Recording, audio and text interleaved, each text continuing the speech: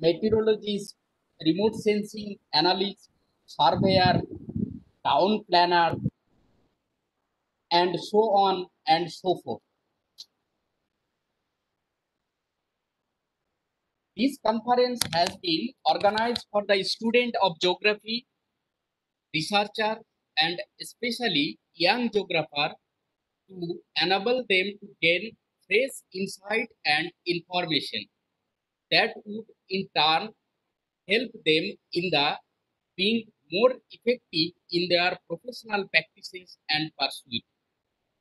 Each subtheme for this discussion and debate in this course of the two days event was chosen keeping in mind the interest of the youth.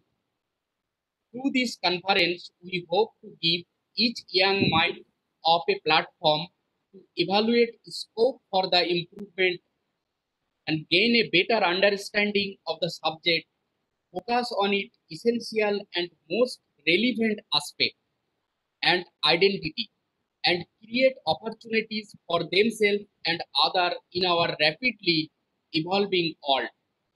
On behalf of the organizing committee, I am grateful to all the honorable resource persons, panelists, chairpersons, participants, and paper presenter from various parts of the country and abroad who have made it to the conference. I sincerely hope that the ensuing discussion would enlighten all of us present here on the importance of geography and its relevance in the present situation. I am confident that the fresh insight gathered from the perspective of the speakers will both enrich us intellectually and boost our professional efficiency. Again, on behalf of conference organizing committee, I welcome all our honorable guests, speaker, panelists, all the participants, president, and member of the governing body, the faculty, the non-teaching staff, and all those who have helped us in organizing today event. Uh, thank you all. Thank you all again.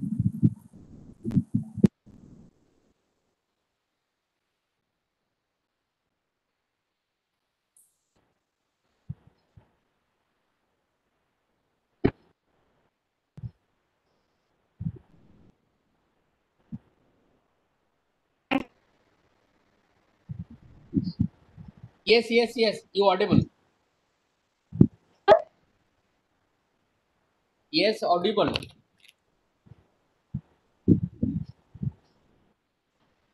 Yes, yes, yes.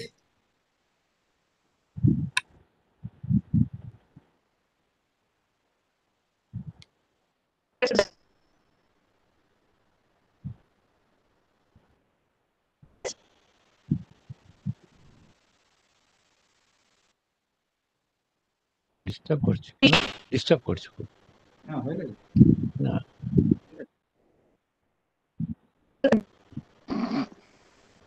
ছাত্র Tatra echoing, echoing.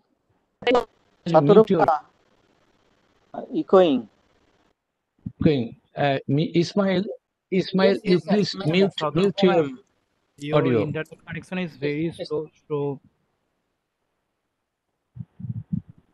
Hello. Uh, yeah. Hello, Shatrupa ma'am. uh, it is echoing, the echoing. We cannot uh, listen any word from you.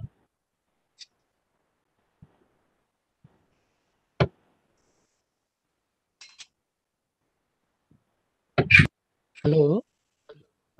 Ma'am offline হয়ে গেছে তো Yeah. আপনারা কেউ যদি start করেন Oh, may, may I start? Sure Uh, okay.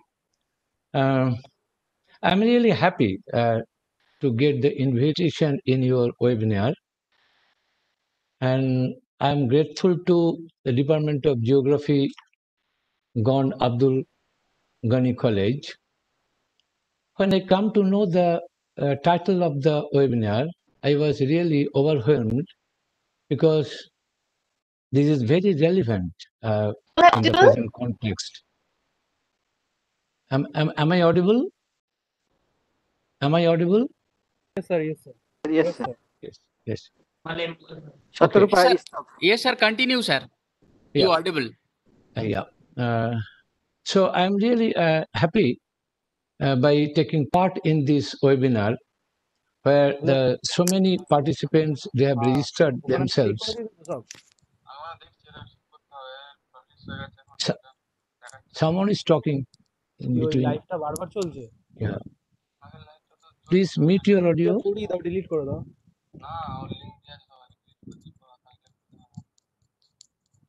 So uh, I like to share my experiences. এখনকারটা live চলছে And- তো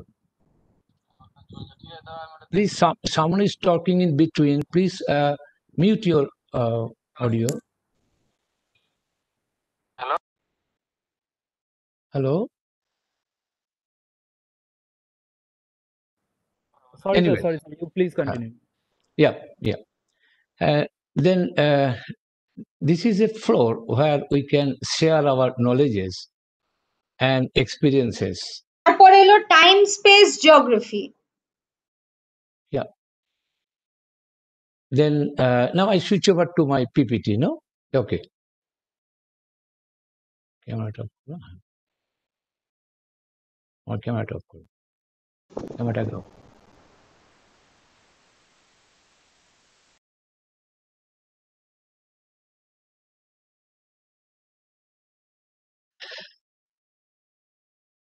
Now, the opportunities and challenges within geography. The Earth system is a very dynamic process which could be explained only through geographical approach. The Earth system comes up with various consequences, both on the physical and socioeconomic attributes. These all could be answered with geographical insight. Now, within this insight of geographical approach, a newer concept has come up, and that could be designated to be the answer of the trending opportunities and challenges. This is the neo-deterministic approach propounded by Griffith Taylor, an American geographer. Actually, he's an environmental philosopher, and in his proposition, he mentioned that the stop and go. Stop for a while, then you think what you have done, whether that is right or wrong, whether that is sustainable or not. Then you proceed for your further. Camera on করি আমি ইয়ে পাচ্ছি না দেখো কোনো ভয় invoice পাচ্ছি না Am, am, am I audible? পাচ্ছেই না। আমি কোনো শব্দ পাচ্ছি না তো। A কোনো শব্দ নেই। অথচ ভিডিও কানেকশন হয়েছে কিন্তু কোনো শব্দ পাচ্ছি না আমি। Someone is talking in between, no? That sir আপনার অডিওটা আনমিউট করুন ওটা কানেক্ট করুন ওটা অডিও কানেক্ট করতে হবে। ও আমার অডিওটা শোনা যাচ্ছে না? আমার অডিও শোনা যায়নি এতক্ষণ? হ্যাঁ স্যার শোনা যাচ্ছে স্যার শোনা যাচ্ছে পরিষ্কার শোনা হ্যাঁ স্যার শোনা যাচ্ছে। আমি হ্যাঁ। পার্টিসিপেন্টদের রিকোয়েস্ট করছি আপনারা প্লিজ আনমিউট করে মিউট করে রাখবেন। ইয়েস মানে মিউট করে রাখুন। যখন কেউ প্রেজেন্টার কথা বলছে তখন মিউট করে রাখবেন। আমি বারবার মিউট করছি কেউ ওটাকে আনমিউট করে দিচ্ছে তো প্রবলেম হচ্ছে। আনমিউট করে রেখে দিয়েছে পার্টিসিপেন্টরা ঠিক আছে আমি সবাইকে মিউট করে দিচ্ছি। প্লিজ আপনারা কেউ আনমিউট করবেন না শুধু যে কথা বলছে সেই নিশ্চয়ই। open থাকবে। this is the Hmm. system otherwise there that makes then i come to that point that is the griffith taylor. I was talking on about griffith taylor. He was an american geographer and uh, he propounded the theory that is the neo-determinism that is the stop and go and stop for a while. And you think whether you are right or wrong. Your advancement whether it is in a right track or it creates some new problems for the future generation. So this is a challenge for a geographer, and geography is the subject who can see and understand and handle these problems or the outcome of this part. Now, uh, I would like to take some examples from my experience. I like to show some slides, and there where the geography lies and the role of geography or knowledge of geography, how it can be uh, control that part that I'm talking about. You see, uh, from the term desert, we can imagine the vast stretches of sand. But these arid parts of the earth plays a very vital role in system dynamism. But the economist, the planner, the agro scientist uh, ignored this and started to convert these vast stretches into irrigable land. Is uh, I got it from Sahara Desert. On the peripheral part of Sahara Desert, uh, we are going to start the agriculture, and we converted the land from desert land to agricultural land. For that, we divert the Nile River through canals, and we initiate some sprinkler irrigation, and we invest huge money to provide irrigation in those lands.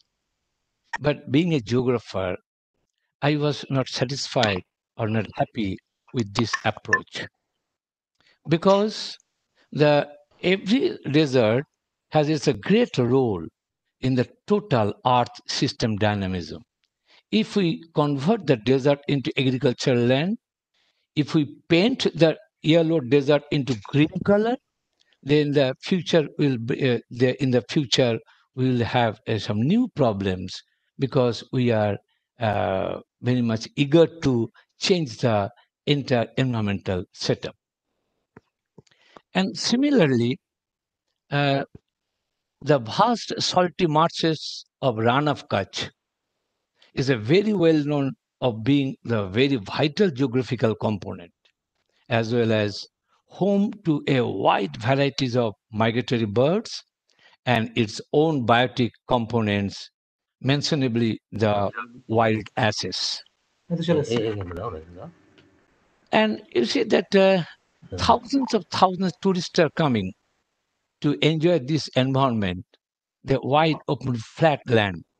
From uh, the entire flat land is veneered with a salt crust, and from there we are getting the natural salt.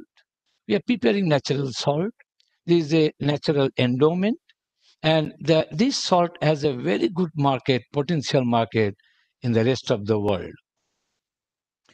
Uh, but in recent year, in recent years, uh, there has been an enormous encroachment of settlements within these salty muds in the name of the land reclamation. What I noticed, I was there with a team. Uh, what I noticed there, the this m- m- land is reclaimed and gradually encroaching the Marcy land, and we are going to set up some rural areas. And what is the result? Not only this, the demand for electrification, the high voltage electric poles are being installed to meet the ever increasing demand. These have been done without understanding this region's dynamism. What I am talking about, the system dynamism, and ignoring the region importance. And you see that uh, this is the what happened? This is the this is the home of a huge varieties of migratory birds. Huge varieties of migratory bird. And these migratory birds generally follow a particular path during their migration. But as we set up a number of the electric pole, as a result, that those electric poles kill the hundreds of birds. Those are the flamingos, the migratory birds. So my question is that the before setting up this electric high tension electric pole, we must consider the geo-environmental situation of that part. By ignoring this, we are killing the hundreds and thousands of migratory birds.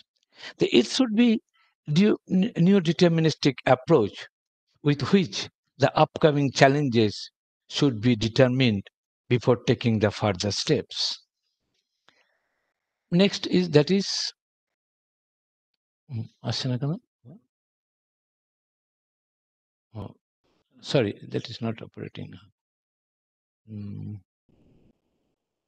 Next is that is the sinking of Aral Sea. You see, the I visited that visited that part uh, last year what I noticed, the Aral Sea with an area of 68,000 square kilometer, the sweet water sea. Aral Sea is not the saline water sea. This is the reservoir of the sweet water. And this 68,000 square kilometer area is gradually turns into desert. In 1940s, just 60, 80 years back, uh, the, the Stalin constructed irrigation canals that begins on a large scale irrigation and he wanted to divert the water from the Amudarya and Syr Darya for the adjacent agricultural fields to produce the cotton. And as a result, the Aral Sea is not going to get water from Amudarya, Syr Darya, and the sea, the entire sea is gradually started to sinking. And the countries like the Uzbekistan, Kazakhstan, and other countries, and there is a great tussles between the position of that uh, Aral Sea, and then later uh, in the year 2014, they declared the Aral Sea dries up and becomes now that is known as the Aral Kum Desert. You see the photographs of three consecutive uh, decades. That is uh, 2000 extreme left hand side. You see the real photo, uh, real map of the Aral Sea in 2000, and after 2007, the Aral Sea is gradually sinking. And 2014, the a, a small strip of water was there. And when I went there in the year 2019, I never saw, I would not see any water strip within this Aral Sea part. So uh, we the people, with our ignorance, we just convert a, a sea uh, to a desert. So there is the question and there is the challenges for a geographer. And the same is true in the case of the Chad Lake, which was 23,000 square kilometer in 1960s, about 60 years back. Now only 1,400 kilometers square kilometers remaining, and enter part and total Chad Lake is dried out because in the upper catchment area we construct a number of dams uh, which restrict the water to flow into this Chad Lake. Now, this is the neo-deterministic approach on irrigation and channel diversion. You see, this is the Mayurakshi River in the central part. And to supply water in other parts of agricultural fields of Birbhum particularly, and we divert the water through canals. And as a result, we see at present the lower part of that uh, barrage, the Tilpara barrage, the lower part of Mayurakshi is turns into a desert that is a strip of desert. And one of my scholar, she did her PhD on this issue, and she came to know by interacting with the farmers that the farmers are now very much interested to irrigate their agricultural fields with the help of the shallow tube well and deep tube well. They never take like to take any water from the canals because canals uh, are not getting water because the uh, water is diverting and evaporating and leaking in upper catchment area. That's why. So this is another problem that uh, we are going to uh, uh, start a program without considering the geographical components and environment of that particular area. So this is a challenge for a geographer and try to establish the knowledge of geography and the field of geography uh, in those planning process. Now, you see, the, I'd like to quote the statement of great Nobel laureate Rabindranath Tagore. In the year 1907, he delivered in his lecture that uh, he said, the, let the river flows. Uh, don't use up all its water for your bathing, drinking, and growing your autumnal rice. That means you don't used up the water. Let the river flow. Though it has no uh, signi- great significance uh, from the point of view of the economic gain, but it has a significance in maintaining its flow. You see that uh, 2000 in the first of this century, that uh, one word is uh, getting in our one uh, getting its position in environmental studies. That is the e-flow. E-flow means environmental flow. Just imagine, uh, hundred years back, he was talking on this issue that the let the river flow, though it has no significance for or getting any profit from the economic point of view, but it has a great significance in maintaining its flow. That means e-flow, there is an environmental flow. And moreover, the Tagore was terribly against the putting up the big dams. And this, in during that time, he wrote uh, so many articles, poems, and even one drama that is Muktodhara. And that was totally against the big dam. And you see, that 2004, there was a world summit on against the big dam. And in that summit, we took several you know, resolutions to decommission the major dams of the earth.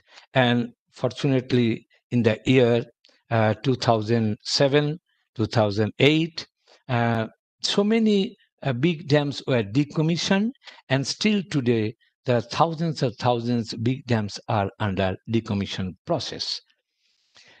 Now, you see, I come to this point that is uh, the UNCLOS.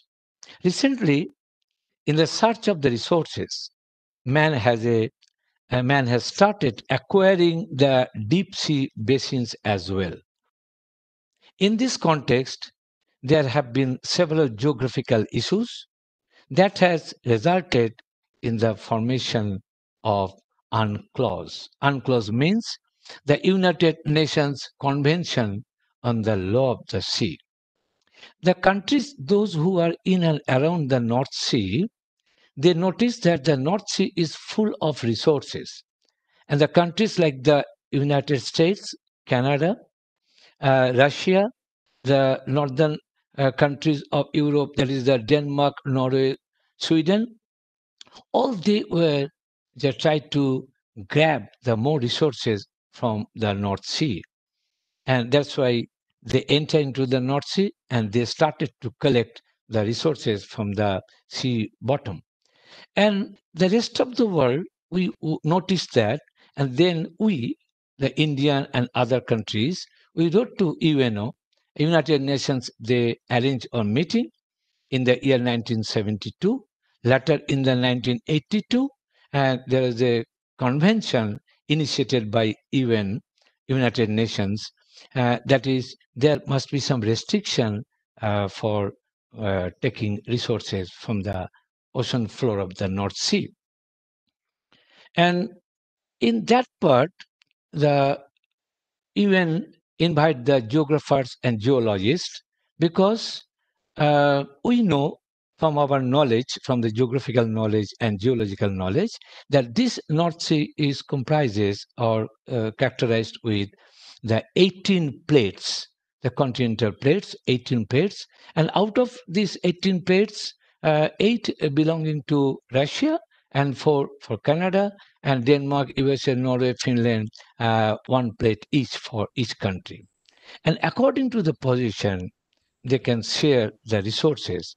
And resources that is from the coast to 200 nautical miles inside the sea. And beyond that, the central part, which is uh, in this map you can see, uh, that is for the rest of the world. Nobody can acquire any resource from that particular area. So therefore, here the challenges of a geographer and the geography can, uh, geographers can say for this. Now come to the opportunities. Uh, keeping in mind the geographical approach, the present day challenge is very much associated with water crisis. And this water crisis has become up uh, from the injudicious utilization of the river. The in purview of neo-deterministic approach, being a geographer, it has been an opportunity to find out the source point of a river and acknowledge the importance of such a dynamic system on our dear earth. And this landscape is a landscape of a Bihar village, and it has no attraction for the tourist or any other point. But when you come to know that this area is a source area of a river named the Ajoy, then it gets its importance from the point of view of geography, from the point of view of uh, tourism, from the point of view of the economic upliftment, and all this. So this is the point, and uh, I took some geographers, and under my supervision, a group of geographers went there, and we find out the spot, and we install a marker stone there, and that is this is the marker stone. Uh, we installed in that village, the Salwa village, and you see that this marker stone attracts the people and uh, from in and around villages. And in that marker stone, we wrote that in recognition of man-nature attachment, this stone is placed at Salwa village as a source point or source area of river Oja. And ultimately, uh, the people of the local areas, they used to come and see, and this turns into a tourist spot. And recently, we made a survey, and now we get information that the people from well away from uh, nearby urban centers and even from abroad, they're coming and enjoying this point as a source. This is the opportunities for a geographer. And this uh, stone is recognized by the BBC Art. And that is the uh, point because you see that I got this idea when I went there in uh, Cirencester, one village um, of uh, England. There is a source of river Thames. And there, uh, from there, I got this idea and I started this program with my uh, colleagues and friends and students. I set up the five river, five such marker stones in five rivers of Bengal, Jharkhand, or Bihar. That is Ajoy, Kunur, uh, Kopai, Kumari, and Korola. And you see that uh, one statement made by a villager, it is quoted in uh, BBC Art, that is the one villager told me now that you have placed this marker stone, maybe one day lots of tourists from far away places will come to my village. My children will see them, then they will be inspired to go out and see the world. You just imagine this is a statement of a old woman of that village, of the Sanwa village. So this is the opportunity or the untouched, uh, you know, areas for geography. So we can, uh, uh, we can, uh, you know, create the new job opportunities. We can initiate or find out some new tourist spots, and by this way, this is the geography. And this is my last part. That is, it would uh, like to conclude that this ever increasing demand in the modern day is resulting towards the several challenges. From the viewpoint of geography, there are several opportunities still left to reorient human demand, just like UNCLOS.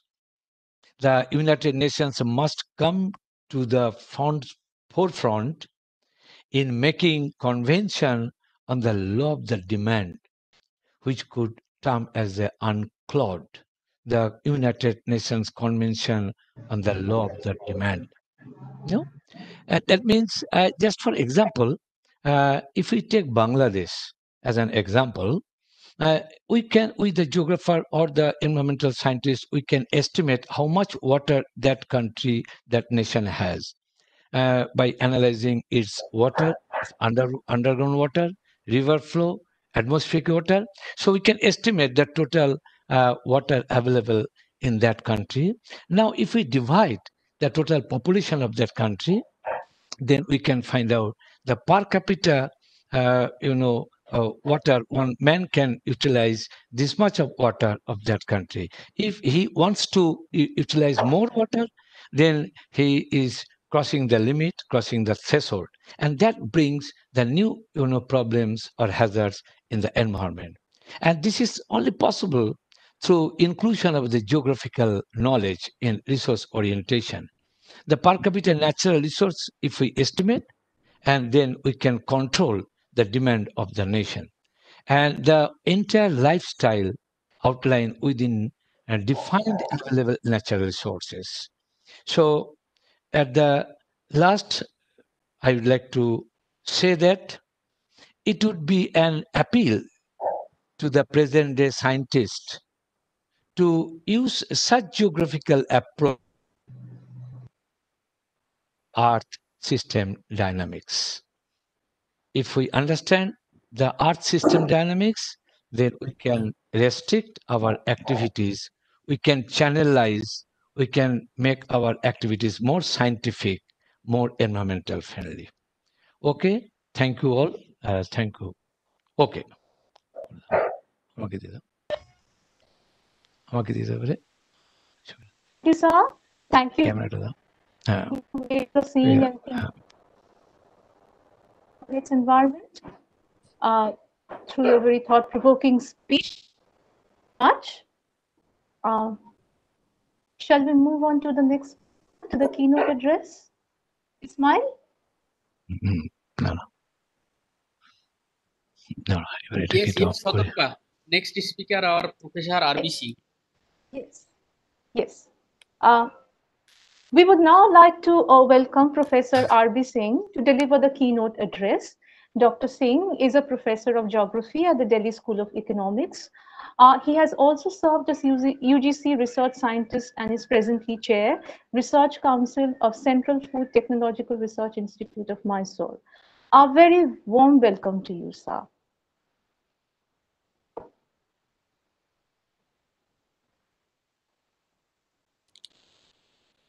Sir, please uh, unmute yourself. Okay, sir. Hello. Hello. Hi, sir, you audible.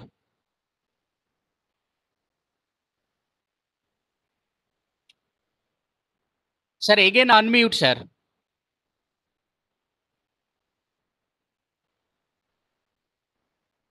Yes, sir. Yes, sir. Audible. So thank you, Dr. Ismail,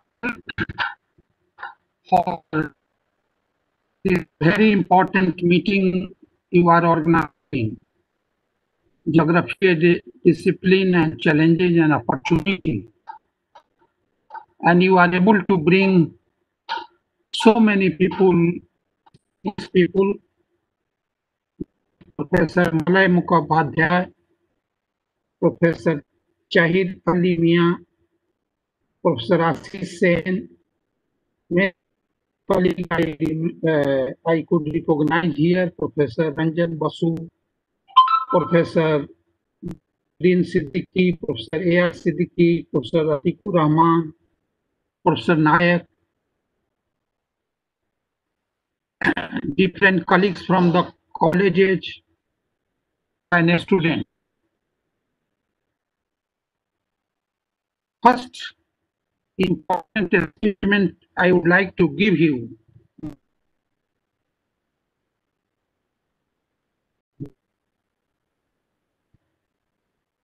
and we heard a very important lecture by Professor Malay Mukhopadhyay about the several type of exploration.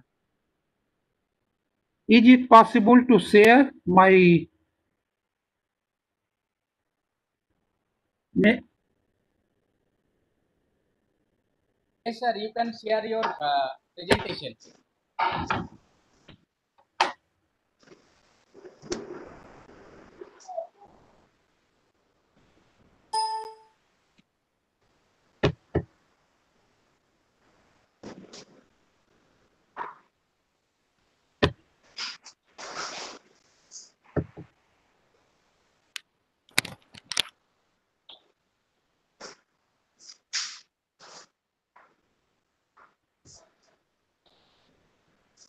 Are you able to see?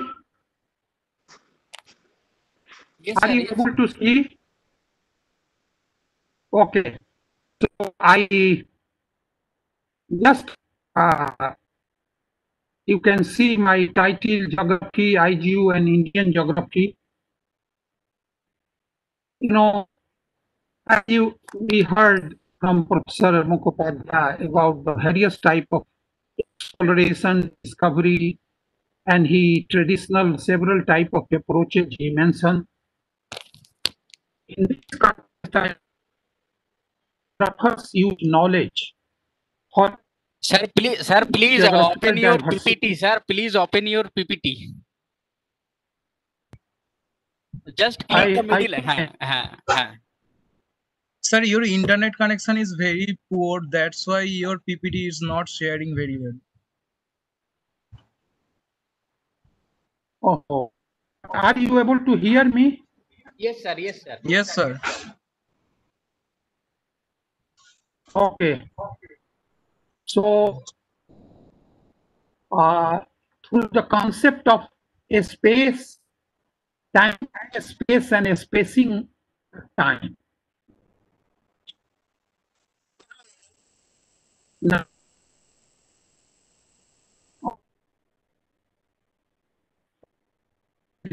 and deterministic approach on the higher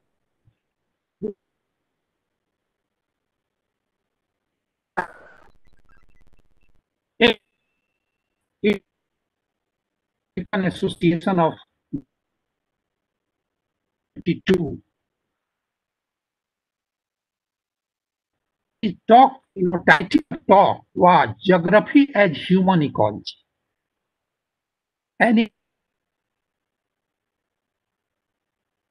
mention about the time, space, particularly in the urban, context. So, and perspective on the transformation of rural ecology urban landscape at a variety of levels, from local, regional to the national level. Broadly, you know, I would like to introduce that our focus include a spatial temporal analysis of the key challenges. What key challenges? I would like to put the word global key challenges. Food, energy, water, biodiversity, mega cities, health,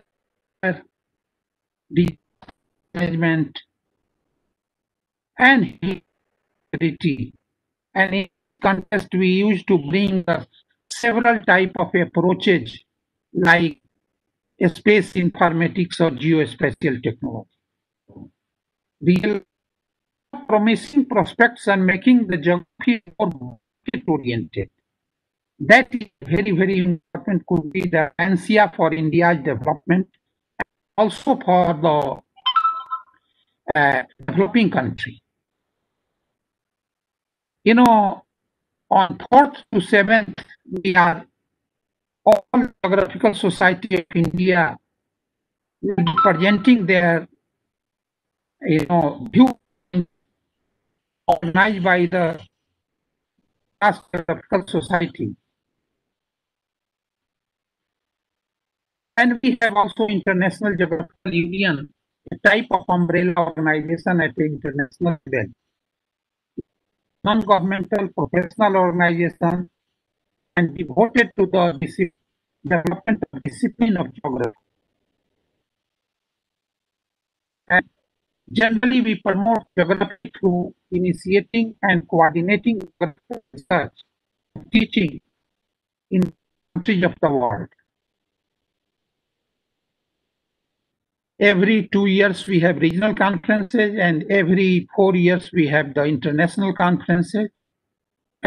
This, we used to facilitate the participation of geographers in the global community of scientists through its formal affiliation as a member union of International Science Council. So, first important aspects I would like to highlight. The geography used to highlight national challenges for the society. And in this context, first I would like to start with the few important initiatives taken at the global level.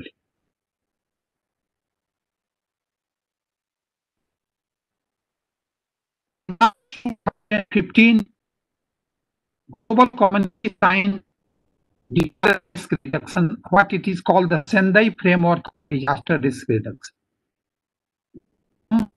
25th December 2015, we signed development goals. So that is why now geography has emerged. Geography as a source as a sustainability science. In December 2015, India and other countries also signed the Paris Climate Action. And for, you know, under the umbrella of IGU, we interactive areas. So our geographer also identify interactive areas.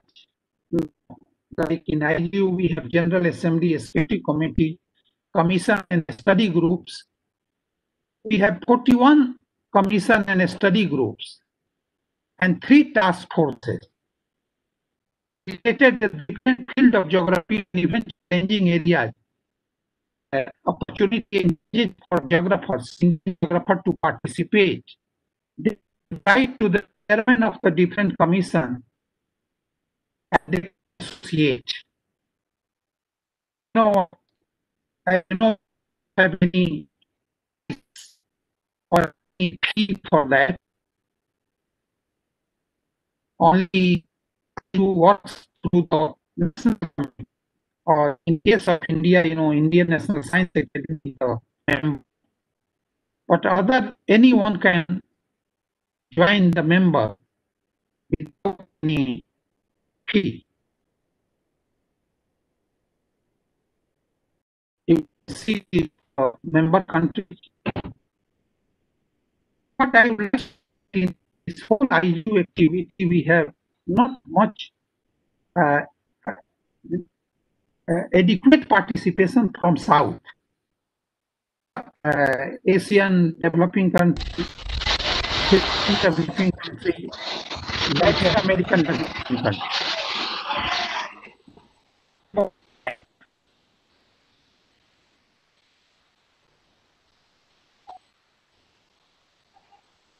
And I would like a very important strategy, particularly for covering the challenges and opportunity. What it is called the IGU strategy or political strategy. To participate in coordination of research, discussion of their results, and elaboration of major international documents on global and regional problems of sustainable development. So this is a very, very important challenge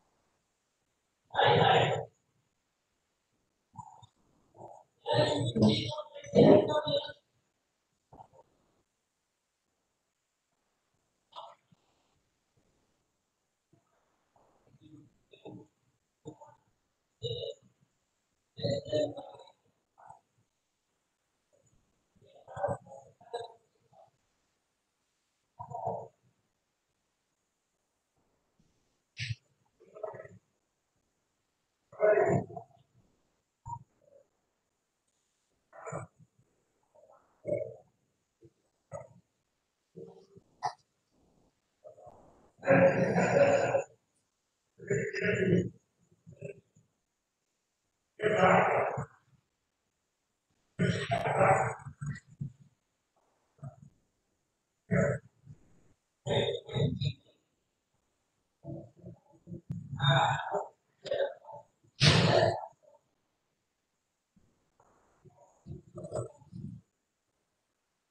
Yeah.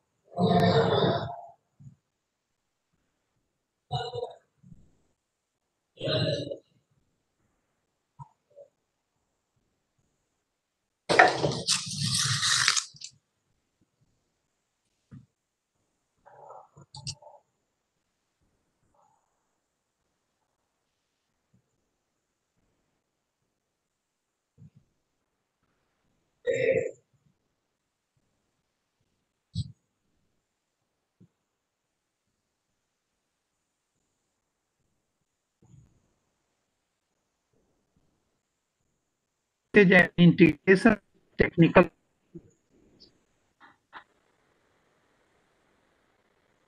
geography in an international governmental organization and, and the national level contribute to its better visibility for decision makers and business community in society at large.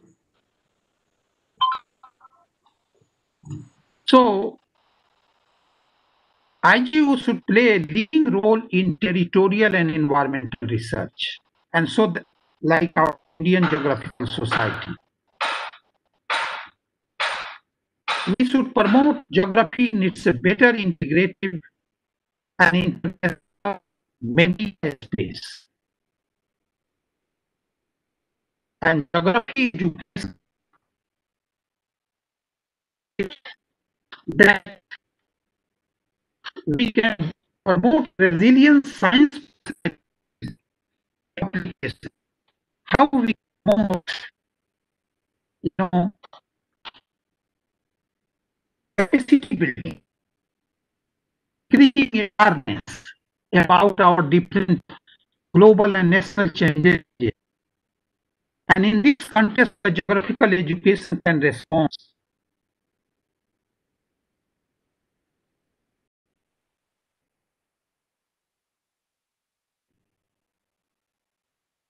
to guide on the conceptual development of geography. Geography is a multidisciplinary science. We explore how environment emerge by natural processes. How something huge and environments. Several examples you have seen from Professor Mukhopadhyay. How society, you know, themselves are influenced by the environment in which they are located. The 50s, very important concept brought before us by Richard the areal differentiation. To entire space and time.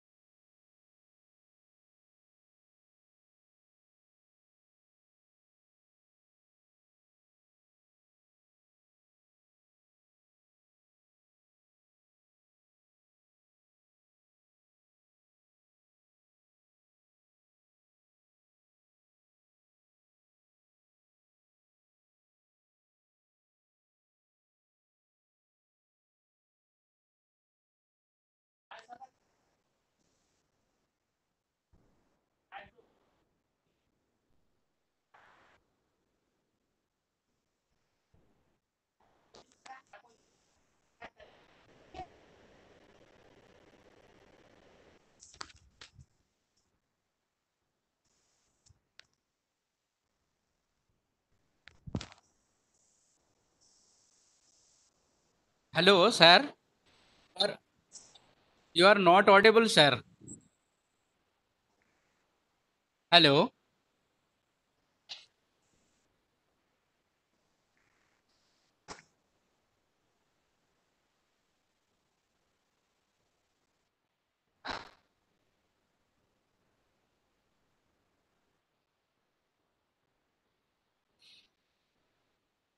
Software company নাকি company একই company কিন্তু জানিস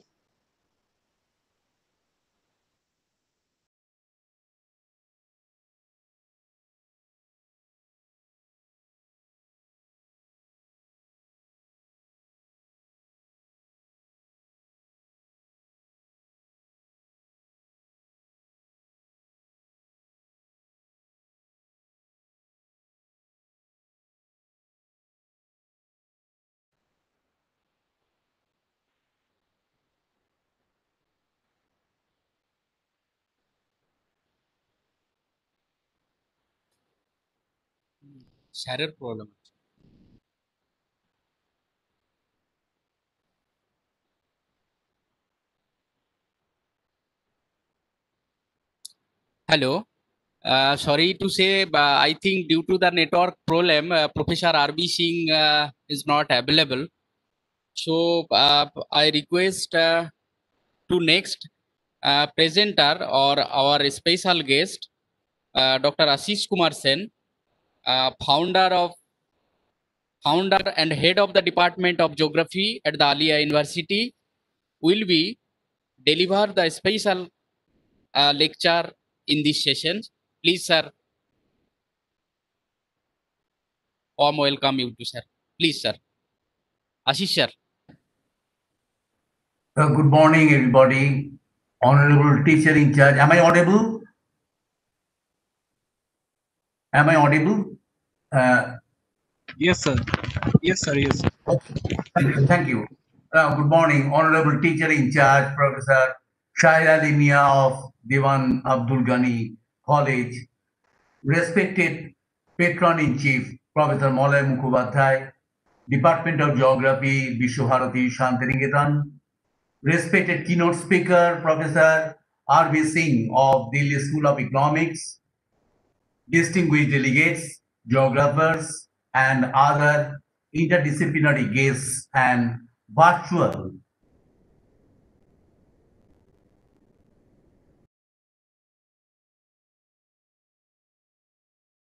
and allied sciences. It's a great pleasure and opportunity for me to express my view as a special guest on this two days online conference in geography with a thrust area on the opportunities and challenges of geography as a discipline. In fact, actually, no word is sufficient. No word is sufficient enough to acknowledge the. Let me share the uh, PowerPoint. Just uh, one second. Are you able to? Hello.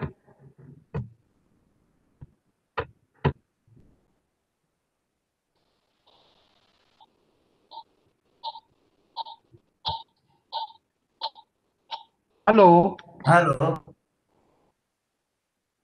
Are you able to hear me? Uh, let, let me let me Are you able to hear me? Hello, I can hear you.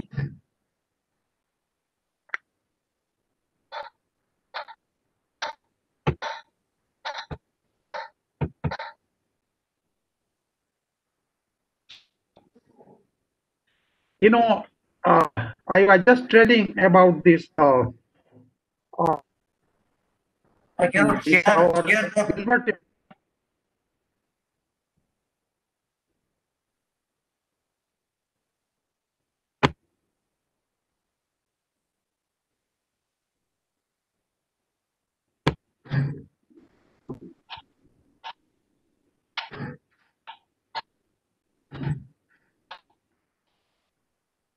Hello. Hello.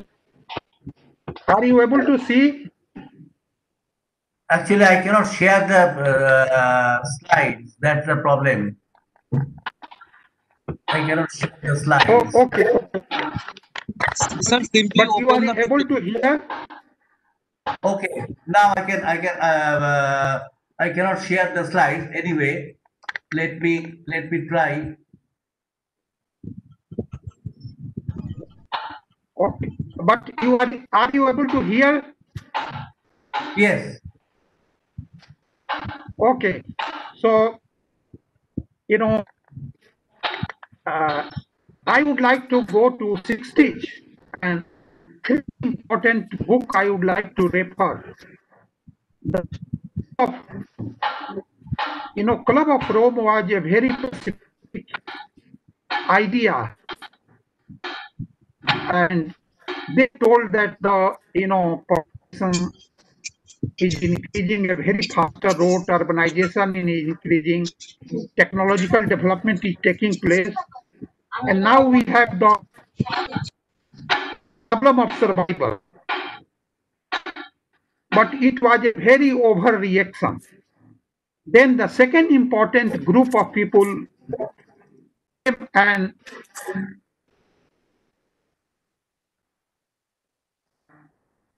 and mankind and the turning point. It was a more optimistic idea, and they mentioned that we have still and hello and so that is why geography aims to study both nature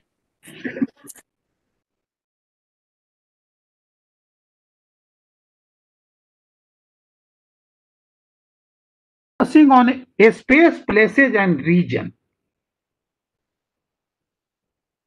Addressing and questioning both short term and long term processes and resulting pattern. So, you know, what you are getting here that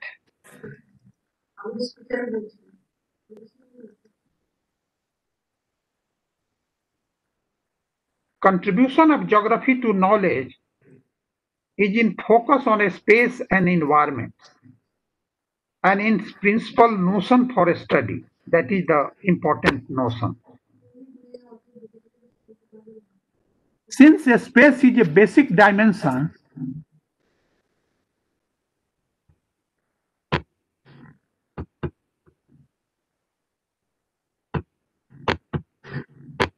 Hello. Hello Hello. Uh, can I uh, present now? yeah you are he- hearing me Yeah, I can hear you. okay okay So can I start now? yes yes So the, the uh, my topic is uh, the geomorphic concepts, challenges, and opportunities in teaching and research. Now, this is the uh, within a very short uh, time. Uh, it is not possible for me to uh, cover all the uh, aspects. So I have been uh, concentrating on the geomorphic aspects, and through a long uninterrupted years of teaching for almost five decades. It's actually more than 46 years. An attempt has been made by the by me to unfold the major challenging issues in teaching and research as encountered time to time. And the subject is so vast that I've been concentrating in the field of geomorphology.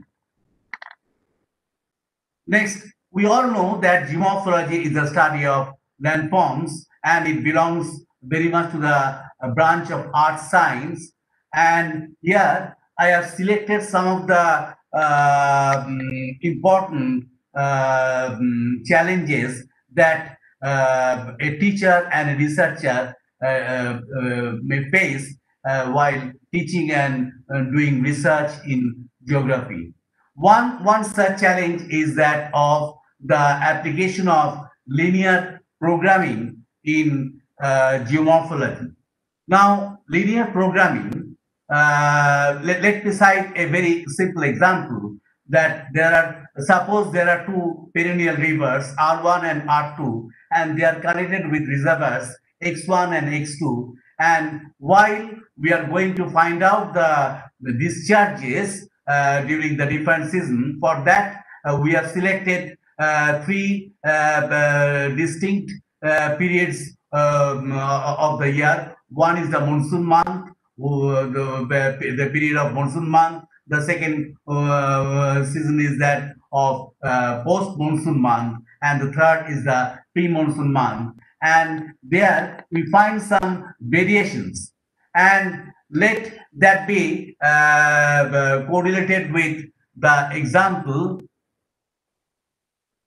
How can I share it? That is the problem.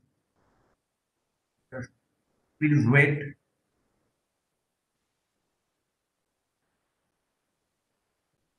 Can you can you see the slides? Yes, sir. Okay, Yes, okay, sir, yes. Fine, fine, fine, fine, fine. And uh,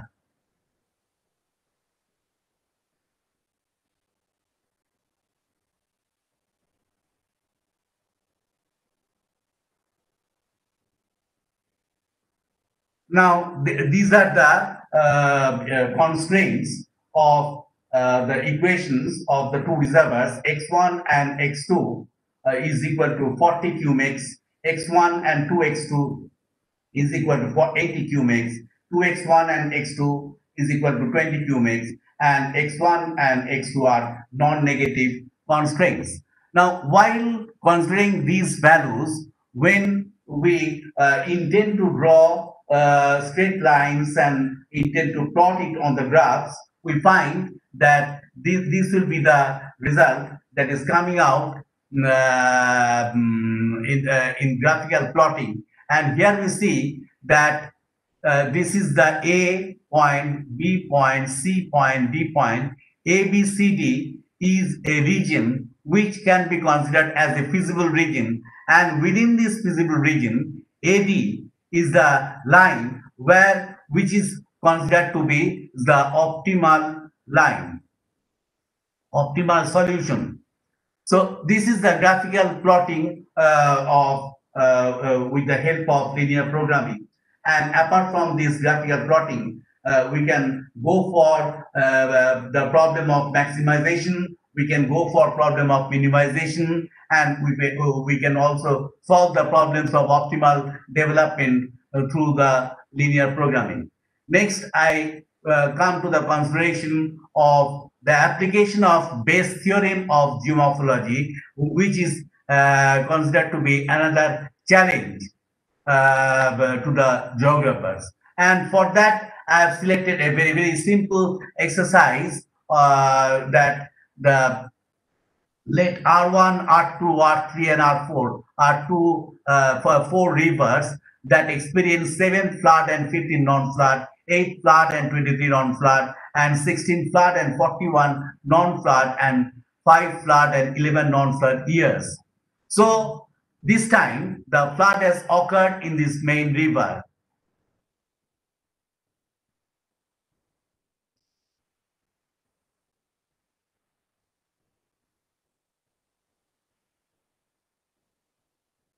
Now, uh, how can we solve the problem that which river is more susceptible to flood, flood so that we can um, uh, make some proper planning and management with respect to flood uh, control and flood management.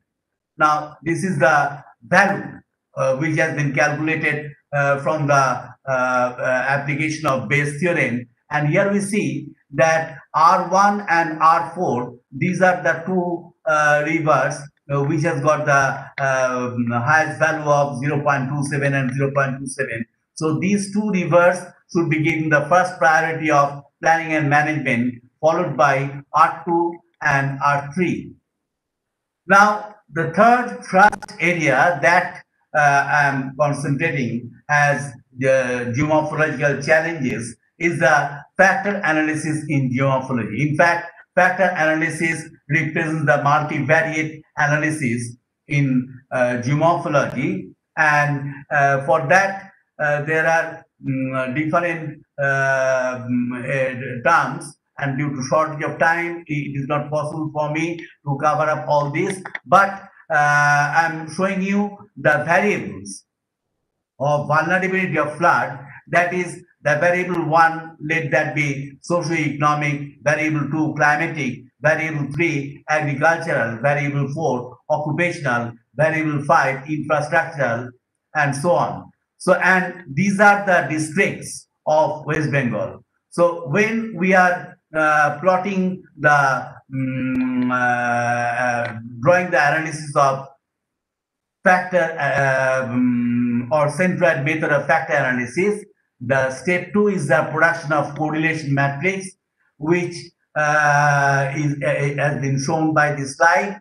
Then followed by step three is that of the computation of the summation of rows or summation of columns in the form of T, and then the root over T representing the uh, centroid uh, to obtain to, to find out the centroid loading. And this is the final, uh, this is the table where we find that this is the total uh, uh, summation that is uh, 10.464 and the, the root over 10, root over t is 3.235 and on the basis of this value uh, we can obtain we can find out the first centroid factor. Accordingly we can find out the second centroid factor third centroid factor and so on till we get the uh, maximum uh, possible correlation up to the extent of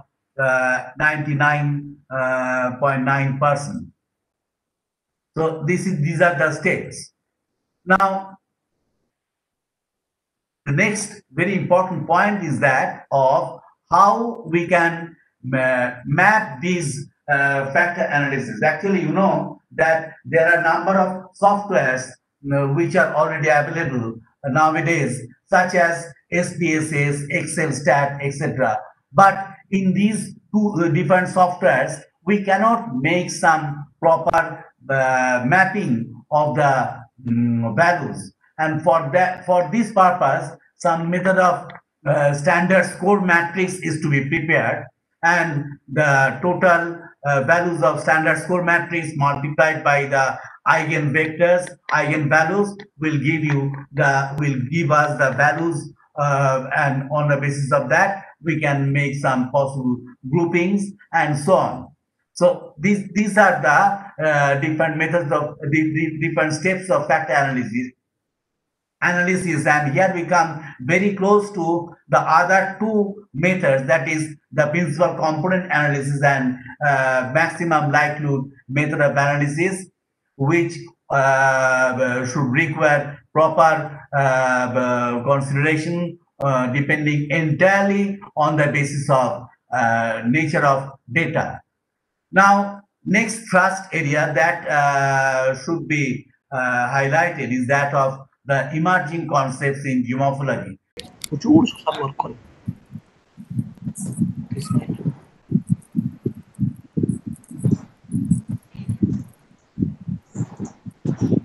hello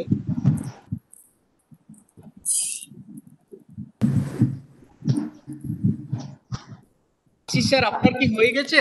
Ashis sir? একটু আরেকটু বাকি ছিল। Lecture.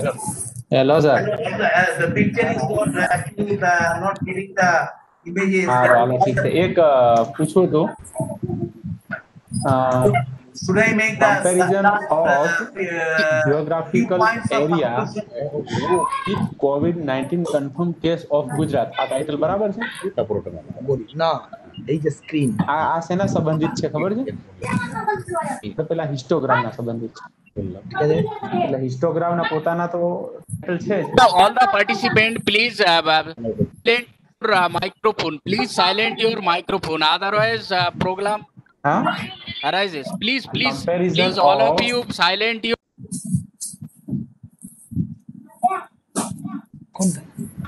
మన video open చేశారు కిచ్చు కిచ్చు అన్నయ్యతో sir వాడితో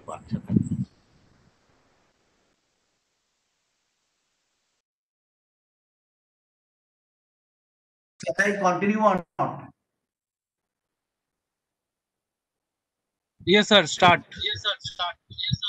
Now, re- regarding the uh, communication, uh, regarding the, let, let,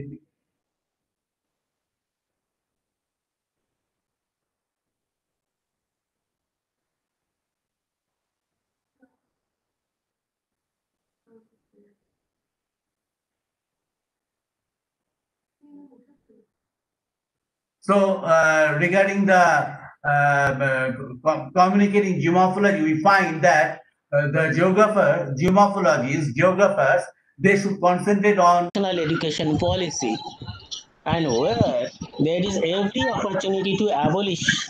Sir, one minute, please. Sir. I yes, sir, but I like to request all the candidates, please mute your speaker mic. Otherwise, sir can't tell you. Hello. I continue. Yes, sir. Okay. Anurazul Islam, sir, please mute your. So now, through this commission, several opinions and views have emerged, and ultimately we shall have to link it up with our own discipline of geography. The problem is, unlike subjects like economics, sociology, geology, geography is a school subject. And we must remember that that we need not be confined to any specialized area when you are talking about geography in general. Say, the new structure, what has been offered to the academia, that is five years in primary level, three years in high school level, then four years combining secondary and higher secondary education, and ultimately four years of undergraduate teaching and postgraduate teaching may be reduced to only one year. So the challenge to the geographers is that how we can cope with such a situation and such a given structure. And in my opinion, I have observed that national planners are more interested in structural change. In our times, when we were students, in way back in the 60s of the last century, it was 11 of high secondary, and that is this first examination of school level, followed by three years of honors course, followed by postgraduate course of two years. No MPhil, only PhD. And this year, again, MPhil has already been abolished or proposed to be abolished. So the question is, what would be the content in the primary level, in high school level, in secondary and higher secondary merged level, and then four years of undergraduate teaching and one year of postgraduate teaching? That is the most challenge to the Indian geographers. Now the question is, if we start from the very philosophy which was initiated by the legendary geographers like Professor Satish Chandra Chakraborty, Professor Sunil Kumar Munshi, they advocated and ultimately accepted in general by NCRT and SCERT, who are concerned with educational research and planning, that we must start in the primary level from known to unknown and from near to far. If we go through the old books of primary level, that was started with universe, which was a mismatch. Until and unless he start from the regional level, start from his own surroundings, it is impossible. So it would be ideal for the textbook writers and curriculum designers in the primary level to start from local to regional to national to global and then to universe. That should be the idea for developing a concept on man and nature relationship, which is the pivotal point for the geographers. In the secondary level, they should be given a concept of location on space along with regions of India. That is my opinion. Location of space and regions of India. In the next level, secondary and higher secondary March level of four years of final education in the school, they the students, budding students, they will offer a regionalization, global impact, uh, rather global aspects from national, regional to national to other continents. Ultimately, this knowledge of physical geography, identifying its different disciplines. In the undergraduate level, that is a different outside. And nowadays we are also going through a very typical question this year, the first boy in higher secondary year scored 100 marks in history and almost 100 marks in all other uh, subjects. 99 was minimum marks he secured. Question if that much high score is given. Who is really good? Who is mediocre and who is bad? That is very difficult. So it becomes a problem for the college level administrators. Whom to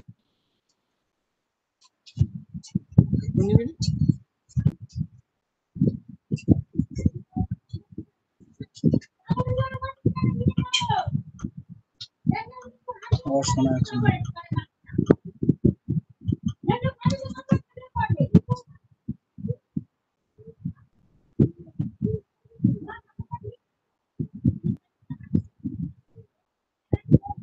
or actually facing a uh, very easy task just taking all are multiple question answer type and the question is why, what is the fate of writing skill So in the preliminary level, it can we can offer that it should be MCQ. In the next level, some other analytical question for developing research aptitude and aptitude of teaching that needs to be tested. Regarding teaching, we are all emphasizing on lecture delivery method. In lieu delivery method, we can opt for learner-oriented teaching, more demonstration. You deliver something, then you take feedback, and then you proceed. And only then that stop and go which was proposed originally by Professor Malay Mukhopadhyay, that can be actually an application we can accept. And there are four types of question we must remember. Knowledge type, understanding type, application type, and skill development type. And in of the question, questions on knowledge, question on understanding, question on application, and questions on skill, all needs to be taken care of. Otherwise, they will be simply uh, uh, go by their memories and nothing they will learn ultimately. And ultimately, in the postgraduate level, there is a question that if it is four years honors course, and after honors course, if they can get direct entry into PhD level after abolition of MPhil course, then what will be the fate of postgraduate level? The very burning question is in the postgraduate level, we can emphasize on research methodology, we can emphasize on specialized branches of geography that may be offered to the students. Otherwise, it be very difficult for the teachers to wrap up within one year postgraduate level. So these are the, I think, uh, my opinion, these are the issues which have become challenge not only to the geographer but teachers and faculty members of all disciplines, starting from primary level to postgraduate level who are imparting education. Regarding research, so many theses we receive which are very descriptive in nature. The question is, when economics, when sociology, when some other disciplines also in social science or in physical terms, physical sciences, in physical sciences, it is essential because geography has two dimensions. One dimension is physical geography, other is human geography.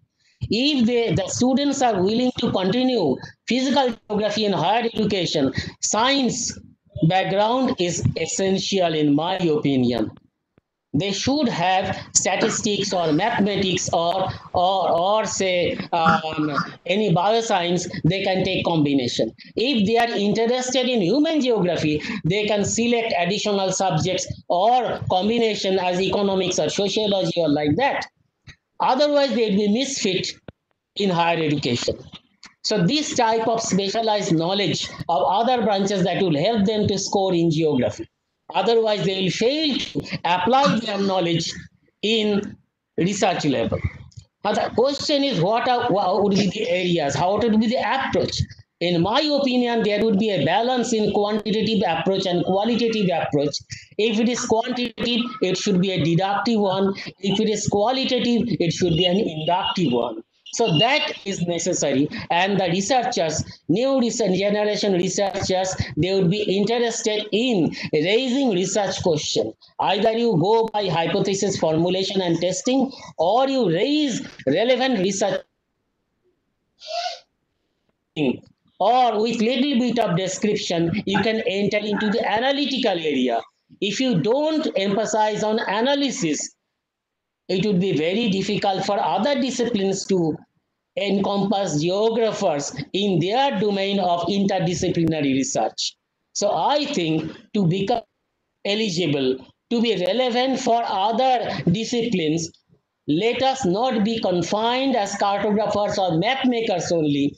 We should establish our discipline with problem oriented research like biodiversity conservation, like climate change issues, and other issues like physical hazard management, social hazard management, and in the times of COVID, the social hazard management that is very crucial, I think.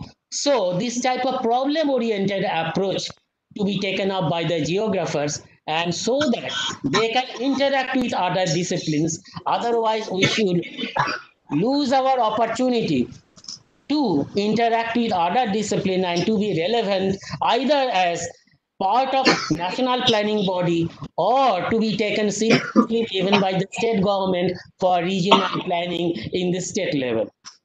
So I think the geographers, the faculty members, they should be proactive from now that what would be the curriculum design, what would be the uh, guidelines for the textbook writers, what will be the guideline for the new research level after abolition of MPhil, totally.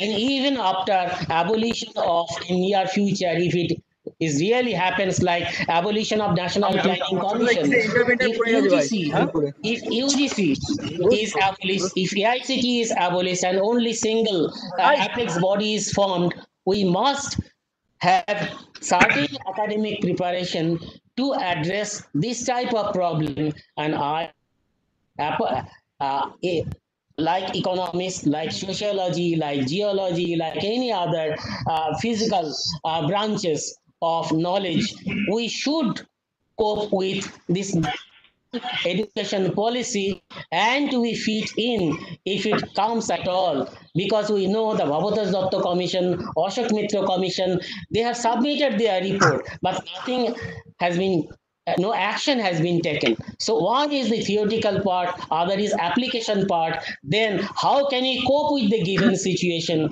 I think these are the burning issues to the geographers in near future. So I think all of you in the distinguished audience or viewers, they should be proactive to take the challenge and to open vistas of opportunities for the geographers. Otherwise, like uh, like other yesteryears, we should miss us of progress.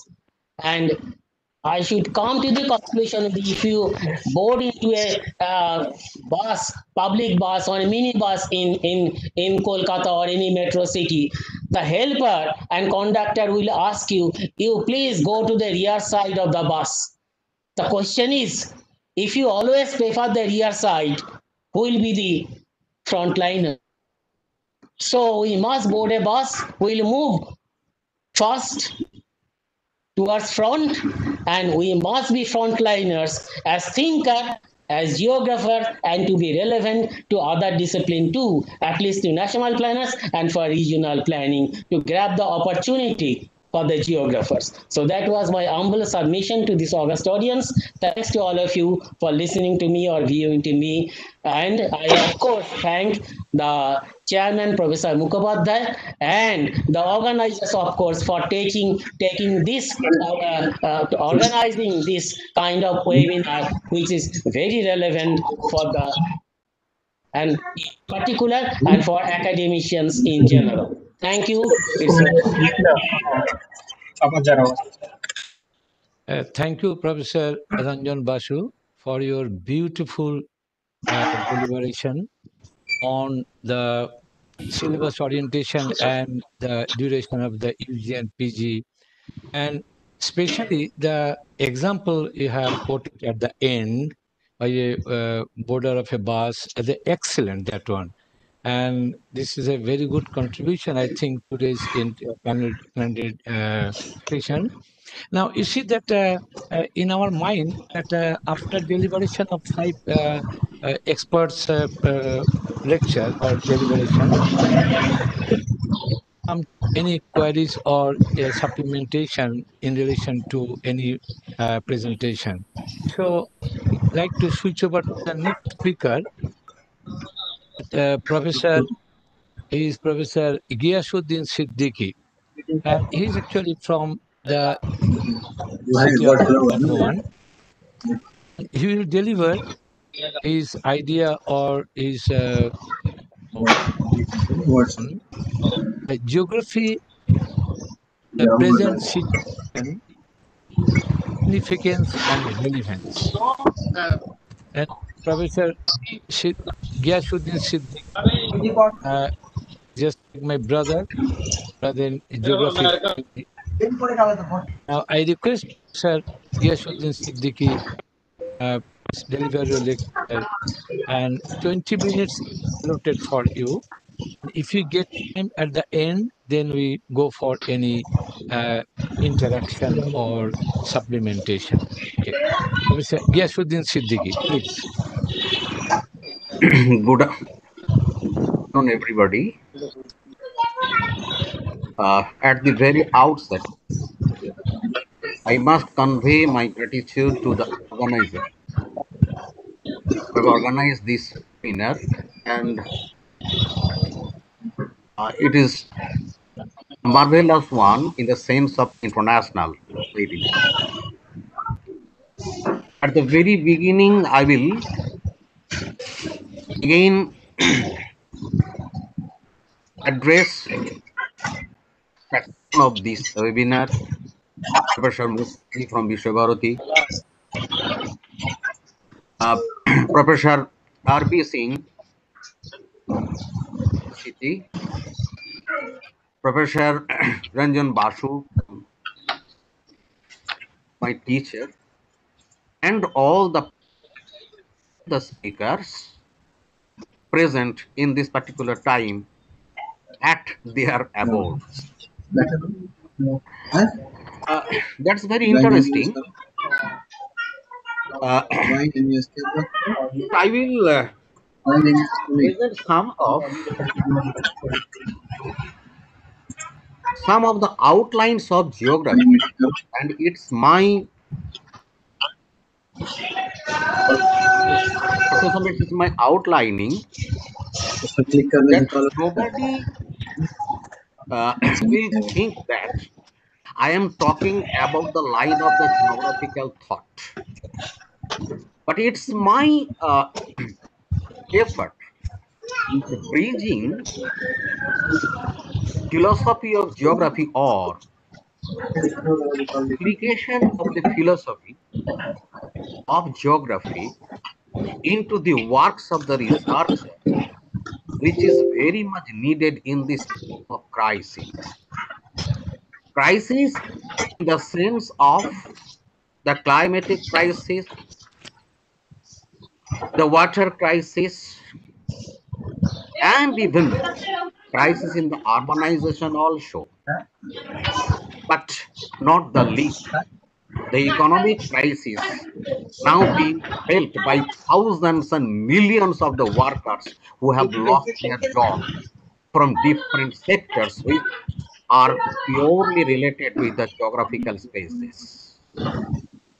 So that's why at at the very beginning, I will just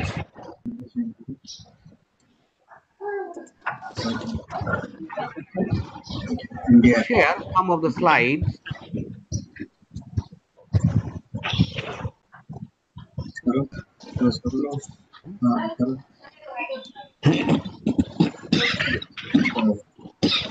So everybody, so sets, is it visible to everybody?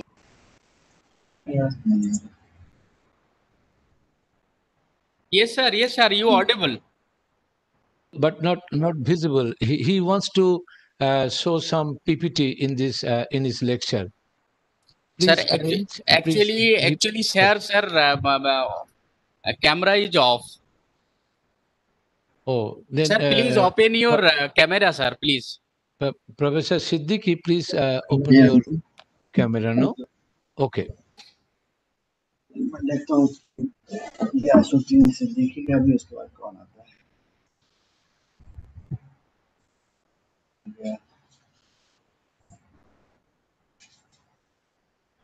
Local तो ही problem है हमारी कम हम्म। कहाँ शुरुआत कहा कुछ किया है? तो अचानक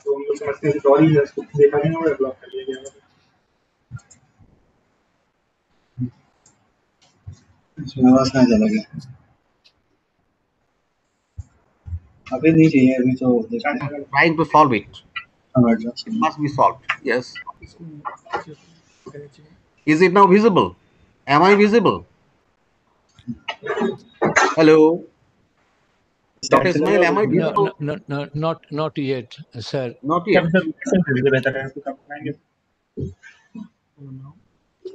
And now? No, no. Uh, Muhammad Ismail, please uh, help him, uh, who is actually handling the technical part. Please request him to assist him. Okay, sir. Okay. Okay, sir.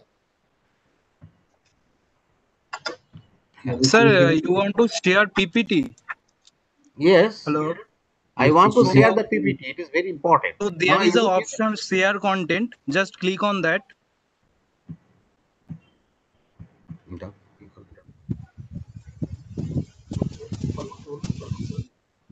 On the share content, yes. Just click on that, and after that you have an option on screen one. Screen one. Okay. Yes. And Then- there is an option in blue button share. Share. Okay. Share. Just click on that and wait for some time. Oh. Yes. Good check. Sir, your internet connection is very poor. I think that's why you can't share your video.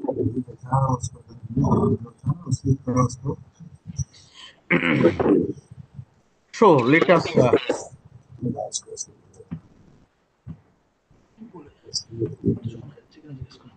so I I think I'm audible at least, though not visible. So geography as a discipline, we can discuss it as a, it's a plane of interaction between the sciences hmm. and the society. I am talking about that the geography is a is like a plane which interacts between the sciences and the society. And number two is that all the geographers, each and every geographer must have some epistemology. And you think that this epistemology may differ from a geographer to geographer and from situation to situation.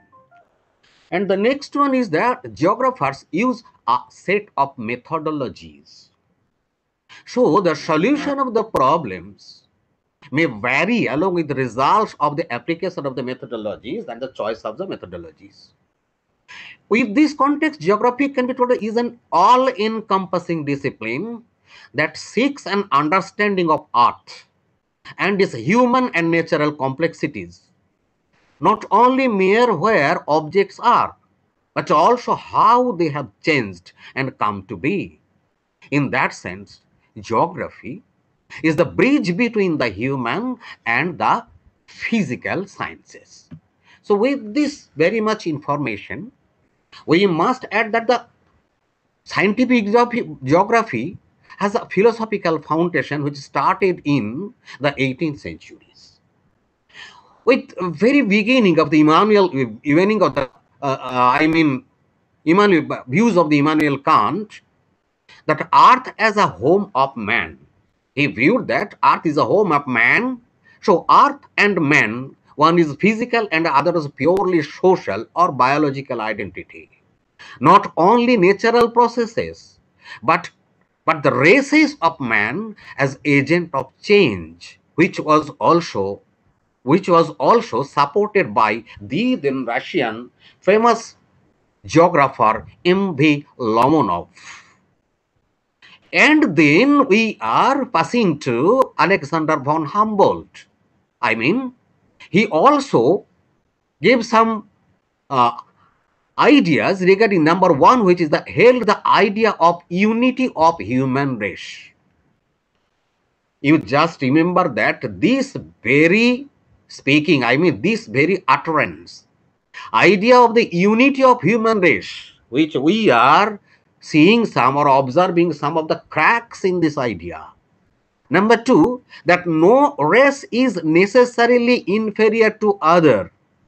So there is a belief of the great geographers that no race is necessarily inferior to the our. Mind it, that von Humboldt being a German, where in the next time there was a great disturbance in the name of the Nazism, which was forecasted before that Nazism by Humboldt, which is, I think, to some extent very little known to many of us, many of geographers like us, that he was pro people, not only a physical geographer. He was also, in that sense, a real biogeographer who included human being as one of the element of the nature. And the third utterance was unity of nature presumed a causal interaction of all the individual features in nature.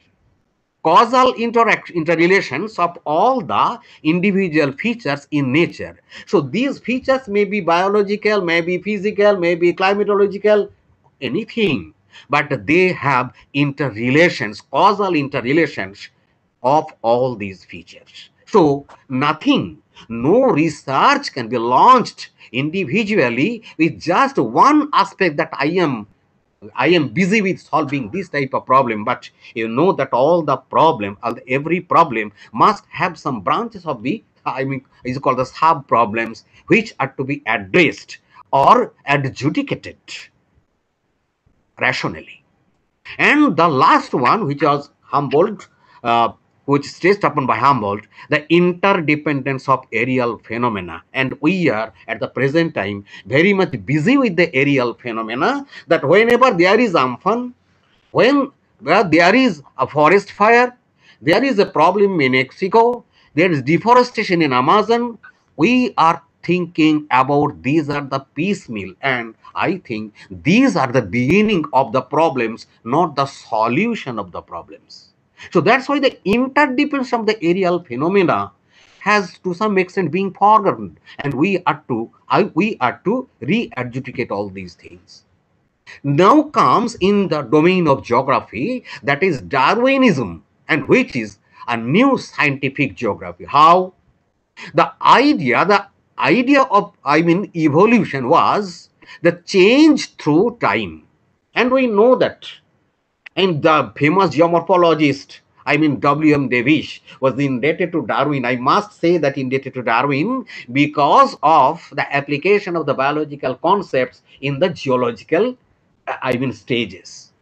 So the idea of organization and ecology, it was a very new, was it was very new outlook by Darwin that every area or space and the phenomena must have some organization. And this organization is very much very much connotes to ecology.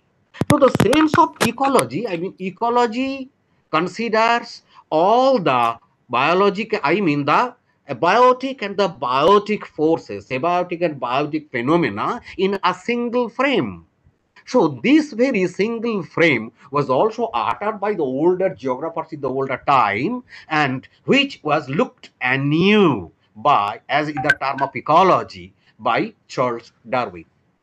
So that's why we should relook that the natural selection and the struggle, the two processes which was highlighted by Charles Darwin and his disciples was passed on to the geography, to geography, philosophy of geography, the natural selection is nothing but the scientific determinism. Because scientific determinism, the deterministic angle says that that nothing is automatically done and nothing and not uh, nothing could be done by force because nature has a role in the changes or the organization of any type of solution and that the struggle i mean struggle for existence was just passed on to the idea of possibilism. So, if you struggle, you may survive if your struggle is successful. So, the possibilism is the way out of finding out the possible ways to survival of the human being and the solution of the problems.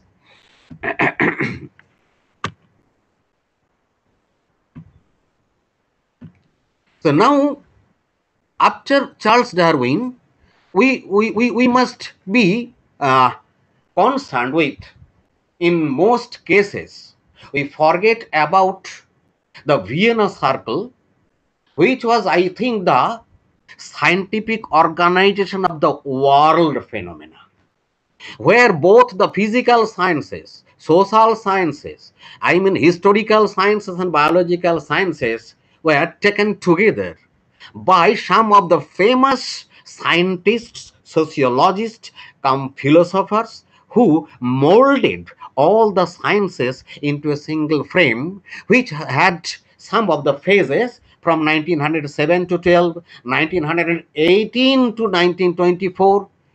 Please, my colleagues and my friends, you remember that from 1912 to 1918, it was the period of the First World War.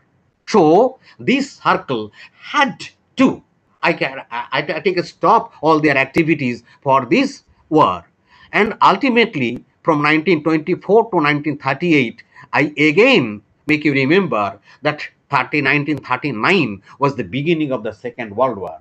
So this is the mid time of the First and the Second World War. There was so many development of the sciences of which geography had a special domain and a very successful research out of geography and that was logical empiricism from where we came to the logical positivism and ultimately neo-positivism and that is unified science.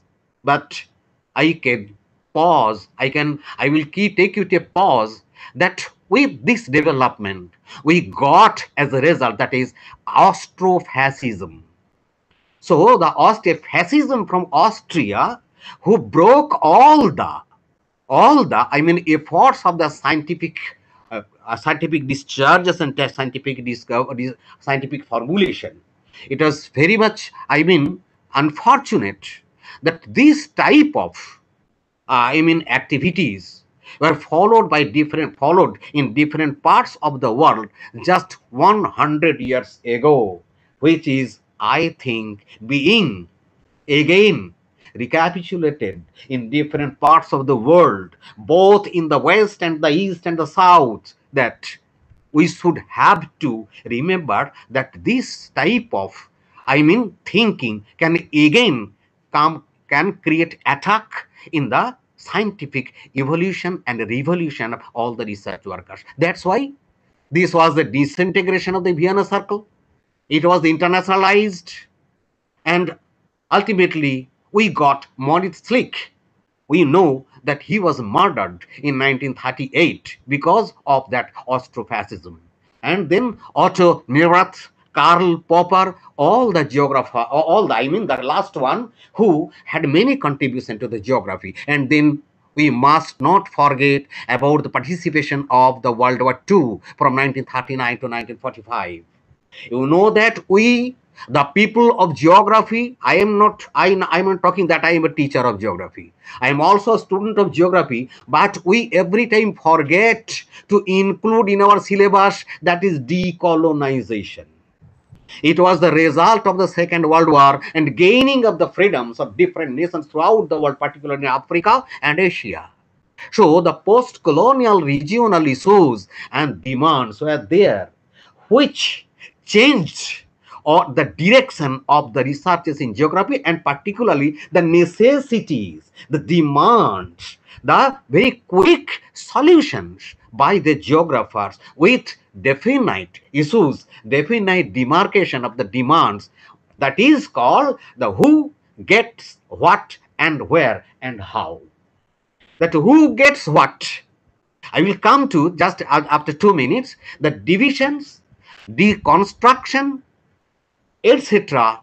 made a new synthesis in geography, which we are now looking as it is the new geographies of the local areas, the spatial science, where the space is fragmented, space is different physically, biologically, and even in the, I mean, color of the vegetation, color of the soil, and color of the people also. So all these differences came into the formation of the dilemma, which is still now being faced by the third world. That is the third world dilemma. And with this dilemma, we had a very, very good and fruitful researches in geography, and it turned over. It was the, I mean, the uh, Darwin in 1859 made a turning point in the geosciences, and again in the 1960s, another turning point we faced, particularly in geography, that is critical revolution, and it is anti-positivist. That is critical, and it resulted some of the new dimensions in geography. That is humanistic geography human ecology welfare geography and ultimately radical geography and this radical geography has gave us the ideas regarding the environmental justice and social justice. Again we can formulate that environmental justice speaks about the nature i mean ecology i mean the habitat of all the creatures or all the life. And social justice is another justice which is to be given which is to be done to the people who are different uh, segmented i mean the people living in a particular fertile area must not be equated with the demands of the people living in the marginal areas i will come just to the two ecologies that in the present situation, the situation must not include only the local areas. The present situation takes about the global, regional, national, local, and the effects, all the effects of, I mean, they are all gaining the effects of all the phenomena which the present situation is passing through. That is climate change, the pandemic, unemployment and loss of jobs en masse, and the ever widening gap of inequality. And ultimately, we are we are hunting some of the problems which of which the most prominent is food crisis, for which the whole Africa and most of the countries of Southeast Asia, even including some parts of India, is also suffering. That is food insecurity, and ultimately that is food crisis. So, my humble question to all my colleagues and my co workers or the students of geography that do the planners consider environmental and social justice while working with natural capitals? These natural capitals are nothing but land, water, and forests on which the life of all life of everything i mean depends every life depends upon it so i will give you two examples just relevant there are so many problems and there are so many facets of discussion but i have i have accepted only two problems of west bengal and similar types of problems we can find throughout india also but I will just giving the two juxtaposition of the two areas. I mean, for West Bengal, in the eastern, southeastern part, that is lying the Sundarban area, which is periodically flooded by severe cyclones, and the other part that is the western part of West Bengal, which is dominated by a particular group of people. I mean, most of where the domin the dominance is the scheduled tribes. I mean, the indigenous tribal people who are suffering from the very advent of the present, I mean, wetland agricultural civilization. who are suffering with the destruction of the forests, that destruction not done by them, but the sufferers of, of these people. So if there is reforestation, for whom? Which type of forest that we are giving them? Can it result the benefit to those people?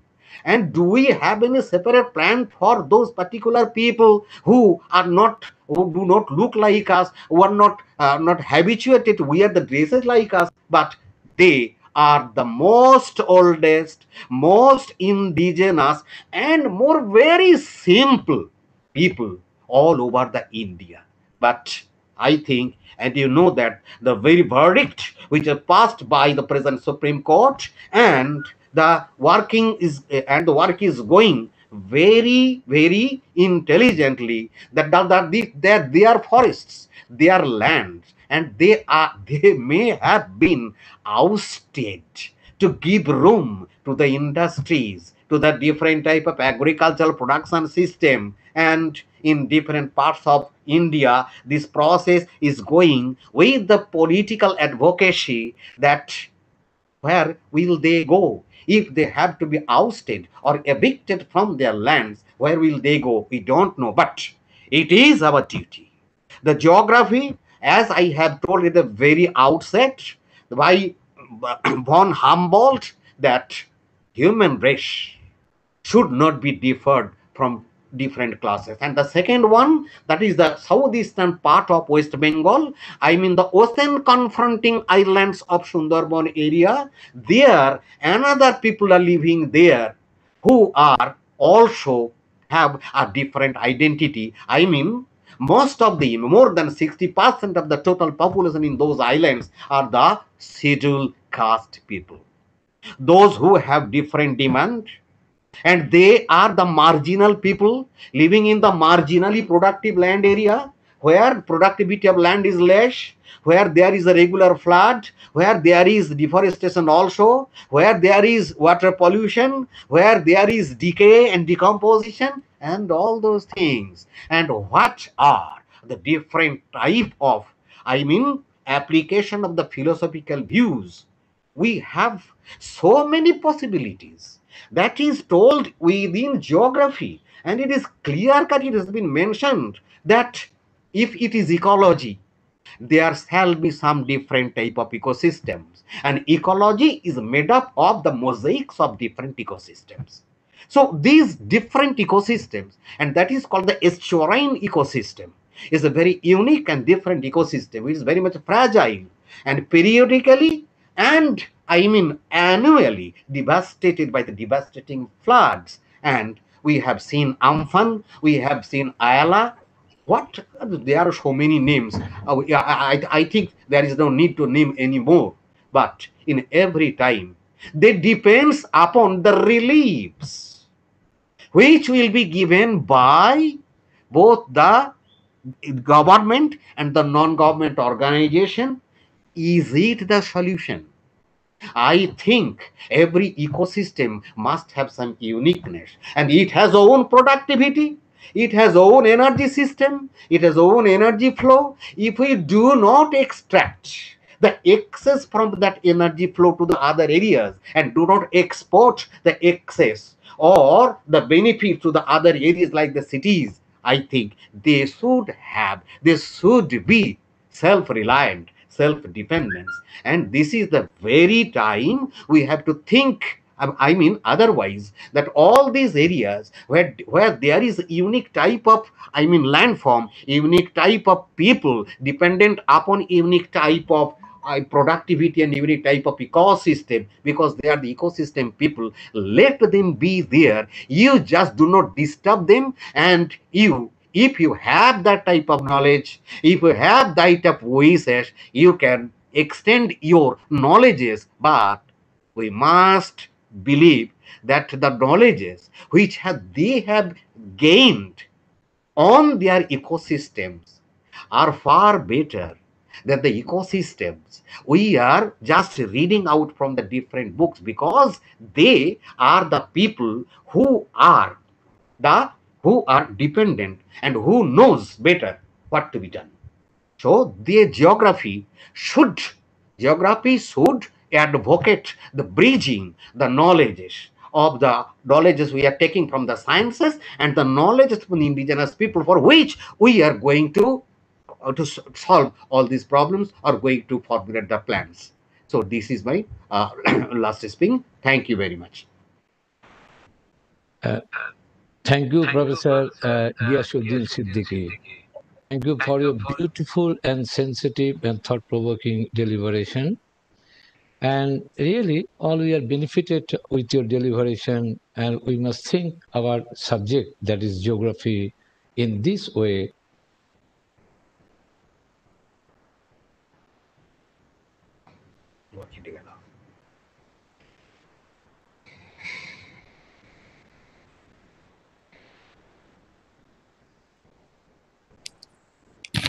Sir, sir, please unmute yourself. Yeah. Now, now, now it is okay. Yes, sir. Huh. Yes, sir. Okay. Uh, Professor Professor uh, Giyasuddin Siddiqui, thank you for your very good deliberation and very sensitive. Uh, your deliberation is uh, uh, give some new ways of thinking in the field of geography. Uh, Thank you. Covered, uh, you covered the unity of nature, and as well as you cover the determinism and possibilism, and how the geography is developed during the First World War and in between First World War and Second World War phase. And excellent that one, no? And particularly, you have taken the two examples. That is one from Sundarban area and one from the western West Bengal that is uh, uh, inhabited by the tribal people.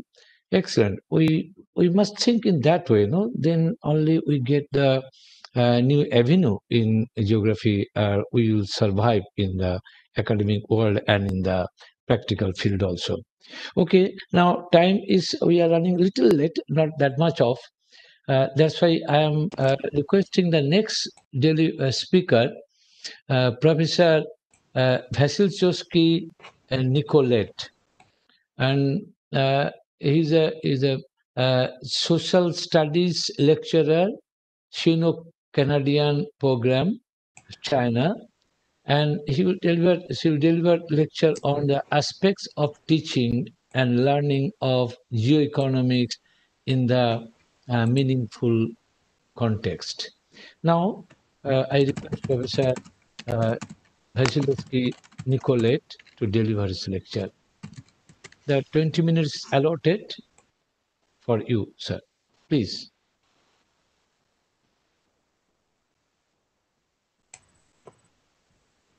Uh, hello. Yeah, yeah. Can you hear me? N- not yet, no?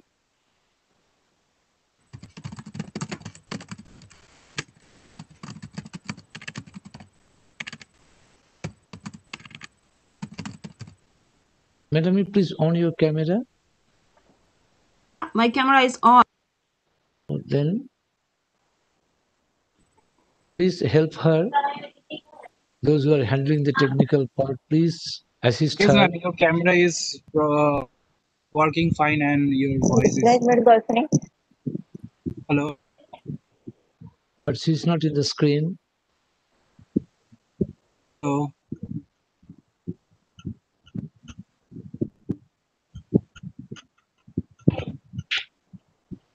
Hello. Oh, my camera. Yes, Eh, ma'am. no, no, uh, no. Okay, ma'am. Now it's इधर आऊंगी hi. It's okay. आ देख sir मेरा camera on है क्या of है audio on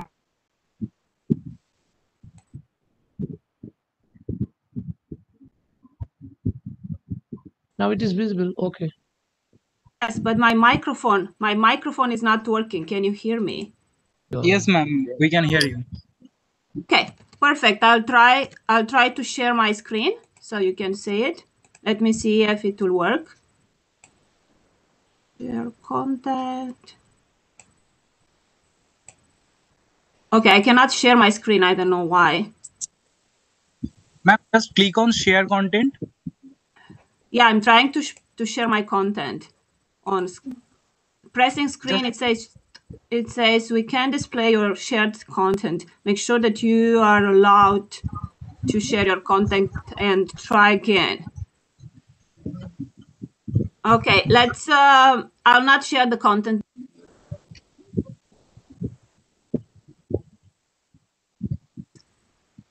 We're speaking in an interdisciplinary context. And uh, why that? Because we see that uh, nowadays, especially uh, after the First World War, after the Second World War, after the Cold War, countries are trying to find more resources and also to share their economic interests. And this created interconnections and also interconnections between different disciplines from the social studies context. We speak about geography and economics here. And those interconnections between countries and the, between different actors trying to have an important role at the global context also transform the world, creating demand for labor force and for the labor force flexibility as well. So workers therefore nowadays are migrating, are studying to adapt at this evolving system. So actually what is my paper uh, trying to do here? My paper is trying to see uh, what are the steps that a professor, a teacher, a lecturer in class will have to follow in order to teach and and have its students have its students learning in an interdisciplinary context. Um, a subject like geoeconomics is a difficult subject for students. Many of them cannot, for example, be uh, familiar with this subject. Uh, therefore, I consider very important when we teach something to teach it in a meaningful context. And I saw here we have different students with, with questions, asking questions.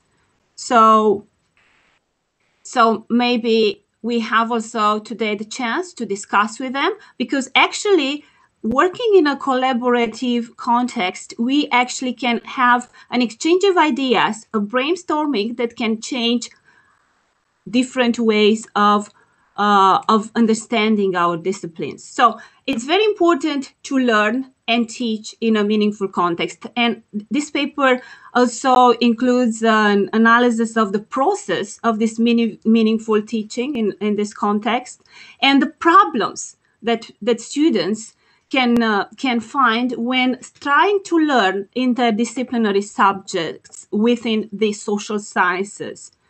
And additionally, this paper also contains several authentic activities that can be used in the process of teaching and learning of a subject of the social studies. Uh, and here I speak about geoeconomics. And more broadly, uh, this paper tries to evaluate the, the, the needs of the students and the role of the lecturer in the process of teaching. Can you hear me well? Yeah.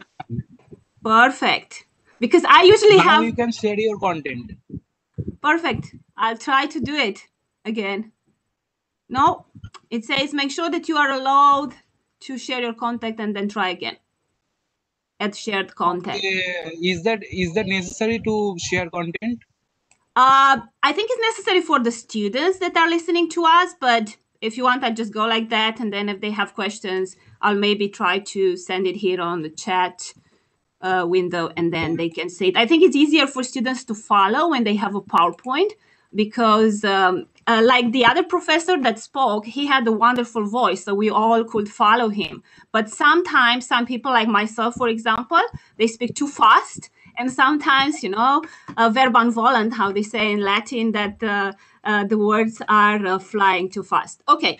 Anyway, we go to the first part which is the learning problem that can be solved through a meaningful teaching and learning of geoeconomics. So what is actually this meaningful learning supposing to do? It's supposed to play a central role during the teaching process.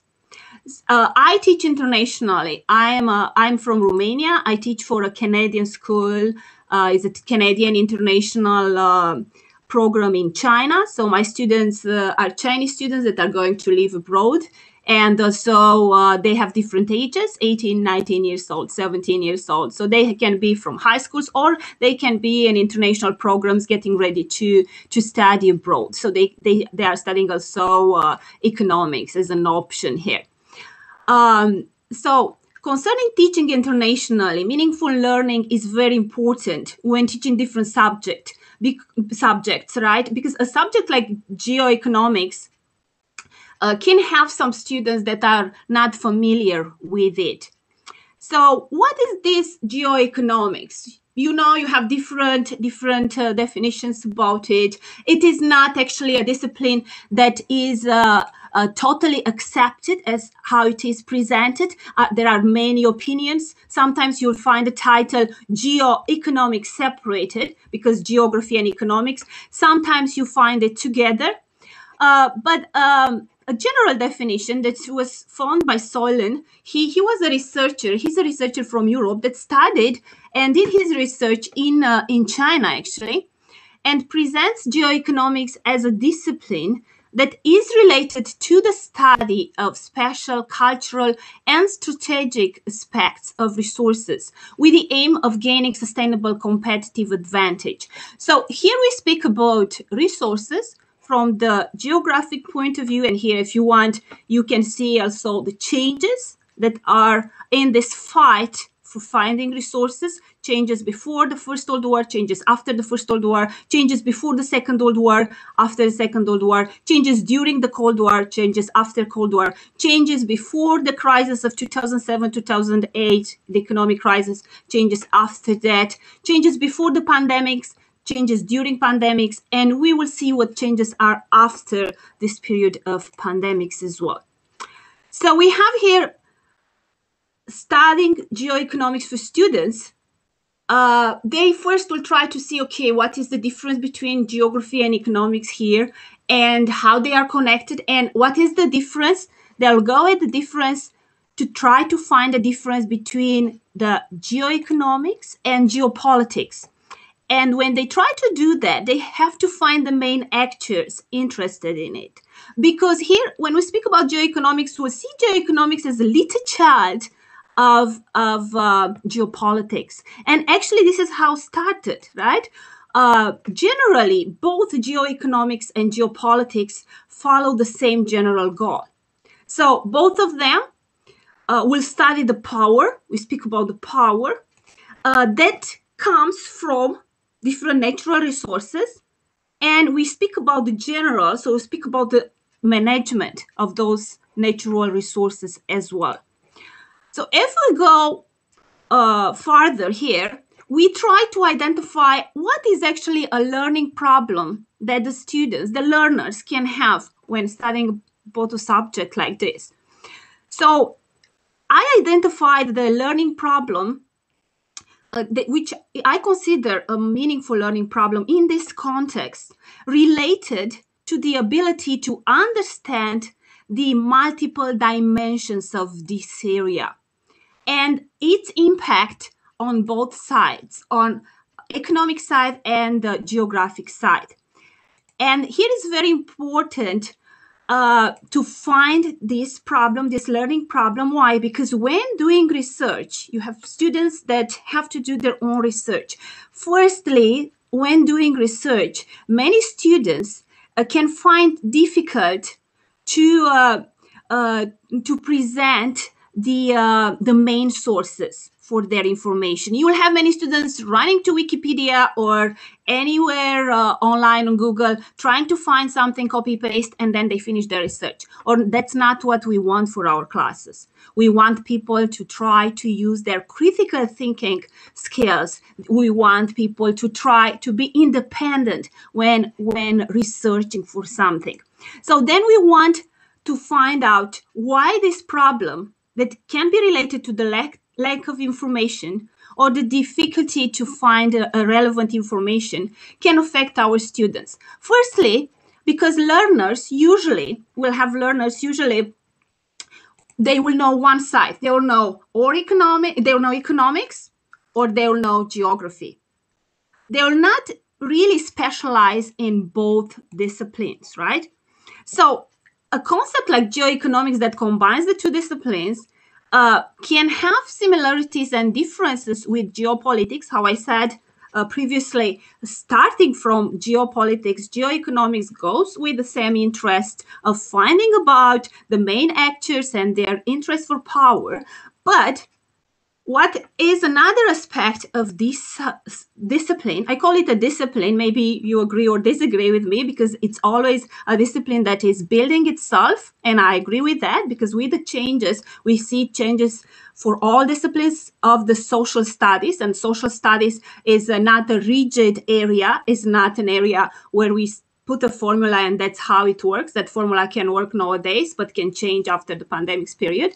So when speaking about geoeconomics and the perspective of our students, we have to teach them to actually understand the importance of this discipline that can be a discipline for the future or can tar- transform itself as well in the future and also to try to find the relevant information about this discipline.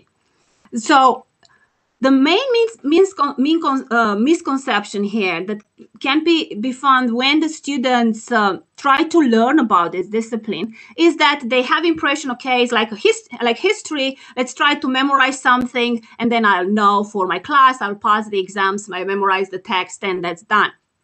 But what actually we as lecturers we, we have to try to do actually we have to try to help them to understand that what they are learning it's important to be connected with their lives with the past with the present and also with the future and this can be challenging both for students and also for the, the, the, the lecturer so here I just present an idea in order to teach and learn a new subject.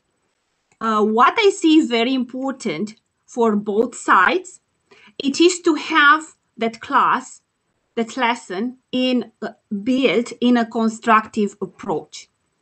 And about that, one researcher who analyzed the role of constructive of, uh, constructive approach for the improvement of skills in social studies concluded that uh, learning is building up on students prior knowledge and learning constructs meaning from experience. And this is from uh, mccrae um, he described this process.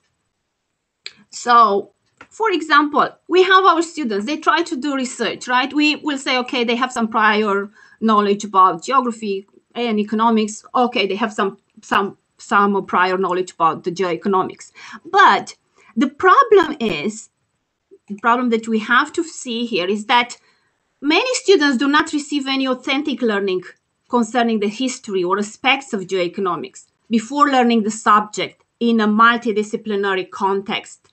So, in this multidisciplinary context, they can have time to research, they have to research, they have to reflect on the main aspects that they need to learn. Uh, so, for example, I, I already uh, specify this. Students may find concepts that relate to the geography or economic economy, the changes after the first, second, and the Cold War, or the present pandemic. And then goes uh, question: What is the solution? Okay, we speak about the learning problem, we speak about the meaningful learning context, we speak about its importance, but what is the solution that we need here?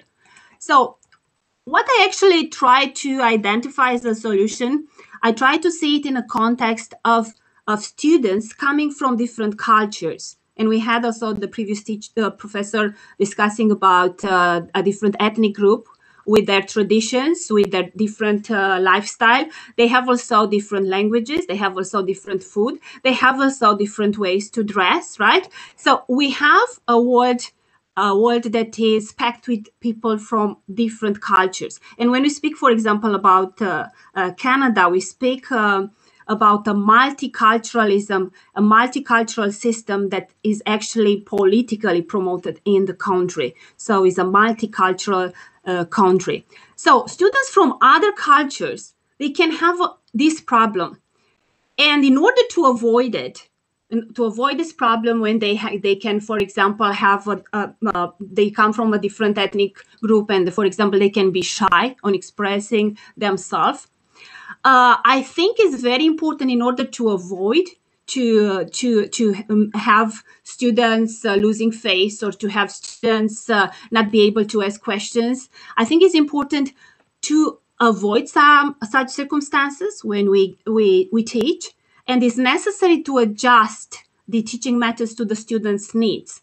So how we do that we can give them for example the chance to write questions that will not force them to uh, to face the critical audience of their peers, for example, or will also allow them to have more time to reflect when they write the questions. Or also because the technology sometimes or the time will not allow them to, to, to, to, to ask those questions directly, writing them will give them more time to reflect.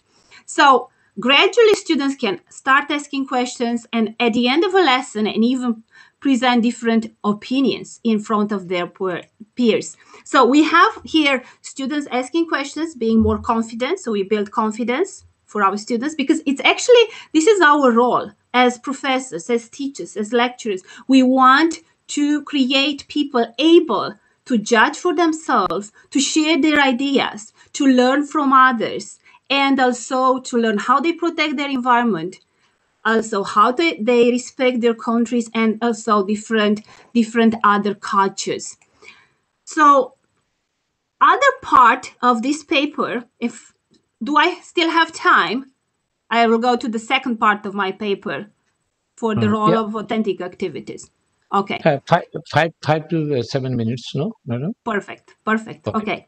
I'll not speak more than that. Um, so we'll go to the second part, which is uh, the role of the authentic activities when teaching a subject like geoeconomics, for example. And uh, and here I'll speak about the modern technology in the process of teaching and learning, especially because we moved from face-to-face learning and teaching to the online learning and teaching, uh, teaching, and this presents a lot of challenges. So the authentic activities that may work in an actual teaching context that combine online and face-to-face teaching are related directly with this use of the modern technology. For my classes because i told you that my my classes are organized for students uh, that are mainly in a in like a, in a high school uh, platform. So for my classes i use a platform that is called schoology so on this Schoology platform, the students can find information before, uh, during, and after classes.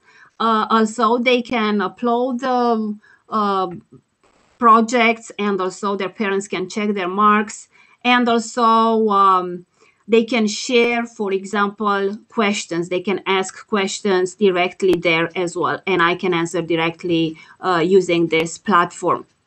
Uh, and also it's very uh, very helpful because um, uh, you can archive all the documents there. So you can have it also for the next years. So you are not going to use it in a in an usb or uh, in another platform there in another um, um, in a computer and lose it later.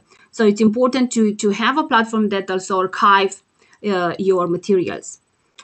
So regarding this process of using technology when teaching a social studies discipline, uh, some authors said, okay, this process is a little bit criticized because you need to directly interact with the learner. Uh, but there are also uh, some positive aspects about this. And here, uh, in 2018, like two two years ago, uh, Jenks presents the way that can be used to deliver a history course, for example, face to face and online. And especially online, he insists, uh, this author insists on uh, online delivering, delivering of your classes by knowing how to adapt the online methods. Uh, and uh, this author says that even if we have for online classes, there is uh, reduced the uh, impact of the, the, the lecturer. On the other side, we have the students able to be face to face with to face to face the material to read it and get familiar directly Uh, so we have also a more direct relationship with the course material that uh, that the students can have when we teach online.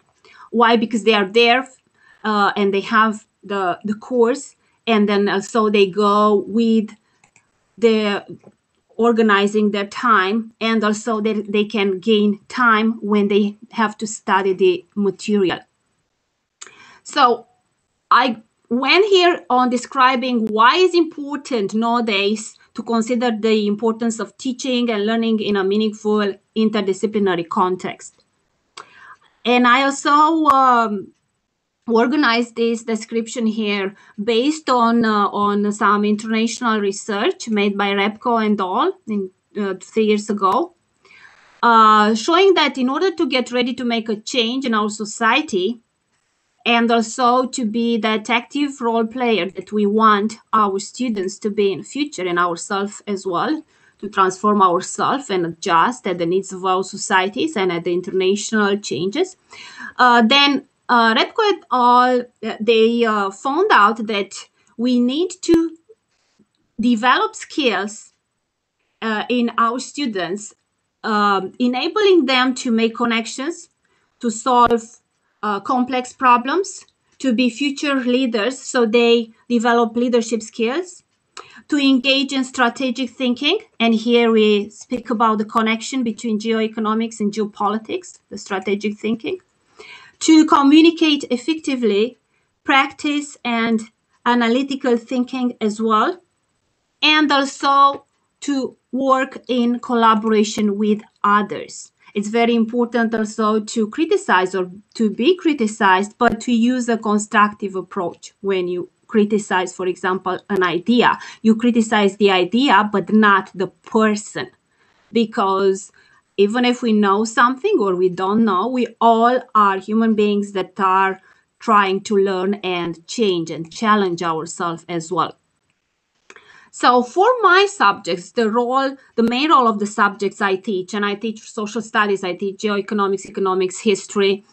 Uh, for my subjects is to give students the chance to study in a meaningful context and to discover their role in the society, to change and adapt their attitudes to develop strong and successful beliefs, and also to um, uh, try to use what they learned in the society. For example, after classes, many of the students they have different clubs uh, where they, for example, can do activities to help their community, to help uh, their the community of their grandparents, or also to help the old people that live close to them, to help to clean around the school, to help to clean the classroom as well. Every two weeks, they learn to, to clean their classroom or, or where they study around the building there. So they learn also to protect the environment, knowing that organizing ourselves uh, is not just to benefit ourselves, but is to benefit the society in general.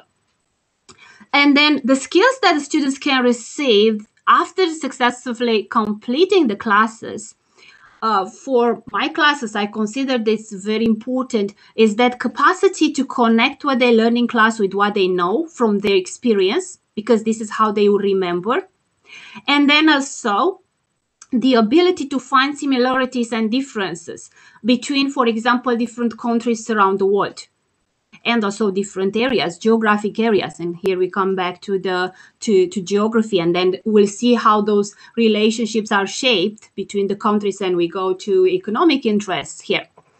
Uh, for example what i do in my for my courses uh, students are invited to do research to read more materials in order to better understand and develop their critical thinking abilities and to improve their skills uh, related to uh, how to apply what they learned, to how to analyze an event, how to evaluate it.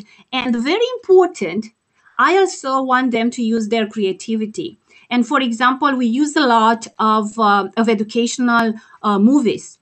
Uh, that they create educational movies that they create for example from their history class they created an educational movie about about the first world war and its impact for uh, its end and impact for different countries around the world, colonial impact and not, not just that. Uh, so Another aspect, and I think I still have two minutes, it is the cooperative learning that I also find it important and I include it as an instructional objective for my teaching. Uh, this cooperative learning uh, allows students to um, have the chance to work in small groups and also uh, to um, be more confident uh, in working with their peers and also to share ideas. You will say, oh, but sometimes in groups, you know, one student will work more and the others they will not. Uh, maybe yes, but that student that will work more will learn also that the others also have their roles in the group and will learn also that it's not always necessary for yourself to do all the work because you have also a team and you have you learn to share to share also responsibilities.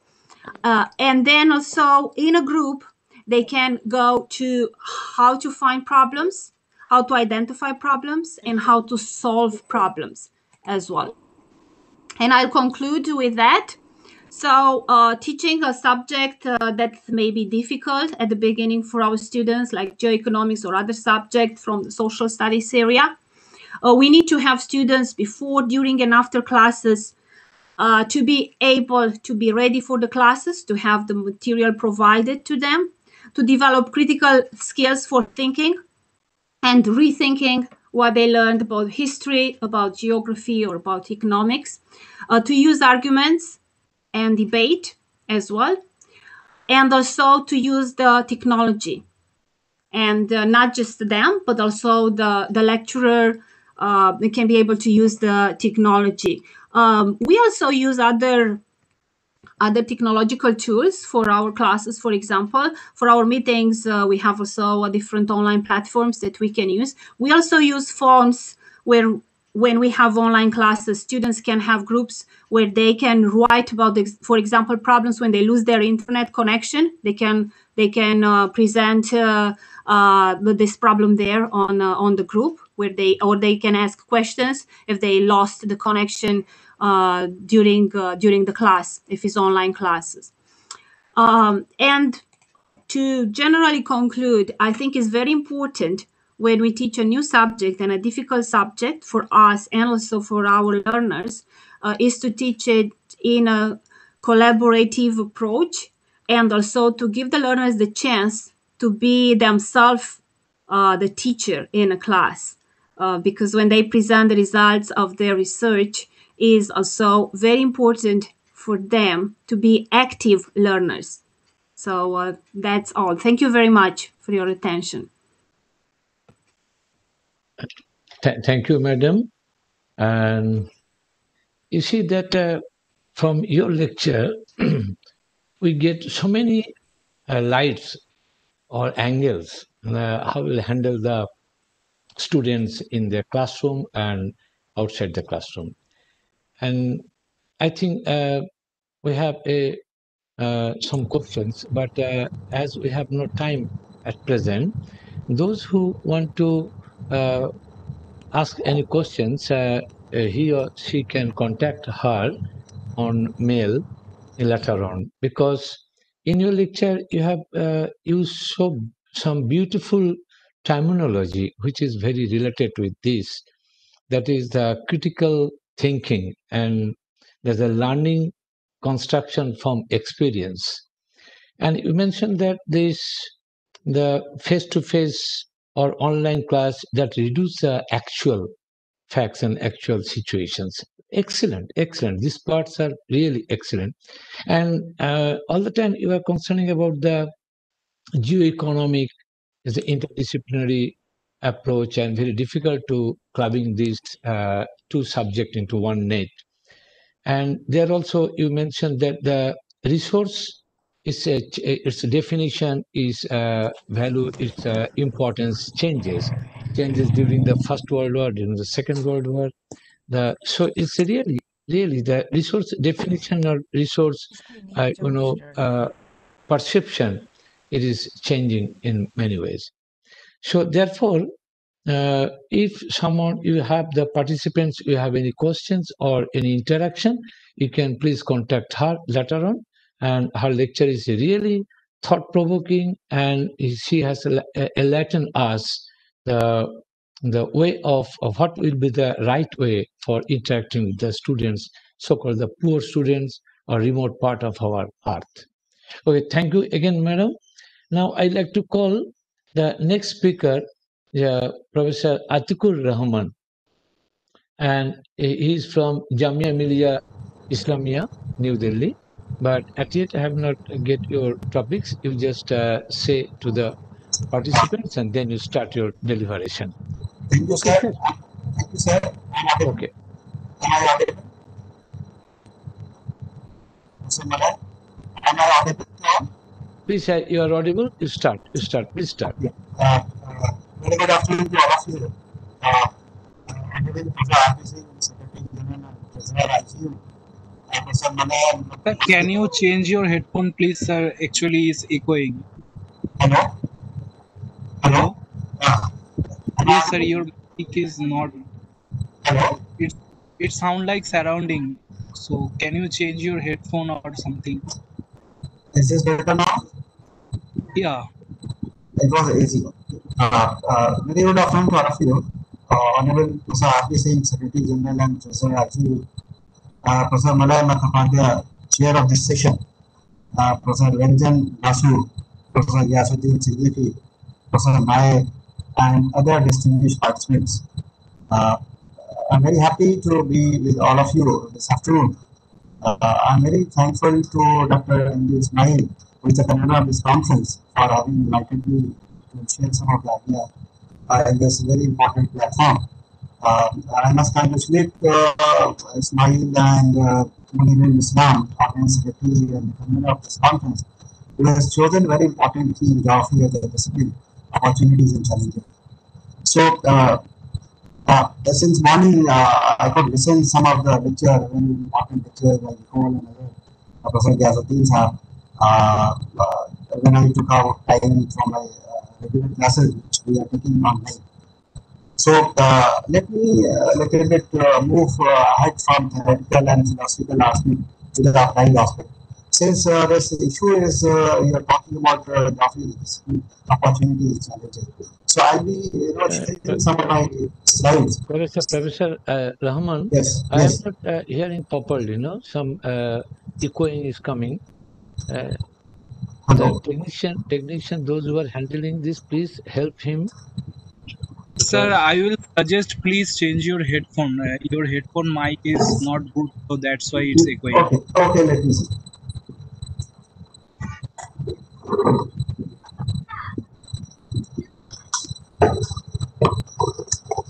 Some some howling is coming, no? Uh, properly we can we cannot hear properly. Yes, sir. Hmm.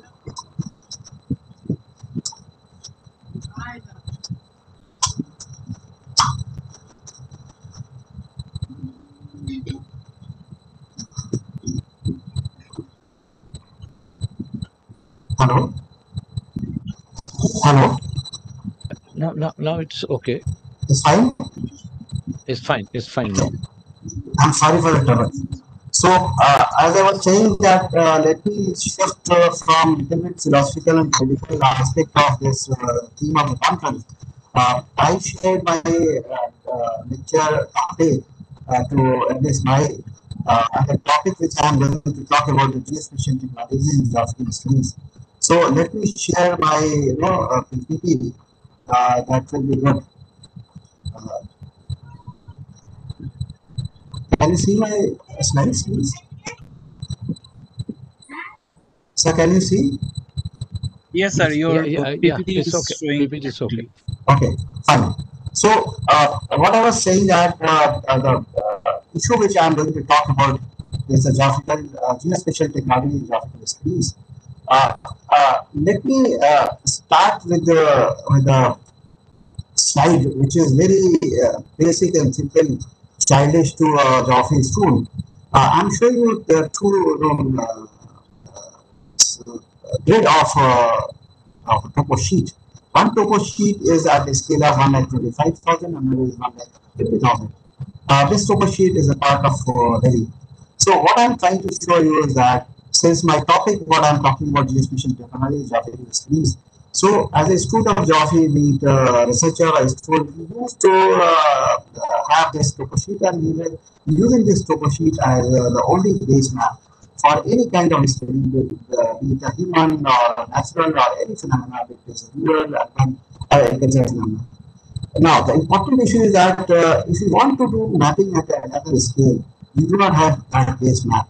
Uh, we have a, a, a topo sheet at a scale of 1 like to, to like 50,000 and 5 lakh and minus 1 million.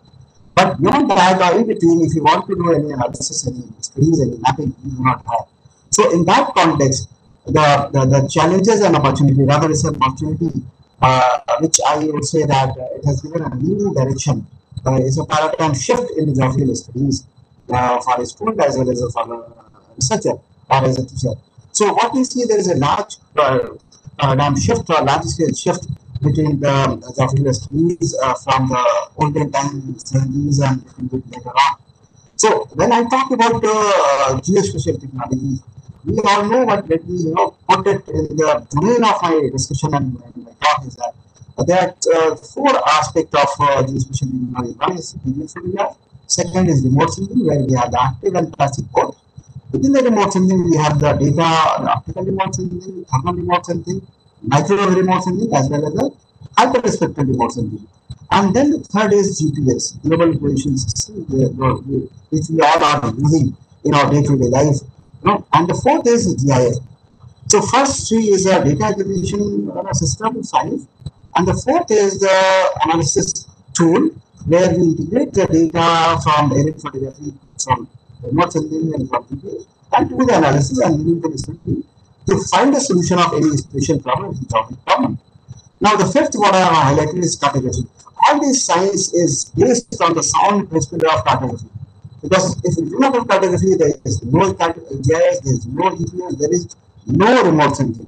So, therefore, the role of geography in geospatial technology is very important and practical.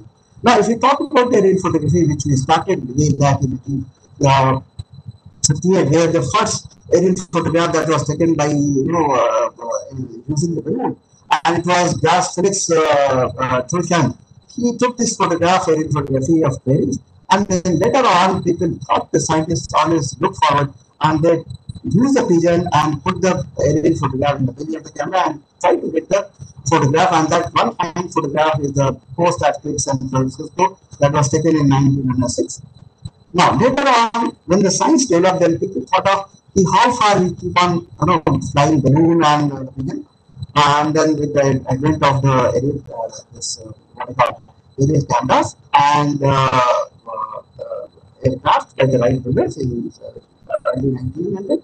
So what we did is people uh, developed uh, low altitude flying uh, these aeroplanes, and by using the aeroplanes, they fitted the camera, and then I'm not giving the science of this, but I'm trying to give you the data acquisition because I've showed in the topo sheet, and then what other database data and important data what we are using or what we have. So I'm giving a glimpse of little bit historical account of uh, the geospatial data.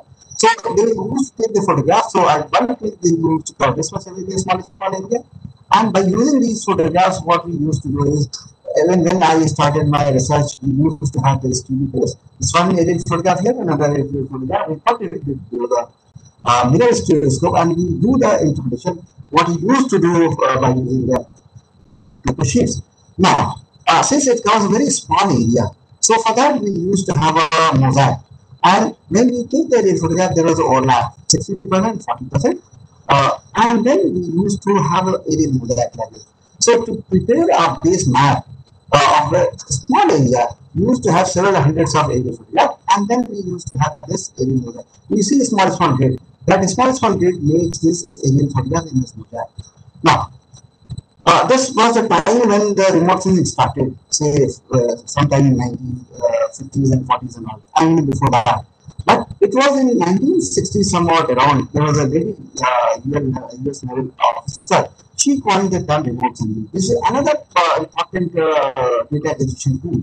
And uh, then uh, the development of remote sensing, when we started developing the computer, sensor, and space technology advancement that we then what we had, we had uh, developed the various sensors. So in geophysical studies, uh, we used to have this selection of sensor and parameter. These are the four parameter on which any geophysical and any geographical studies and research depends on the four issue. One is the spatial resolution, second is spectral resolution, and third is arithmetic, and fourth is the temporal resolution. I don't want to go into detail, but uh, I'll uh, show you some of the images that will uh, speak on, uh, that will cover the, uh, these four aspects. The spatial resolution is the spatial distance which separates from one object, object to another object. So, say for example, there is a Landsat 5 which has a 30 meter resolution. This is 30 meter by 30 meter. So, if you want to map an area of you know, larger area, then you have to have uh, data of Landsat 5 and then IKONOS and another. The spectral resolution that is the you see the spectral bandwidth in which the data is sensed. And then the radiometric resolution where how much grid data is. That is the higher the radiometric resolution, the values, better the data. And fourth is temporal resolution because as I said that this topo sheet which I showed you that was surveyed say for example in 1971, maybe 1960s and uh, 1980. After that we do not have any data. So if you want to see what all changes has taken place, what is the present situation now, we do not have any data uh, that is a sheet or anything because it is very tough and very time consuming to reproduce uh, another topo sheet and in this in the lack of that the hidden photograph whether hidden photograph or not uh, supports very uh, nicely as I said, the spatial resolution is a 10 meter resolution where we can see the finer details of an area. The same area, if you map or at a sense at a 30 meter resolution, this look like this. And if you go at 80 meter, it looks blurry. So that means if you want to do any studies of a smaller area, then you have to have a, a, a of uh, 10 meter or even smaller. And if you want to go for regional area, then you have to 80 meter or more than that uh, I'll skip this uh, uh, quantization that is 1 bit data that is not very clear, but if you know 8 bit data, 12 bit data, or 16 bit data, not single data, to study any aspect of human or natural phenomena, uh, this 8 bit data is better. Now, if we see the little bit history of the imaging system of India, so the very first remote sensing satellite that was launched was Bhaskar 1 and uh, 2, where we have a sensor that is Vidicon ISL that was launched in 1979 and 81 and then we keep going. As 1A, 1B was launched in 1989, 88 and 91.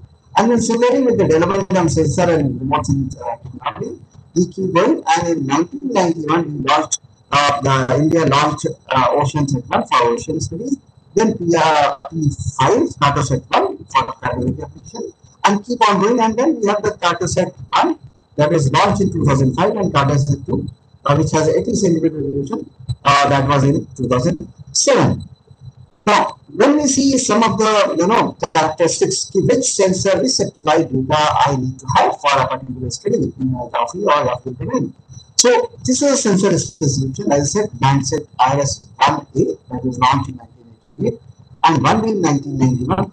There are two payload that is called a sensor. This one and this two, which is a spatial resolution of 72 meter, and this two has a much improved resolution that is 36 meters, just half of this. And swath, swath is the area in one passes. How much area is covered when the satellite is satellite passes from one port to another port. These satellites are polar orbiting satellites. We all know. I don't want to go into the aspect. So polar orbiting satellite. In one pass, it covers 148 kilometer area uh, uh, width and there are four spectral bands, which I talked about, spectral division, which starts from 0.45 to 0.86 micrometer. Okay. Now, if you see the some other Resourcesat uh, one, P6, which was a very good uh, satellite, which has a three, you know, uh, sensor. One is called, earlier we have LISS one, LISS two, now we have the LISS three which has, if you see the spatial resolution, it was 72 meter, then 36 meter, now it has 23 meter. It is a better resolution in terms of uh, spatial resolution. And swath is 142 kilometer. Revisit, that is the temporal resolution, that means at, after every 24 days, we have a satellite data. What we used to have after 1971, that was surveyed by Survey India, and we do not have any data. What all has been acted, what all has changed. Now, geospatial technologies give the advantage of geographical, geographical research, geographical discipline that every, every 24 days we have data of particular say patterns of the If I am sitting on Delhi Jamia, I can get a data every 24 days. Then there is four data which has a very good resolution 5.2 meters, which has swath of 23 uh, kilometers. and then 24 days. And AWS data, which has a 56 meter, that was mainly for agricultural studies, forest studies, and regional studies, which is for just for 4, 740, know, uh, uh, kilometers. And then again, temporal revisit is 24 days. Then Oceansat and then uh, Cartosat and all, that has a 1 meter resolution uh, studio mode. I'll have some, uh, I'll show you some of the you know, output, what we get it from this, uh, which has a black and white. And all these were having the 4 band, 3 band, these are not respective colorful data, house color data. But there we have the Cartosat 1 and 2 uh, which has a, black and white data. We do not need the separability of object. We need to have only categorized applications. Now, if you go to uh, go to other uh, supply data, uh, that is um, supply data, what we are Landsat series data. The Landsat series of data, if I tell you that the application and the availability of satellite data was made available with the launch of Landsat supply one, Landsat one, uh, that was way back in 1972 by the NASA USA which has an 18 meter resolution and 3 band. There are two sensors, return beam vidicon and multispectral scanner. These are the two sensors we are technical. Then we have the Landsat 2, Landsat 3, and the series of Landsats, right? And the most recent supply data what we are using is the Landsat 8, which was launched in February 2013, which has a, again uh, uh, a two sensor OLI and TIRS thermal band also, which has an 11 band and 15 meter resolution and 30 meter. 15 meter in optical and 30 meter uh, thermal. Now, uh, there are other satellite data, IKONOS data, which was commercial satellite data, which has a better resolution, say IKONOS was launched in 1999, which has a two sensor pan and multispectral, which has a resolution of 0.6 meter, very fine resolution, and 4 meter. And these are the spectral bandwidth and the revisit. See, every every third day we are having a data. Then that was launched in 2001, which is again two, uh, two uh, camera sensor which sense. In, in remote sensing sense, but in, uh, in troubleshoot we have survey and the map. So representative is 1 to 3.6 days. Then we have a much better data about the three data, which is again commercial data that was launched in 2014 by Digital Group Globe Company. World View 1 data that was launched in 2000 and World View 3, which has a 0.3 meter 8 by multi-spectral energy that is primarily for the categorization. So by all these uh, technical specification, what I'm trying to show you, what I'm trying to you is that, uh, that the, these are the data which has made available to the geography school and that has changed the course of you know geographical study, uh, uh, study uh, the, the understanding of geographical uh, you know, uh, disciplines, be it uh, physical, be it human, be it urban, be it agricultural. Now let us come to the aspect. It is a very simple you know, math that, that we produce, uh, that is urban studies, that we take the supply data and land cover uh, map. This is part of one of my students. This is the land is classification that has been over 1997. Then we have the land in uh, 2009. Then what we can see, we can see what all changes taking place. We all know that urbanization is uh, taking place. Size coverage is decreasing, but where all is changing? What, where all and how much? So this is this is either yellow patches that shows these are the vegetation in 77, but now all yellow patches shows the this is the red patches that was green, now it has changed. So this is the output map what we get. Now again, as we go back to uh, topo we do not have any information, spatial information. By using the temporal supply data, what we can go, what uh, we can get uh, all these details. Now, if you see the land surface temperature, this is a new field which is coming on the last 20 years. What we can see the land surface temperature, where all the temperature has changed. What is it? Uh, the thermal environment of our area. This is again a part of my school. See, see this side we have the 2001 data. We have used thermal supply data and we have tried to see the land surface temperature that has been classified into 10 classes and see the area where it has changed. This is the low temperature, surface temperature where we have the high temperature, the red patches. So these are the changes what we quantify, we see. So what is the state of environment? That has changed 2001 to 2005 in four years. Now you can take the 2015 data to 2019 you can see at what rate how the state of environment is changing. Now, if you see this another aspect, I'm just trying to show the potentiality and the, the, the aspect uh, what we can do, how the course of study, the you know, the domain of understanding and research has changed uh, uh, in the geography. Now, if you see the built-up density index, what we did is we used the satellite data and tried to calculate a built-up density index from 1977 to 2003, 2003 to 14, to 1977 to 2014. So this one is built-up density A, B is urban expansion index, this B, how the city is has expanded, this is NCR, how the city is expanded. And then C is urban expansion index. Right. Now, if we go to a micro level, what I showed you that uh, if the data of one meter or in two meter data, what we did is we tried to understand the open spaces and population density. How the open spaces is decreasing and what is the role of population density. And for this, this is a northeast uh, no, uh, district of Delhi. You see clearly this is the vegetation playground, and this is the open spaces, and this is the population. What is the population density? You see 60,000 and more than 60,000. So beautifully what we can do is we can do uh, this kind of analysis and mapping by using data. And then if we see GPS, I told you GPS, I'm showing just one slide. I did show that one of my students tried to study the garbage concentration, disposal, and management. These are the hot spots where we have a huge concentration of garbage.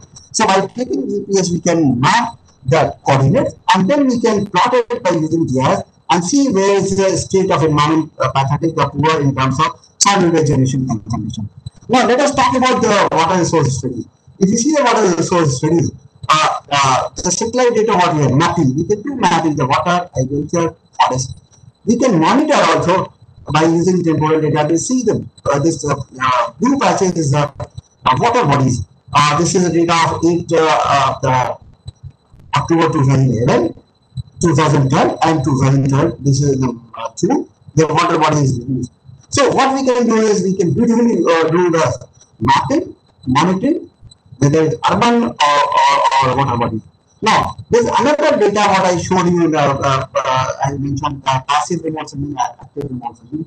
Is the active remote sensing data, radar data. In the, by using the radar data, you see that this is one snapshot of radar data. What we see, these are the activities and distributors of some layer. No. So if you take the optical data, which does not give you the clear data because of the cloud flow. So for that, if you want to understand the flood plain and flood areas or how much area is damaged by the flood, you need to take the radar data and see that this uh, black uh, beautiful know courses. These are courses of the rivers which are distributed perfectly. So this is what uh, the, the, the potentiality and this is how the course of uh, studies has changed. Course of action has changed for the for example students. Now you see the uh, agriculture studies, what we see, this is a part of you know one very small part which I put it for agriculture studies. This is a part of Saudi Arabia. Where this uh, seed that is called Iris monthly this seed. You see the red patches. You know, in creation. What we have, this is the red patches that show the vegetation cover. Dark patches there is hardly any vegetation. So what we see the vegetation assessment, you can do it um, small level, you can do it regional level by using the you know wave data, data. So this is how beautifully we can quantify, we can map where this agriculture system is uh, uh, good, where the agriculture production is good, where it is not good. So this is uh, what we can uh, uh, do. Now, if you see the vegetation assessment, this is another aspect of the study by using satellite data, geospatial data. As I said, geospatial technology is a combination of satellite data, GPS, and GIS, and even image processing uh, software. What we have, the NDVI is a very common term to study the plot. Uh, one of my students studied uh, uh, NDVI in Mumbai, Chennai, Delhi, and Kolkata. Now, see, there is the vegetation NDVI index. Higher the value shows, the higher the vegetation cover. So, you can take the temporal data and you can see what changes is taking place. This is a beautiful, um, you know, uh, uh, uh, demonstration and beautiful, you know, application of supply data. And if you take the another time data and then you can get the you can generate the uh, quantification, you can get attribute table that will show you what all has uh, what all has taken place.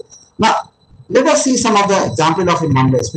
What we did is we took the ambient uh, noise pollution. These are the eyes which have uh, for which we has a data from filter pollution control report. This is part of Hyderabad. Also, these eyes are what is the data. What did, we interpolated. There are various interpolation techniques. IWD, inverse distance, or the moving everything on. What we can see that where is the ambient noise pollution is low. If you see the index 60 low, dark prices shows a low uh, noise pollution, whereas the lighter sh uh, shade shows the higher uh, noise pollution. Now let us come to the global level. So it is not only the city level, state level, at the global level what we are doing, people are doing the using satellite data and they are trying to understand the pollution concentration. Say, for example, the very important pollutant, uh, pollutant is carbon monoxide. This is 2012. So if you see the dark patches, this is a scale part per billion by volume, 0 and 300. The dark patch shows the high concentration of carbon monoxide. Similarly, aerosols, this is another very important uh, pollutant, what we have at a higher altitude, where people are using the MODIS data, again see the high concentration of aerosols. Now, land surface temperature, I showed you for the, the local level, at the city level, at the state level. Now, for the global level, what we have the land surface temperature, this is minus 25 degrees centigrade, this is plus 25 centigrade, where we have. So, this kind of analysis and, you know, uh, application satellite data that we could do. Now, now, if we come to the, you know, uh, the another advancement study that is 4D studies, where we are using the, you know, uh, the not only city growth and expansion, but the city is growing uh, in vertical direction uh, because we do not have space. So, for that, for the uh, satellite data is being used, active remote satellite data is used for vertical growth of cities. Now, see, this is one-time data where you can see this buildings of this uh, height. If you take another data of say five years or ten years, you can see the vertical growth. So the recent bodies of the various, you is, is, uh? Am I audible? Yes or no? Hello? Uh, yes, yes, you are audible. Yes, fine. Okay. There was some noise, so I thought there's some. So what we have, we can uh, use this 4D GIS and then can do the uh, vertical uh, no, growth and uh, roof or house tax uh, assessment and collection and all. Uh, this is again um, uh, one uh, uh, beautiful example of Mirage generated generated 3D data that is doing which was here. So this kind of 4D studies we are doing. Now, but again, Mirage data is used for you know, uh, topographic mapping for studies. See that shows even you know few meter of uh, change in elevation that can be mapped.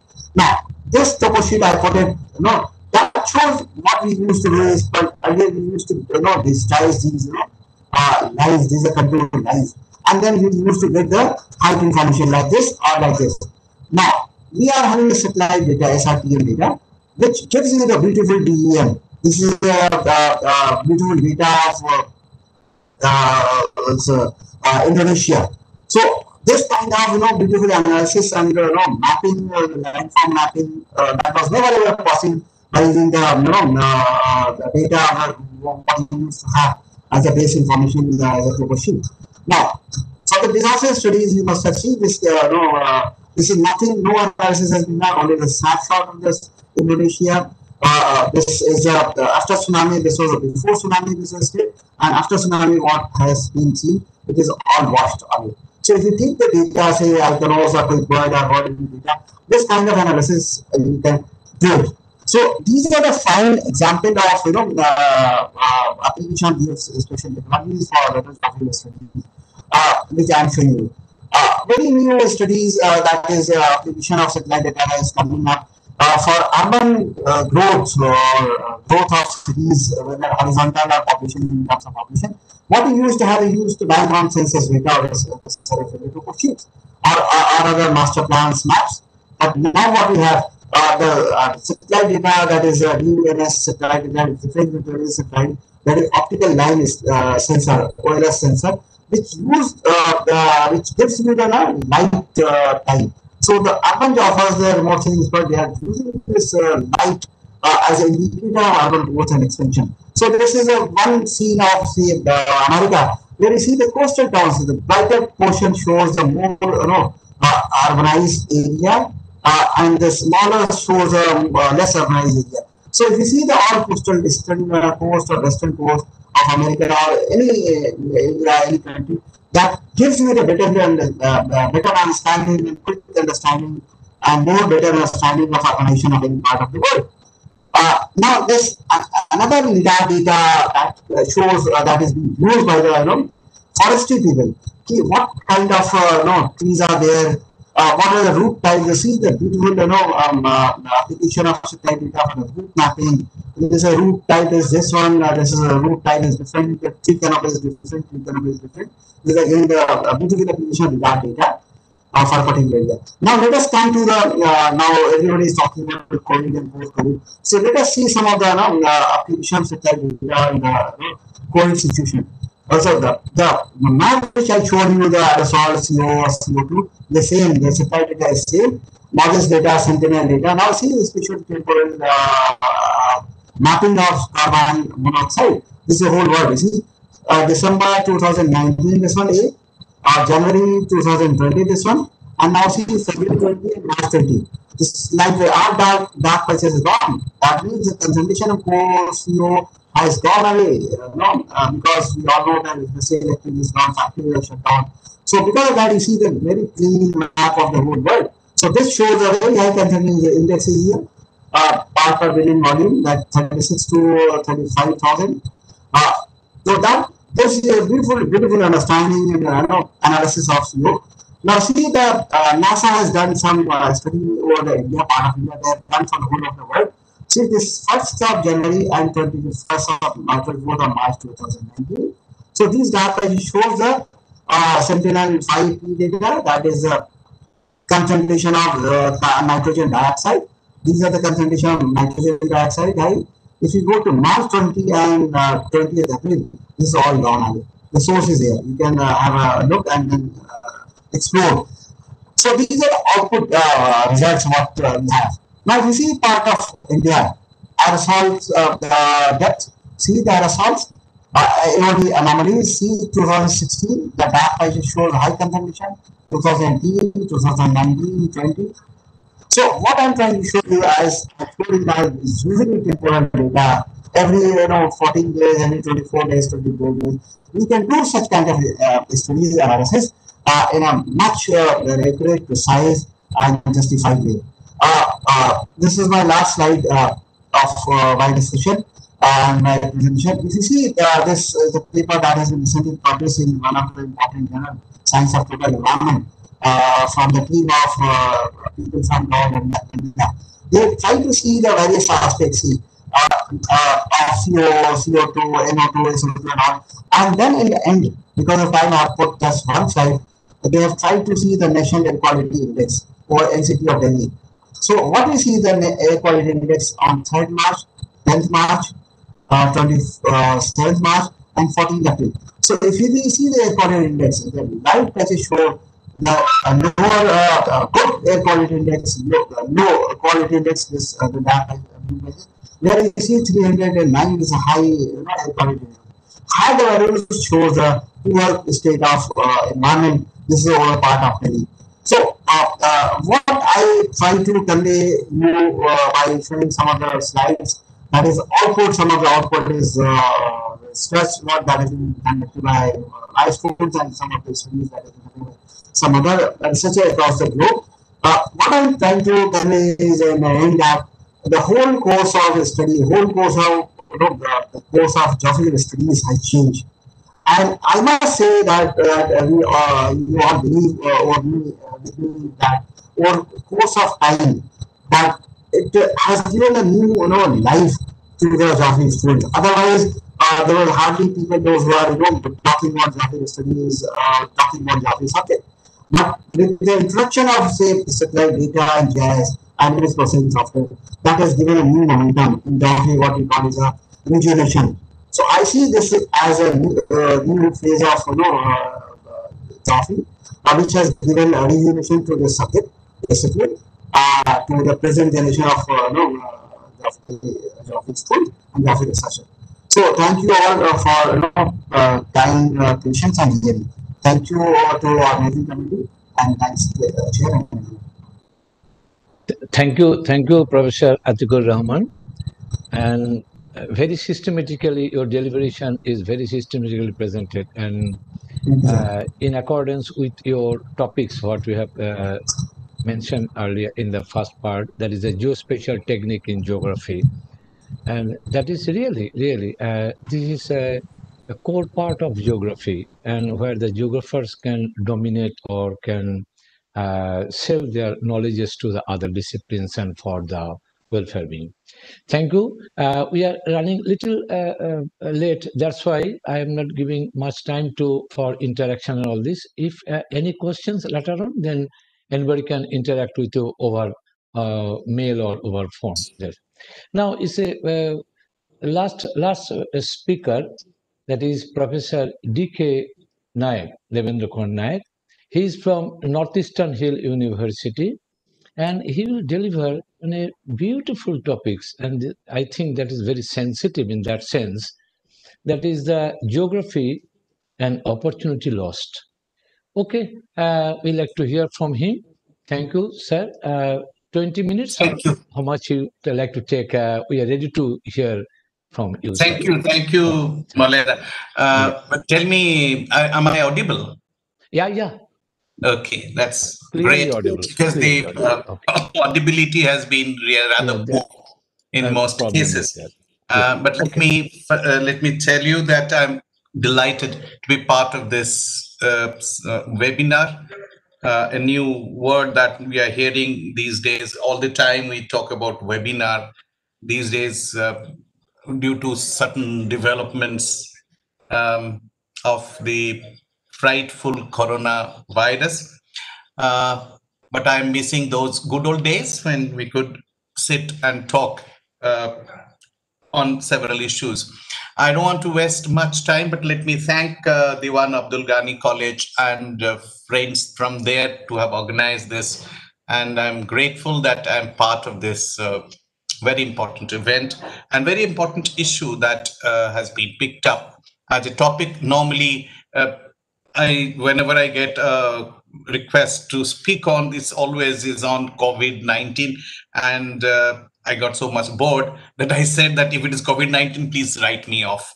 Um, but they said no, it's not. Then I said okay, take me in. So uh, I was reluctant, but then I accepted. Uh, and the one which I'm going to talk today is an opportunity lost, and that can sound highly pessimistic. I'm not a pessimist, but I'm a skeptic. And a skeptic is the one who continuously interrogates, continuously asks questions about about not uh, on the subject or discipline, but also to oneself, to myself. Uh, a, a- pure critic is the one who, who doesn't spare the critic himself. So, uh, in this context, my uh, discussion should be viewed. Um, I'm I'm a uh, I'm, I'm a skeptic because I have too many questions uh, for which I have no answer. The answer should be lying with most of you. Uh, very very important persons who are present here today. I don't want to take names; it will take a long time, and uh, they have spoken very well on several aspects of the discipline. And uh, one may think that well, the opportunities are too many, but the challenges are equally great. So let me uh, share, and if, uh, that's my tension if it is sharing or not. Um, we go to share file, and then um,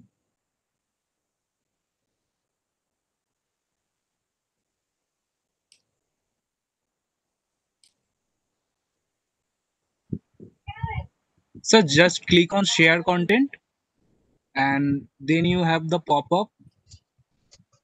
I did that. Then I have to go to the uh, file, no? Mm, No, no, no, sir. Uh, there is a s- option of screen and there is a blue button of share. Just click on that. So I did, and then the share file, isn't it? And Yeah, yeah, yeah. That's your screen will be share and you can present anything. Yes, that's what I'm doing. Um,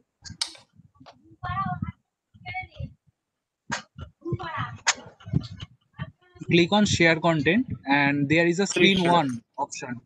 mhm. Just a second. Screen one. Uh,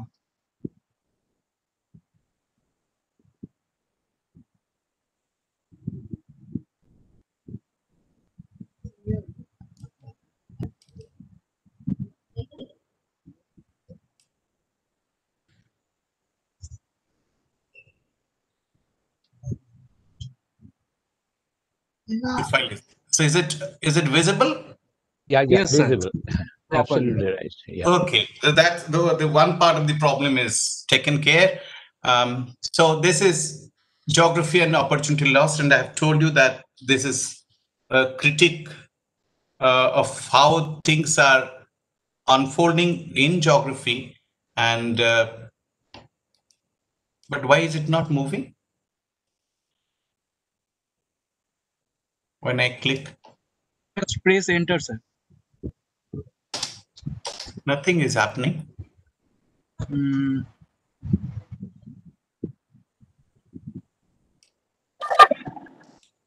Sir, you may, you may, you may click on your screen, which you are sharing. I, I did. I'm clicking it uh, ferociously, but it doesn't.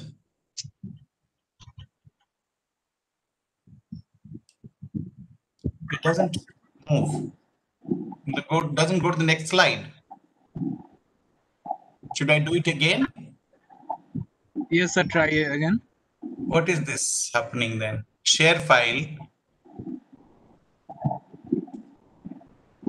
And I go to the file.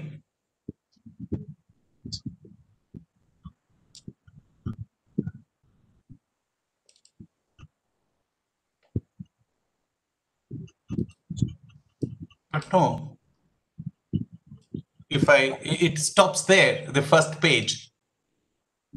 Uh, sir, And- first click on share content and then choose the first screen option, not file. Share content. Ah, there is an option in your But how do I move away from this page? But share content is fine. But where is that share content coming? It says uh, optimize for text images, share content. I'm really lost. And this page also, uh, how to remove it. Okay, The sir. which Uh, I will remove it. Pardon?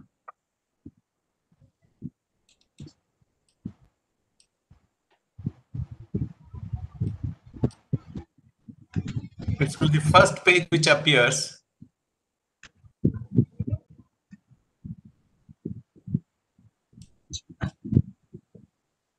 Sir, now now click on share content and click on screen one. There is an option on is share content? There's no share content. When I go to share that share file, then the content appears only, but then it goes away. No, sir. There is an option after mute and video. Start my video. After that, Yes. there is an option. Yes, there Share. I do uh, share content. Click on that, and there is an option on top uh, screen screen one, and there is a blue button on share.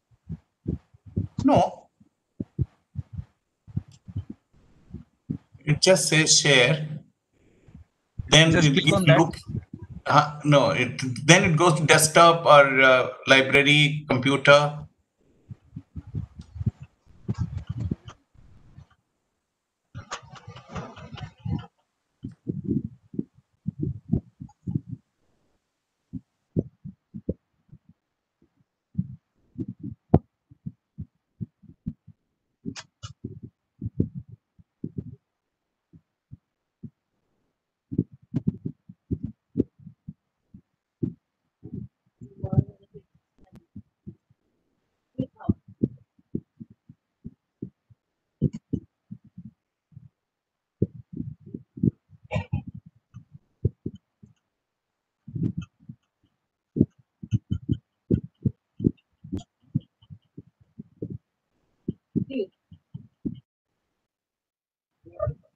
Hello, sir.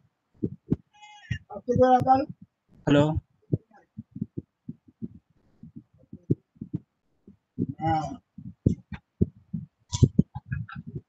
He has been disconnected.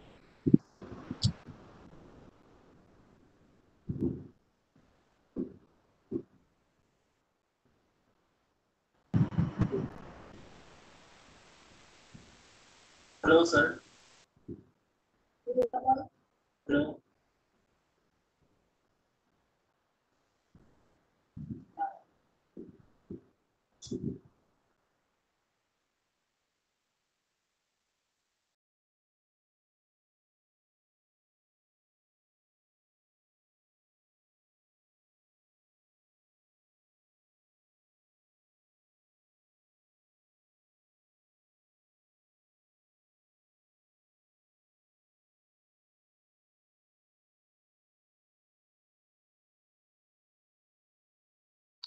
Uh, Professor Nayak, is it possible to uh, deliver your lecture without this uh, PPT presentation? I think you can because this may be some uh, technological hassles.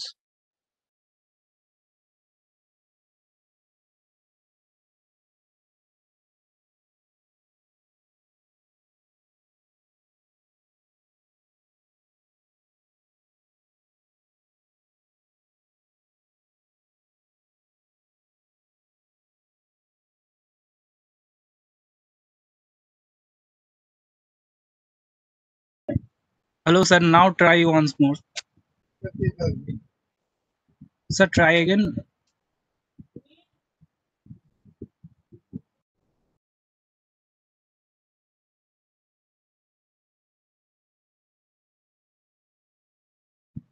Sir, we can't hear you.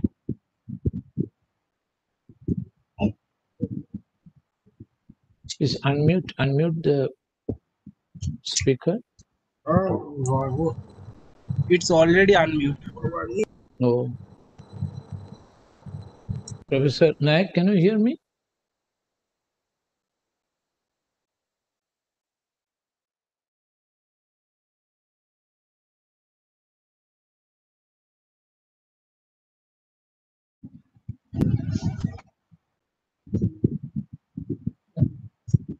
Sir, there is issue with your headphones.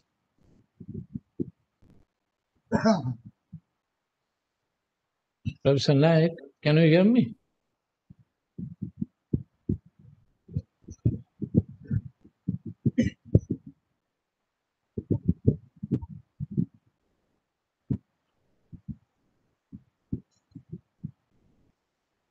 Then we can uh, uh, shift this uh, uh, deliberation after lunch because we are running uh, half an hour late. There are other sessions after lunch. Uh, may I talk to uh, Mohammed Ismail? Dr. Ismail, is he here? Yes, sir, I am here. Yeah, yeah, Mohammed Ismail. Uh, you see, uh, let him try. Just we can spend five minutes more. Otherwise, we are running half an hour late. No, your lunch okay, is there, Okay. and after that, other sessions. And I'm requesting Professor Nayak that without uh, PPT, if he's able to deliver or interact, hmm, then we can shift this lecture for the next part, next session. If you think so, you can. Just to wait for five minutes. You can see Oh, for five minutes okay, more. Just to wait for five Uh, minutes. Uh, after that, no? Okay, sir. Uh, okay.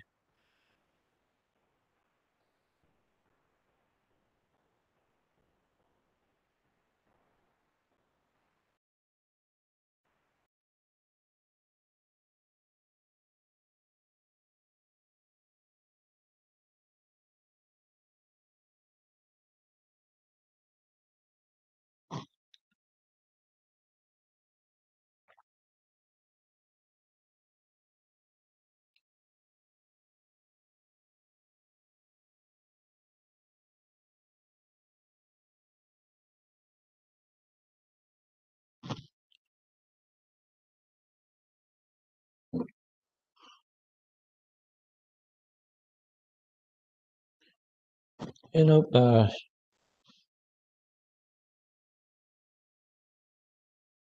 Muhammad Ismail, uh, you see that uh, I have another uh, webinar Yeah, start, yes, from the uh, 3.15. Oh, okay, sir. Okay, sir. Uh, then I am requesting Professor Nayak. Professor Nayak, can you uh, hear me? Actually, talking with another person, and it- Yeah, yeah, yeah. sir, just Because, two uh, minutes. Yeah, because just we wait, sir, two minutes. Ah, uh, just for two minutes because we are running uh, ah, almost one hour. No, my my next, you know, uh, webinar of this uh, uh, Shuri Mahavidyalaya. And I, I have to go there because I'm also chair there and deliver lecture from 3.30. Hmm, Before that, I get into in their webinar And if after that he will start, then it will continue for three, I think.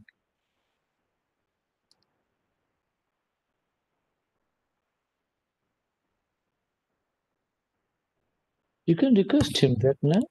He can deliver the lecture after lunch. Okay, sir.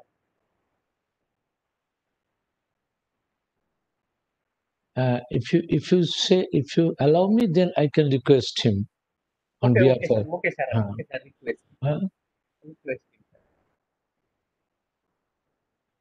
his micro he he says microphone is uh, mute. No, he cannot hear anything from our part. Yes, sir. His microphone is mute. Uh, Nayak, sir, please uh, unmute Professor yourself, sir. Professor Nayak,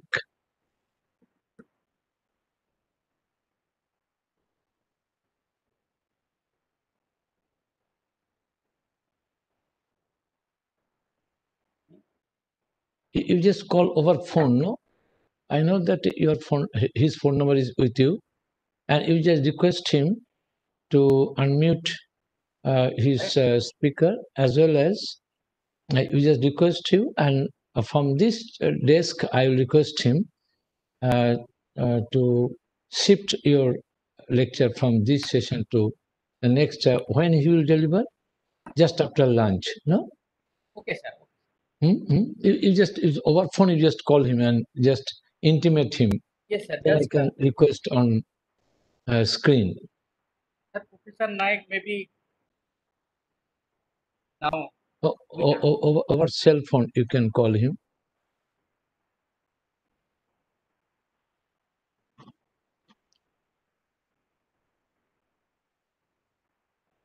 And if he'll start now it will continue for half an hour. Then it will up to three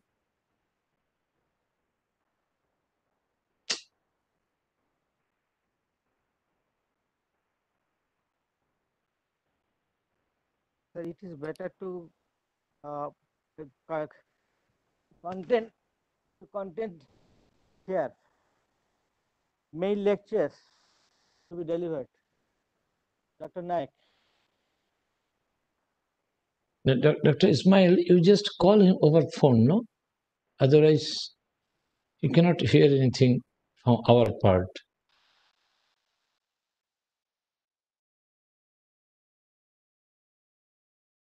No need PPT, only content. That's fine.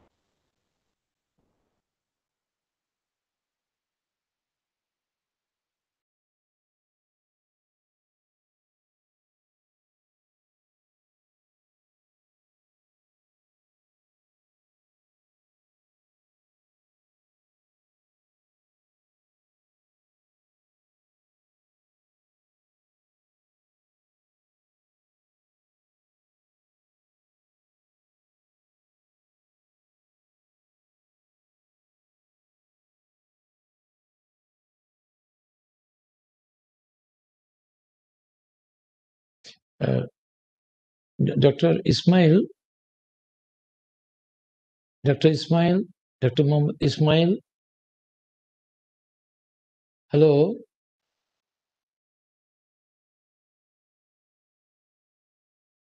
Anybody is there from the organizing committee? Hello.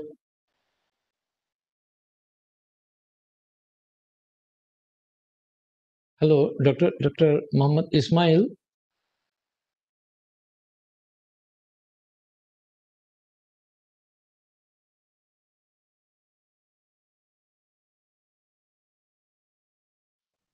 Yes, Malay Babu, Uh, please. please. Hello. Ah, yes, sir. Uh, um, uh, um, Dr. Ismail. No, no, but TIC. TIC of the college. A- an- Therefore, sir, I think uh, the problem with your headphone or mic. Oh, okay, one That's thing. why One we thing. Can't see, hear you. Yeah, because we are running one hour late. Uh, I have another webinar with another, you know, college. So I have to leave Devendra now. sir, can you hear me? No. Sir, your PPT is presenting. Hello, sir. Hello.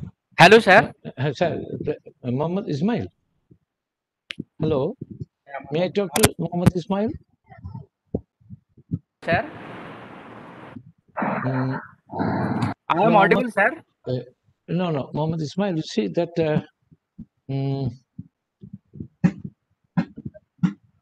Sir, I request him, but he try to again and again. No, Uh, no. I two time request by phone. No, Uh, no. You see, you see that uh, I have another no from Ah. three fifteen. I told you earlier, so I Ah, have to leave, and just I'm just summing these things, and I request. Uh, hello. Okay, sir. Okay, sir. Okay, sir. Okay, sir. Then you, you just you just communicate over phone. That otherwise it is very indecent if I leave now without completing this. Okay, sir. Okay, sir. Just conclude the session, sir. Conclude. Uh, Professor Nayak, uh, can you hear me? No, it's okay. Now, uh, with the with the permission of the organizing committee, uh, this plenary session I'm going to close because we are running almost one hour late, and after that we have one lunch break, and after that other sessions are waiting. So in this plenary session, uh, my co-chair is Dr. Aznarul Islam. I am really thankful to him. And the Hello. moderator is Dr. Uh, Shatarupa Sina Roy and Dr. Aniruddha Maitra. Uh, I'm really uh, thankful to uh, the Dewan Abdul Gani College and and give me a chance to be a chairman of this plenary session, the plenary session which is uh, content with uh, so many reputed and uh, no, so-called these uh, uh, well, mm, well-known geographers. That is Professor Ranjan Basu, Professor Giyasuddin Siddiqui, Professor Valis Chosky, Nicolette, and Professor Atikur Rahman. And unfortunately, the Professor D.K. Nayak, he uh, just started his lecture, but uh, due to some technical problems, he could not continue his lecture. So we think that uh, he will deliver after getting uh, in touch with the technology and when he will overcome the problems, then he can deliver the lecture after uh, lunch. So uh, this is the uh, closing part of my uh, plenary session, this session. So I request uh, Muhammad Ismail, Dr. Muhammad Ismail, to conclude and you know that request the Professor Dr. D.K. Nayak and conclude this uh, plenary session. I'm requesting. Dr. Muhammad Ismail, please. Okay, Because thank you, sir. I, I'm declaring, you just uh, communicate this message to the Professor D.K. Nayak, no? Okay, okay, And- sir. Uh, okay, sir. Okay, sir. Ah, he's um, in line. Running uh, almost one hour more late. So is, is Right it and thoughtful, uh, Yeah. prog- provoking lectures. Uh, uh, this is time uh, for next session, and uh, Yeah. we uh, go to next session. And this is uh, the end of the session uh, on yeah, uh, from the side of uh, from the side of organizing committee. Uh, okay, thank you uh, all the speaker and participant. We uh, going to uh, the next session. Our next uh, technical session uh, started from now. This session will chair by Dr. Ashish Kumar Sen and co-chairperson Dr. Tapos Pal and Amol Chakraborty. And the session will be moderated by Dr. Partho Das and Rimpa Saha. Please, Partho, carry on the session. Partho? Thank you, Thank you Ismailda, uh, for giving me this opportunity. Uh, I uh, welcome all of you, all the participants uh, in this technical session one of this international uh, webinar on geography as a discipline, opportunities and challenges. For this session, the chairperson is Dr. Ashish Kumar Sen. Uh, we have heard him before. He was a uh, former head of Department of Geography, Aliah University, and he previously served in WBES, West Bengal Education Service. He's an eminent scholar, he's an eminent scholar, academician, and a great teacher. I have personally, I am a student of him. I have attended his classes in Presidency College, and so I feel very much privileged to introduce him here today. Uh, as co-chairpersons, we have Dr. Taposh Pal uh, from Raiganj University and Dr. Amol Chakraborty. Uh, he is also from Raiganj University. Uh, as rapporteur, we have uh, Dr. Noni Gopal Kapasia from Malda College, Department of Geography, and Dr. Jaidul Islam. He is uh, from Department of Geography, PRMS Mahavidyalay, Bankura. Uh, so I hand it over to uh, Rashid uh, Kumar Sen uh, to for further proceedings. Good afternoon, everybody. This is the. Can you hear me? Yes, sir, you are audible. Uh, good afternoon, everybody. This is the first technical section. Um, and, and my co-chairperson uh, is Dr. Taposh Pal and Dr. Amul Chakraborty and rapporteur Dr. Noni Gopal Kapasia and Dr. Jadul Islam. And moderator, as you all know, is Dr. Makhtar and Rin Prasad. I think everyone are uh, present. And now uh, there are.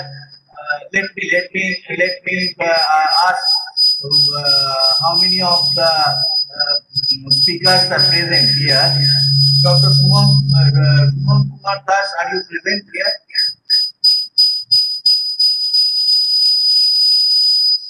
Suman Kumar Das. Yes, sir. I'm present. So Suman Kumar Das will will uh, present uh, the Yes, paper sir.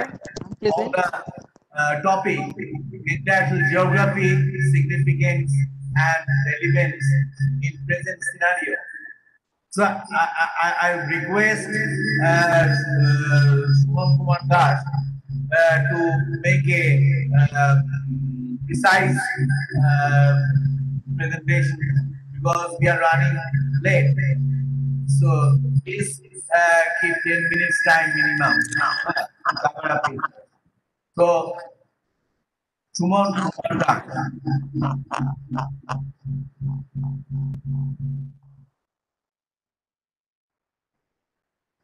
Hello. I'm grateful to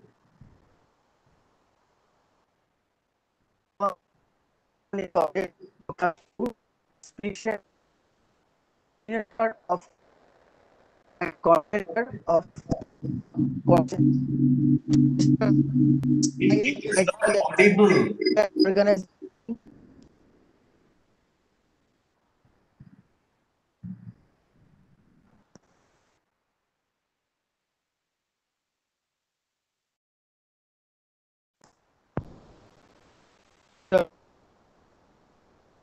Organize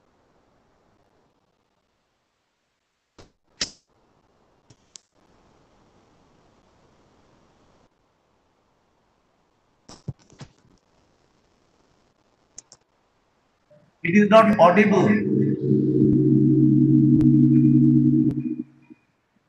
Suman Babu, you are not audible properly.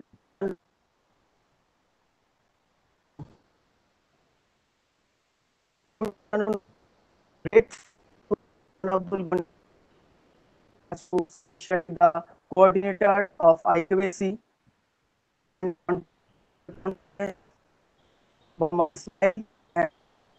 the team member and the speaker.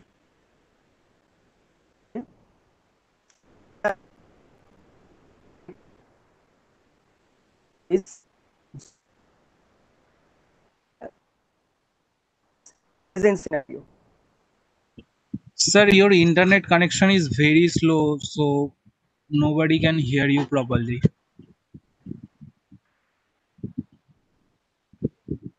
Suman sir. Hello.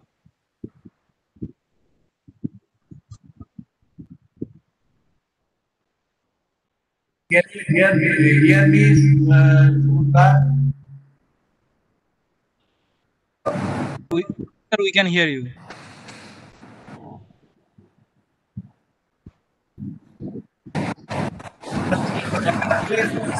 Presenting uh, slide and uh,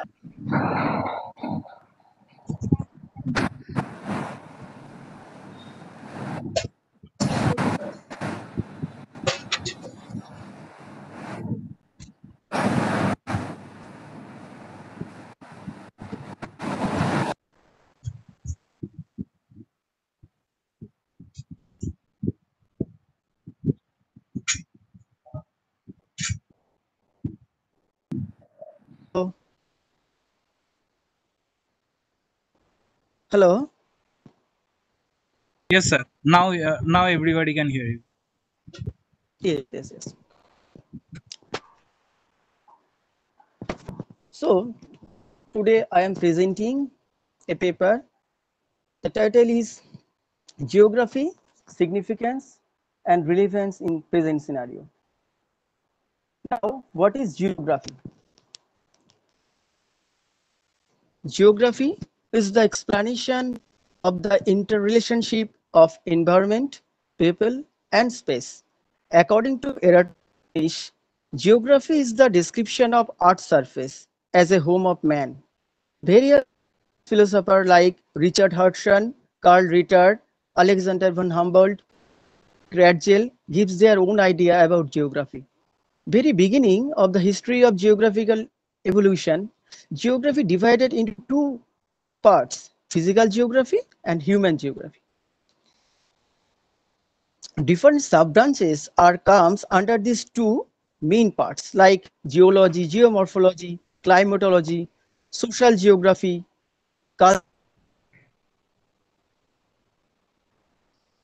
ideas are over time and many thoughts like determinism, possibilism, radicalism, positivism, etc. Because of changing nature, geography became more relevant in the present. Objective of my discussion is to provide the concept of geography as a branch of social science, explain the significance of geography, exploring the relevance of geography, some proposals for maintaining or increase the relevance of geography among the society. Now, one thing is important that what is the difference between significance and relevance? Significance is the extent to which something matters, importance, whereas relevance is the property or state being relevant. Now, I discuss some significance of geography in brief. Location. Location is the place where a particular point or object exists. Location is an important term in geography and is usually considered more precise than place. Like mathematical location, like uh, uh, latitude and longitude of a place, or relative location like site and situation of settlement distribution. Next, important significance of geography is discussion of um, man-environment relationship. Geography explains the interrelationship between man and environment. There are two major concepts, deterministic concept, where nature is considered dominant on human activities, and possibilistic concept, where man is considered more active. Geography deals with man and environment relationship as a complex mutual interrelation in a complete system. Concept of space. Space is the boundless three-dimensional extent in which objects and events occur and have relative position and direction. Space may, may be different types like absolute space, which consists of natural phenomena, relative site or settlement, or relational, which refers the interrelation among different physical, social, economic, or cultural elements. Landscape also an important part in geography. Landscape is defined as the external visible surface of the earth. It may be physical or cultural.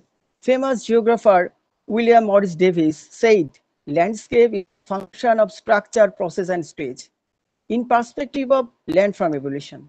Whereas culture gives the idea of cultural landscape like settlement, transport network. Geography also deals with this matter. Geography deals with important aspects like discussion of human behavior, which explains geography, human welfare like income, employment, health, education, environmental aspects like pollution, hazard, etc. So it is clear that significance of geography cannot explain in few words or sentences. Now I discuss the relevance of geography in scenario. David Smith in the year of 1977 explained some indicators of human welfare. I agree with his view and try to explain the relevance of the geography as a branch of social science. First of all, I will discuss economy. Nearly 90% of the workers in our country are forced to engage in the unorganized sector. So per capita income is low. Approximately one third of the total workers of the India have of India uh, have become jobless in the last five months due to spread of coronavirus. Therefore, economic geography can play an important role in future to creating job opportunities in various sectors of economy. Housing. Proper housing is essential uh, in respect to growing population and it is very important for every people which can be learned in detail in the study of settlement geography. Normal growth and development of body and mind is the key of good health. During the recent pandemic situation, the physical and mental health both are deteriorated. Anxiety, frustration, depression noticed a large number of people throughout the country. Medical geography can play an important role to mitigate in this situation. During the lockdown period, educational institutions have been closed. Although the online education system was introduced, but it did not reach most of the areas in the countries due to various obstacles. Environmental geography, social geography may play a vital role to the learners for increasing awareness of society and environment. Recreation also important. Beside basic needs of life like food, clothing and shelter, recreation and peace of mind or satisfaction are also necessary. Tourism geography such as wellness tourism, adventure tourism, sports tourism, pilgrimage tourism, etc., etc., may be effective after the ongoing pandemic situation to motivate people for a better means of life. Before I conclude, I would like to highlight some proposals by which relevance of geography may sustain or increase in upcoming future. Increasing geographical research for human welfare. Quantitative techniques used in geography, but should be easily explained and comprehensive to all. To framework a time-oriented, student-friendly geography syllabus for need of the society or environment. Application of geography in daily life must be increased like weather updates, information technology-based transport system, etc. To emphasize for the development of new horizon of geographical aspects like as wellness of people, tribal area development, promotion of tourism, mitigation of social and economic disparity, creation of job opportunity, poverty elevation, etc. I would like to say that I think if we take geography not only a discipline but also essential parameters of our daily life, there is no doubt that geography will be more relevant in future. Thanks to all of you once again.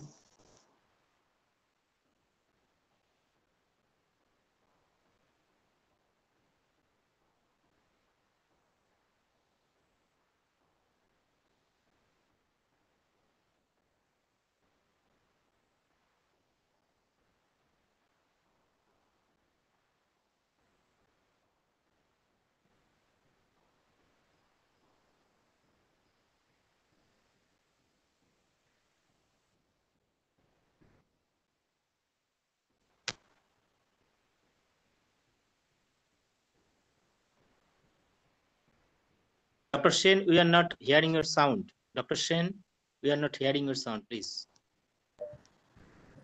Thank you. Can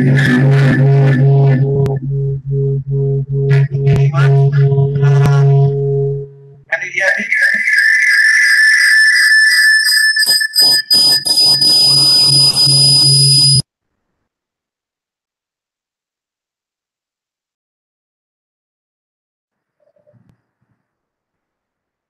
No, no, no. Thank you, thank you very much for presenting a very relevant paper uh, in the in the context of the present day situation, and you have nicely dealt with uh, all the uh, important aspects, including the types of location, the concepts, and the uh, relevance, including the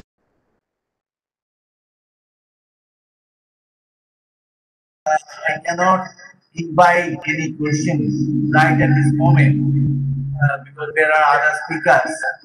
So uh, I, I, I, I should request all of you to contact um, contact uh, Sumon Kumar Das, Professor Sumon Kumar Das in future over the mail, over the uh, contact number uh, for, for any sort of query. So thank you very much. So next speaker is Onisha Kaur. Onisha Kaur. Yes, sir. Good afternoon. Am I audible? So Onisha Kaur, uh, please present your paper. Time Yes, yes, much Anisha, you are audible. Please continue your presentation. Thank you. Thank you for having me here. My name is Anisha Kaur. I'm a master's in English literature student from Jamia Millia Islamia, New Delhi. Um, and with the permission of respected chair, Dr. Sen, I begin my presentation. I have a presentation to share. Can I start sharing my PPT?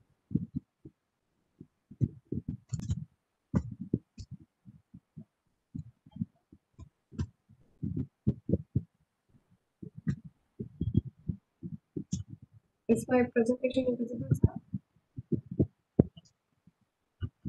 Yes, ma'am. Please continue. Yeah. So the topic of my presentation today is geography in and around the Shadowlands. In the course of the next 10 minutes, I will be covering the following points. I will introduce the idea or the theme of shifting geography. I will elaborate on how characters from different generations react and interact with the idea. I will discuss about the tokens of transient, which facilitate movement, thus proposing the notion of shadowy lines. I will also deliberate upon the idea of locating home. And finally, I will conclude my presentation with some comments. So, to, uh, to begin with, geography as a discipline has had an overwhelming scope. It extends its horizon of knowledge to numerous other branches of learning. It promotes multiplicity of thought in a collaborative fashion. My aim in this paper is to uphold an interdisciplinary approach to trace the geographical politics in Amitav Ghosh's seminal novel, The Shadow Lines, published in 1998. So, the novel is structured as a series of alternate narratives in geography. The shifting perspectives are supported by equally altering geographical lines. On the wings of memory, account one explores uh, various locations, namely London, Dhaka, Calcutta, and elsewhere. So, with this shifting, uh, with the shifting locations or geography, we see how different generation of characters interact with the same. Thama, Tridib, Ila, and the narrator are in a dialogue to convey their understanding of time, border, belongingness, and life. Thama, though born in Dhaka, presently lives in Calcutta. Dhaka and her home have hap- apparently fallen into the void of unfamiliarity and foreignness. The narrator, her grandson, emphasizes that, I quote, her Dhaka had long since vanished into the past, unquote. While Tridib, the narrator's uncle, apparently serves as a site to bridge the gap between the narrator and the world beyond. He pours magnificent accounts of his visits into the narrator's young mind. Fastened on his words, the narrator presently visits faraway places and later revisits them physically only to be in awe of Tridib's geographical and spatial correctness. On the other hand, we see how Ila longs for freedom from certitude of identity. She does not share the sentiment of belongingness to a land which Thama upholds. That is a different generation altogether. She is a soul of dynamic phase. Hence, reducing her to a particular geographical location is rather challenging. The character seems to evade, if not absolutely resist, such an approach. The narrator, on the other hand, aided with Tridib's travel recollection, gradually enhances his insight, even without having been there. He explicitly argues that his uncle has provided him, I quote, worlds to travel in, unquote, and, quote, eyes to see them with, unquote. So we see how geographical locations gradually shift and how different characters react to them. And now it is important to sh uh, show you how certain character, certain uh, metaphors of uh, are put through in the narrative, which kind of facilitate a mobility of characters. So, uh, the narrative account, it is argued, it provides various metaphors which facilitate the mobility of characters and their thought. Tridib's, I quote, tattered old Bartholomew's atlas, unquote, familiarizes the untraveled narrator with removed temporal and geographical spaces. And similar function does Ila's yearbooks of the school also do. They act as a register to assimilate and the vivid locations on a singular plane. This exemplifies the flux that is inherent in her character. Nivedita Bagchi highlights, I quote, the clear uh, work as a material representation of defined intersections between time and space, with their uh, space-time coordinates, validate or invalidate Ila's narratives. So, moreover, the cherished pictures of the past, events, and individual also act as a window of nostalgia, a nostalgia that they always keep in their hearts. The moments which have already passed by can only be revisited through these pictures. So, this is how we problematize the concept of concrete life. That is, the moment that has already passed can be revisited, rethought of. And uh, thus, we come to the idea of how these lines, these concrete, so called concrete lines, are fragile. And we come to the, uh, the, the theme of shadowy lines. The transference, which is not always possible, is provided to the reader through a vivid narrative technique. A. N. Kaul states that, I quote, to Ghosh, all national and communi- communal demarcations are shadow lines, arbitrary and unreal divisions which can lead to terrible consequences. Unquote. Ghosh implies that he lived that the lived experiences and memories cannot be simply separated by charting out political borders. The paper also examines how the permeability of uh, otherwise rigid geographical borders can be questioned. Subsequent demarcations on familiar geographical spaces cannot be separated. We cannot separate the historical parts with parts which individual happen to share. These, uh, through remembrances, one can always bridge the gap and cross borders without hassle. Moreover, the constructions uh, are less physical and more profoundly psychological. Thama naively inquires I quote, she could be able to see the border between India and East Pakistan, unquote. she is still in that psychological realm wherein she thinks that the borders are actually tangible. She seeks the tangible line, which supposedly is drawn on land, but is actually in the psyche of the native, thus questioning the fundamental argument of borders and rendering them shadowy. Moreover, Thama crosses the border. Once she is able to cross the border and visit Dhaka, uh, goes home to her elderly uncle Jeta Moshai. And uh, what we see is that she decides to go to Dhaka is rather a problematic argument. The fact is that she does not return home to live with her uncle in the house of her childhood, but she decides to go back to retrieve and reclaim him from the clutches of a foreign land. So Dhaka, which was earlier home, is now foreign. She resorts to rescue, I quote, her uncle from the enemies and bringing him back where he belonged to, rein, to, the, to her reinvented country, unquote. What Thama fails to understand in her sentiments is that her uncle is actually at home. Dhaka has been and will remain his home and solely. He is unwilling to part with it, and removing him from that geographical location Dhaka can be reconsidered as, a, as an act of uprooting his habitat. He is unable to complete that transition into Podos and unfortunately dies as a victim of street violence, uh, as, as, a mobile, as a mob violence. So, uh, I, in this uh, uh, presentation, I would like to point out that though all the characters have boarded on a journey, I submitted my paper that for some it is tangibly materialized, while for others like Pila, belong to the transmission. With the borders turning permeable, questions of going and coming are faced by all. To fixate a direction where home lies is thus difficult. The, the want conclusively is to belong somewhere and even and somehow, even if that means to continue the journey perpetually. So that with that, I conclude my presentation, and uh, this brings us to the references which I have used in this presentation and the original research paper you may have a look at them. So, thank you.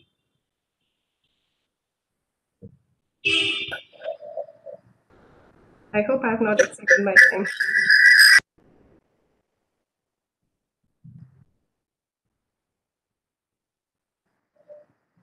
Thank you very much for, for presenting a very interesting, very interesting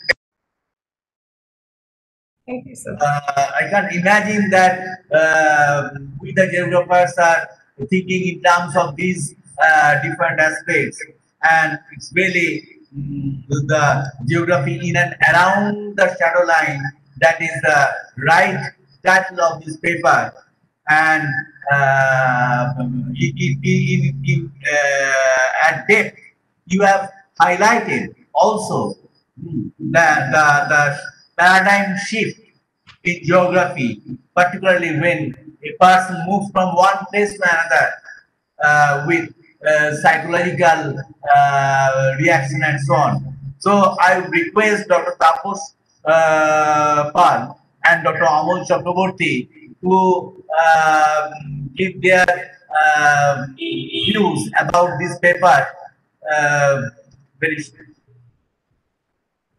Dr. Tapos Pal, are you present here? Tapos Pal and Dr. Amol Chakraborty, they are my, uh, they are the co-chairpersons of this uh, session.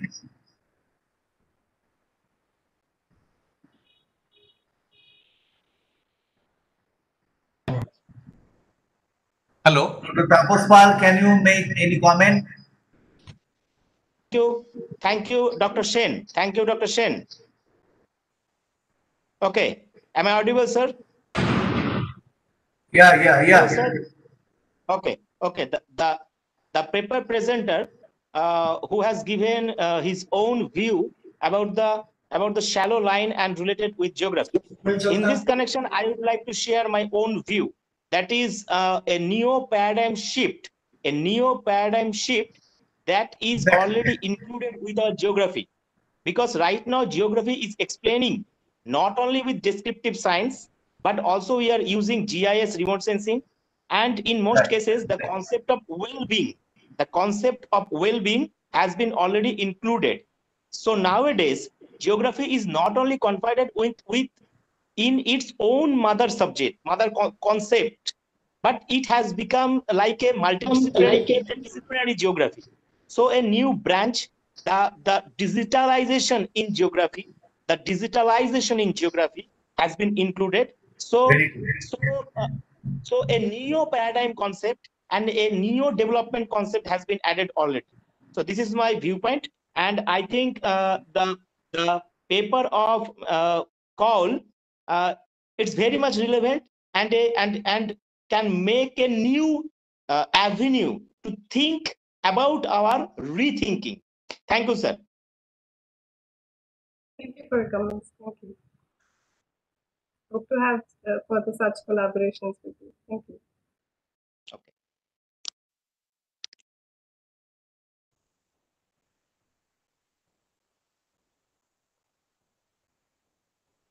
Dr. Shane, please uh, unmute your. Uh, Dr. Shane, unmute. okay, thank you. I'm requesting the Dipali uh, Agarwal. Are you present here? To present your paper.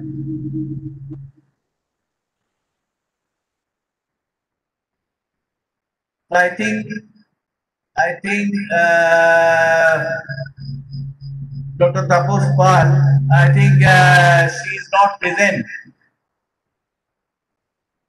So should I uh, should I pass on to the next speaker? Yes, of course, sir. Of course. Hello. Hello. Okay, okay. Thank you, thank you, Dipali Agarwal. Uh, please start your paper. Time limit is 10 minutes. Yes, sir. Yes, sir. Am I audible, sir? Yeah, very much audible. Okay. So I'm sharing my content. Is it uh, visible on the screen? Uh, yes, it is. So your paper is geographical imprints on various social and scientific studies. Yes, sir. Okay, please, please uh, uh, start your presentation. Good afternoon to one and all. This is my privilege to present this topic in front of all the bestest dignitaries.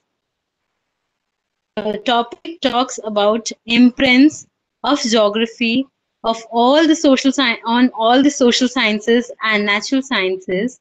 I would like to quote the former president Barack Obama, who said, the study of geography is about more than just mesmerizing places on the map.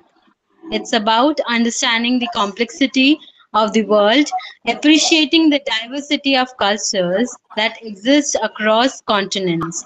And in the end, it's all about using that knowledge to help bridge divide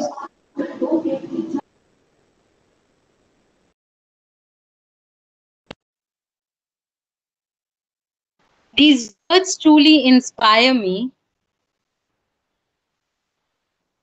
Hello?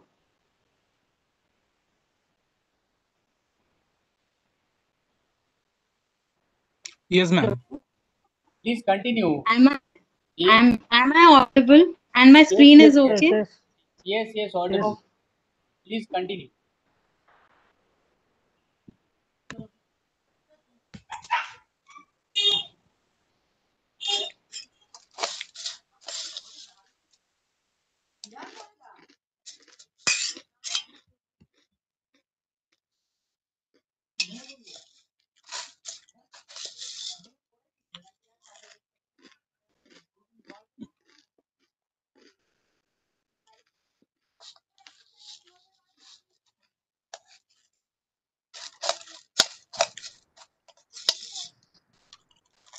Hello, Dipali Agarwal.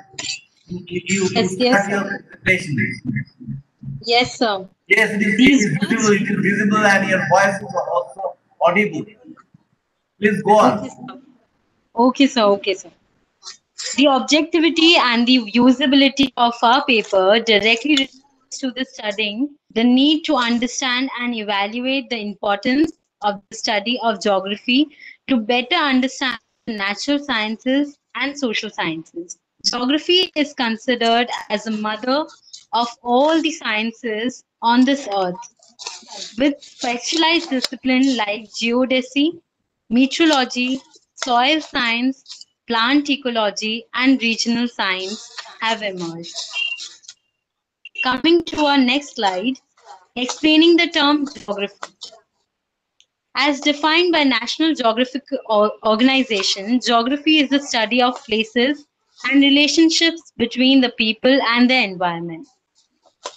Geography explores and eliminates both the physical environment with respect to human culture, nature, and its habitat, and vice versa.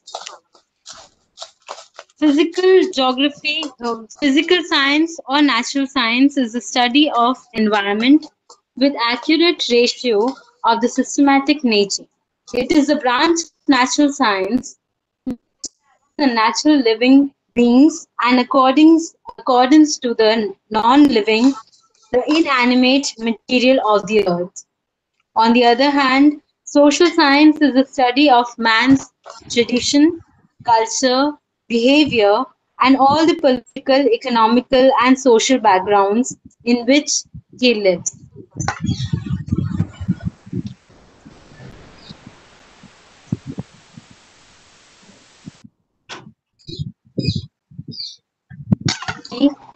With its full purity to explain the importance of it with respect to other subjects like Likewise, the dynamics of the geography are into pertaining to geography, the physics and geography. For example, we study geomorphology in geography, in which we mainly study the forces, the tectonic movements with respect to time and space, explaining the dynamics of Earth with the ever changing and uh, unresting man and nature. Chemistry and geography, as we study the climatology and oceanography. We mainly study the changing nature of air, water, for example, the chemical changes in the air and water due to industrialization on this earth. In a similar manner, we study many other subjects likewise, the astrology, so soil geography, the pedology that we call in um, science itself, remote sensing and GIS, which is the newest evolution of technology in which we are directly being informed of far off places sitting in a room or an office. Coming to the social sciences, there are various branches which study the political geography, economic geography, population geography, social geography, or the changing culture of the man. Likewise, if a person is surrounded with a land all over, he has to maintain a good political or migration relations with other to maintain peace and tranquility, whereas maintaining good international relations.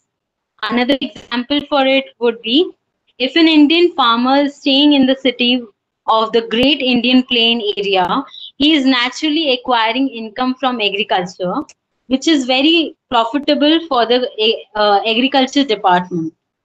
So it is really important that we understand the social sciences and the to- with total respect to geography to make our study easier and convenient. In the last, I would uh, conclude by saying some words of Michael Palin, Palin that says that geography is a subject which holds the key of our future. Thank you so much for being such a good audience. Thank you. Thank you, sir.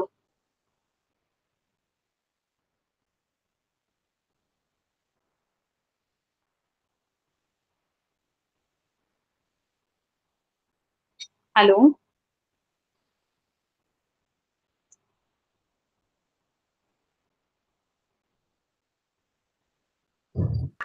variety of uh, all the wide variety of all the branches of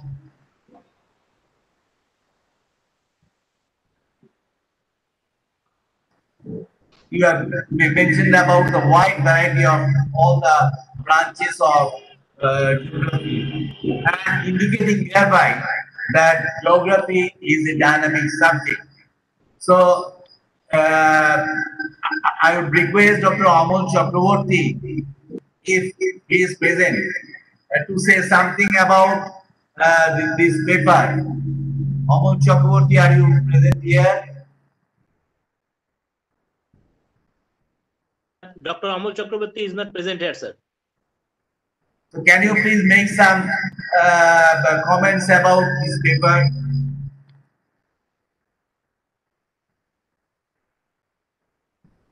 Not yet.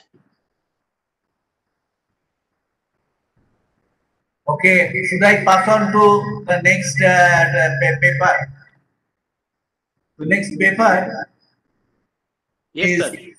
uh, um, now Devashish Agarwal, Mr. Devashish uh, Sarkar, Devashish Sarkar, are you present here? Hello. Yes, present here, sir. Hello. Please Present here. start your paper. Uh, um, at first, I uh, convey my um, convey my thanks to the organizing committee, um, and to Abdul Gani College and and um, Gour Banga um, University.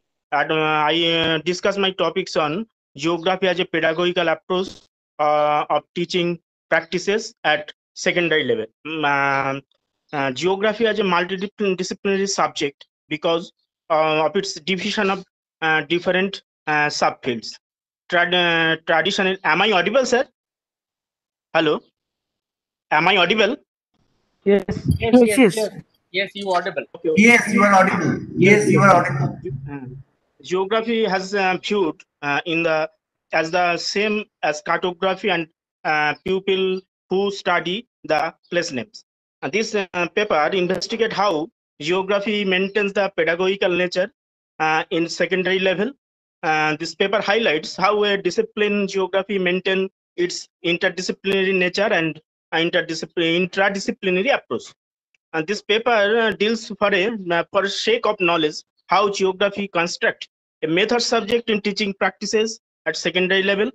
And also um, uh, discuss from the very outset, I discuss uh, pedagogical analysis and the combination of concept, uh, learning outcomes, activities, and learning experiences and evolution practices. Um, uh, the objectives of um, uh, geography also um, several um, comes from several discipline. The thought of geography also comes from several discipline. You, uh, so Jigar, Jigar in 1990 also postulated different terms like uh, geography, um, interdisciplinary, multidisciplinary, cross-disciplinary, interdisciplinary, and transdisciplinary. Okay, so I discuss only for how geography maintain the uh, pedagogical approach in secondary uh, level or and uh, another layer another um, find the geography maintains the interdisciplinary nature with other subject in secondary level and geography maintain the discip- intradisciplinary nature um, in the subject of the um, my hypothesis also note there was no significant difference in the pedagogical nature in geography and other social science subject. Uh, there is there is no significant difference in the inter- inter- interdisciplinary nature with other social science subject. And hypothesis also there is no significant difference in interdisciplinary nature with other social science subject.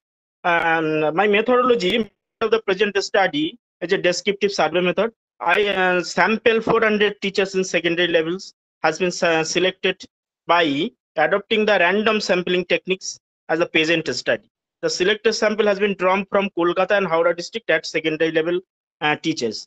Uh, variables different pedagogical approach on approach of the secondary level of Howrah districts are, are Kolkata districts are considered as a dependent variable and independent variables also subject teachers attitudes subject teacher pedagogical attitudes and their information their professional skills etc as um, tools used uh, researcher used the tools of uh, measure pedagogical approach and knowledge prepared by OECD teaching learning uh, interactive survey uh, were used to uh, data analysis and after items three uh, 30 items as selected.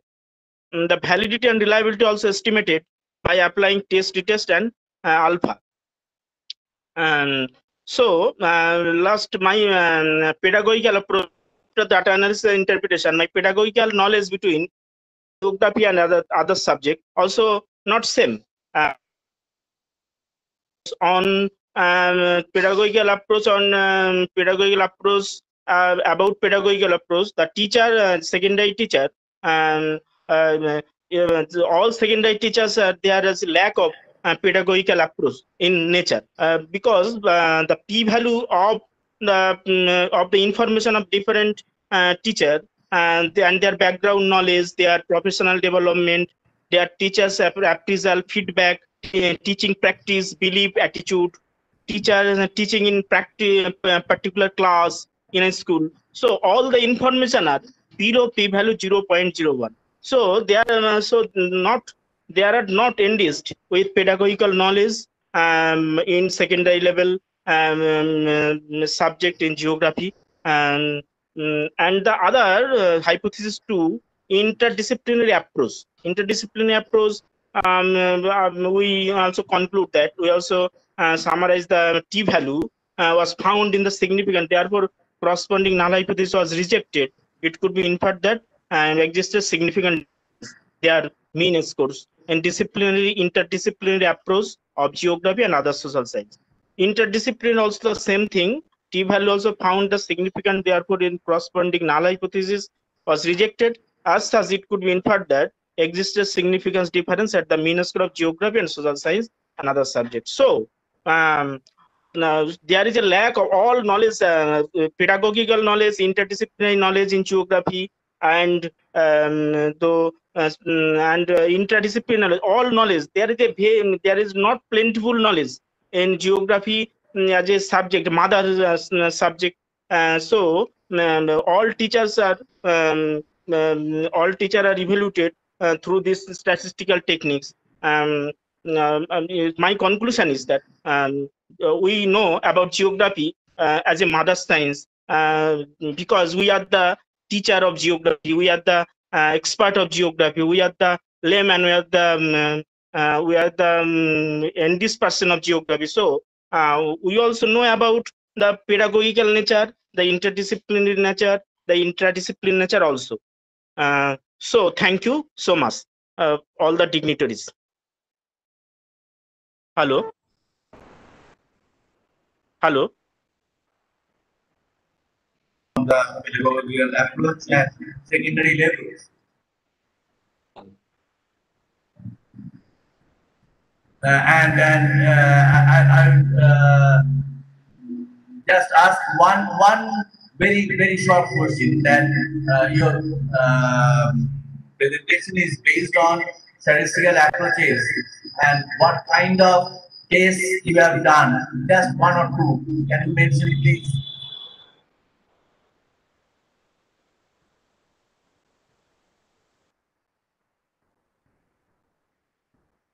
Hello.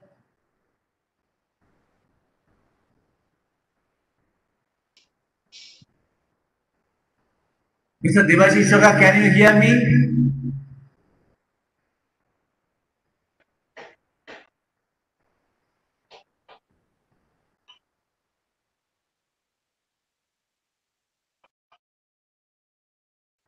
Should I pass on to the next speaker? Dr. Tapos Pal, should I speak on to the pass on to the next speaker? Okay, yes, sir. Yes, sir. Okay, okay. So next uh, speaker is Nurjul Islam. Are you present? Nurjul Islam? Mr. Nurjul Islam? Mr. Nurjul Islam, are you present, please? Inform.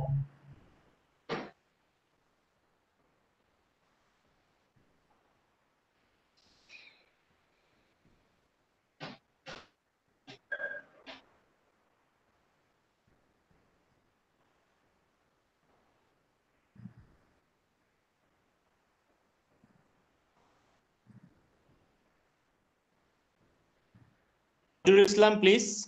Are you here, Najul Islam? Najrul, Najrul Islam, are you here, please? No, I think he's he's not present, sir. So next speaker uh, is Mohammad Asadullah. Yes, sir. Yes, sir, I am present. Sir, what is it? Mr. Asadullah are you present? Yes, sir, I am present. Are you audible? Yes, present, I am.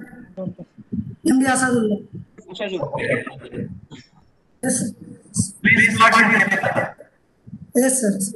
Sir, I am going to present my topics. Competitions in geography compared to the other discipline, especially focus on education, sociology, and psychology. Introduction. Geography is the consisted of two words that are geo and graphia. Geo means earth and graphia means descriptions of on the earth. Geography is the systematic and scientific study of lands, feature, plant, animal, inhabitant, and phenomena of the earth. geography is defined as the bridge between the human and physical geography.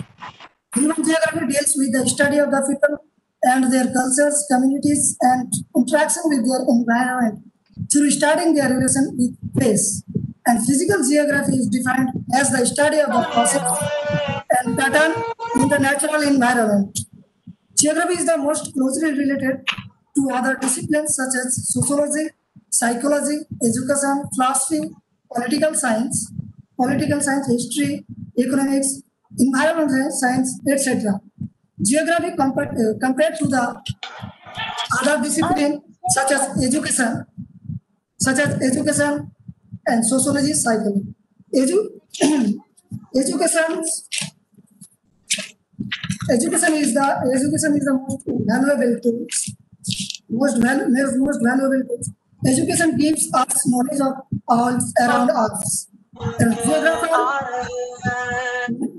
many geographers investigate the place environment and space which make up our world geography plays most significant role to create the school curriculum which helps to teach the students an essential knowledge about about, about the description of the earth.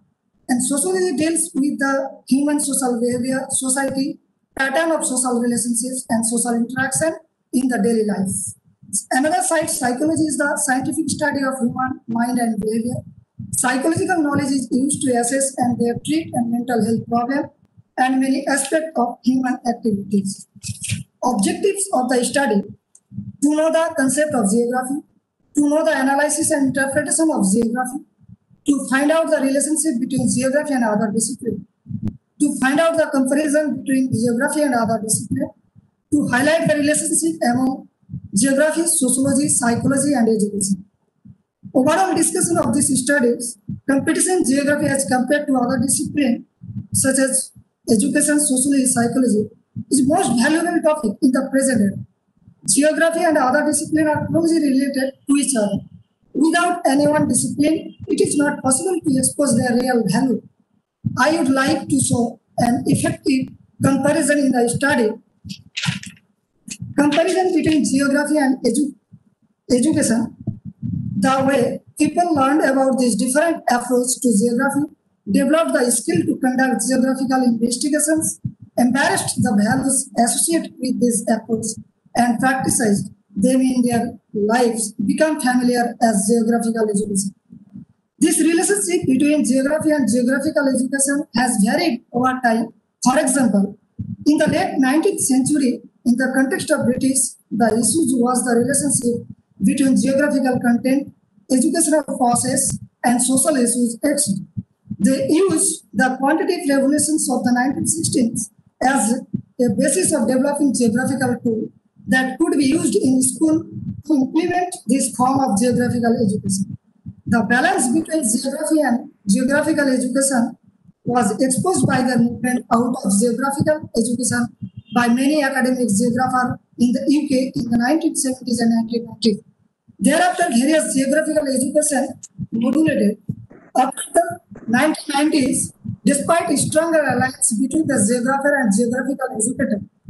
Only modest success was achieved in the having geography recognized as a main subject in the school curriculum And geography also offer the main educational medium through which people learn to understand and communicate spatial information in map and graphic forms. In the case of geography, the formal education curriculum subject is normally included the curricular in different level of formal education because they are believed by policymakers to be relevant to the goals of particular society. Another side, the range of themes covered in formal geographic studies assist students in their problem solving roles in later life. And also non-formal education is much more complex than its role in formal education in the place of geography. The component of geographical education is taking a lead from geographer and geographical educator in the US. In the study of geography in his education, in this relevance may be demonstrated through understanding how geography contribute to the development of key life roles, how the knowledge, skill and values developed in the geography can, can be used to enhance the human occupation of our world, how social and environment action can be enhanced through the geographical education. Another comparison between geography and sociology. this in many ways depends on the sociology and how people and societies build up as these people and societies will have a large cultural impact within and outside their society. Cultural geography studies how this cultural difference impact the movement and scattering of peoples. Sociology stu- studies why and how these types of social structure form in the first place, and this knowledge can effectively predict what cultural geography study in future. Sociology can also affect physical geography as knowledge of how culture and societies form and the way human interact socially can explain how and why human have altered the landscape. Studying human society can explain and predict how human will migrate, function and alter the earth, which is also studied as geography. If we want to study the variable character of its social phenomena on the Earth's surface, we need to assimilate sociology uh, with geography. However, the introduction of the location theory into the sociology has further a great tie with geography and vice versa. Social geography is the logical appearance of the inference between sociology and geography as it studies social phenomena in the spatial context. Other comparison between the geography and psychology. Psychology is the scientific study of human mind and behavior. It deals with the study of the conscious and unconscious phenomena as well as feelings and thought. Feeling and thought. Both geographer and psychologist have been investigating how we can learn and acquire, acquire geographic knowledge. How this knowledge is framed within the mind, in what forms, and how it is accessed and used for guiding behavior. According to Kitchin, 1996, report that a number of theories exist concerning this factor. For example, there have been various theories concerning cognitive map development proposed by both psychologists and geographers, such as Piaget, Helder, Werner, Siegel, and White. And also specific thought referred to how we think about geographic space and the surrounding daily environment like to living. Every task and understanding how we arrive at such decisions are vital for forecasting future behavior change for policymakers and planners.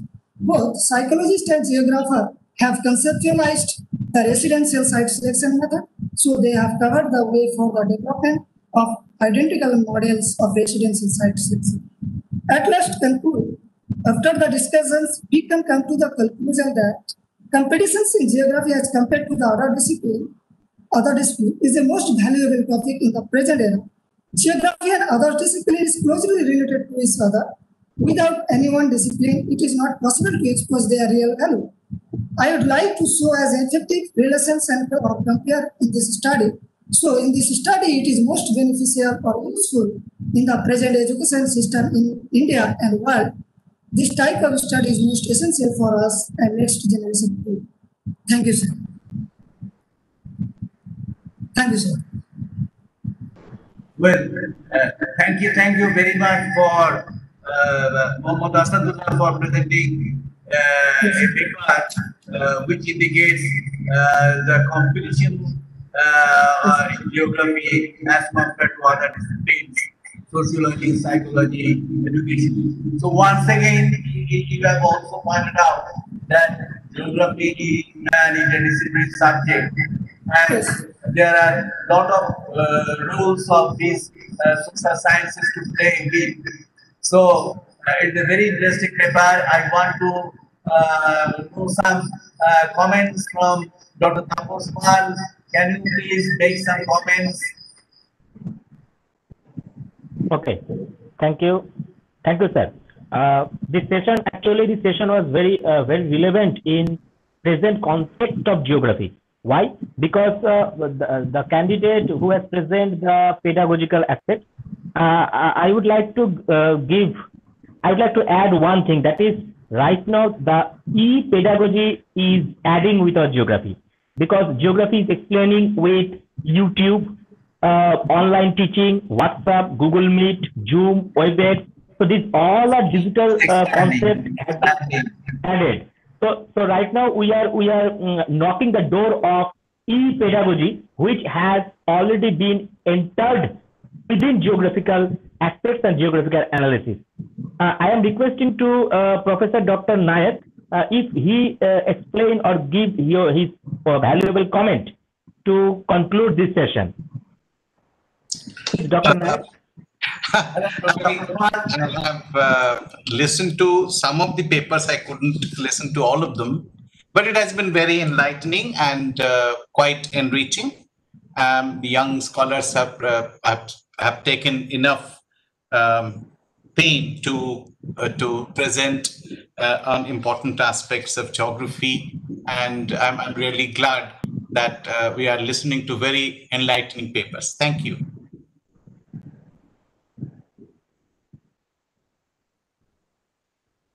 Hello. Hello. Yes, sir, you're audible.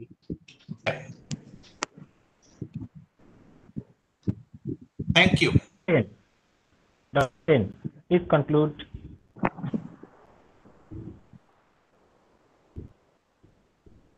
Professor Sen, please unmute yourself.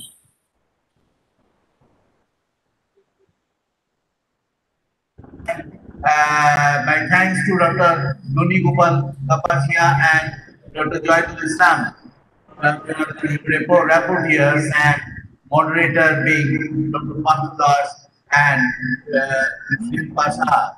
So their uh, active cooperation, this uh, technical session has uh, completed. So once again, thank you all and let me close this session. Thank you.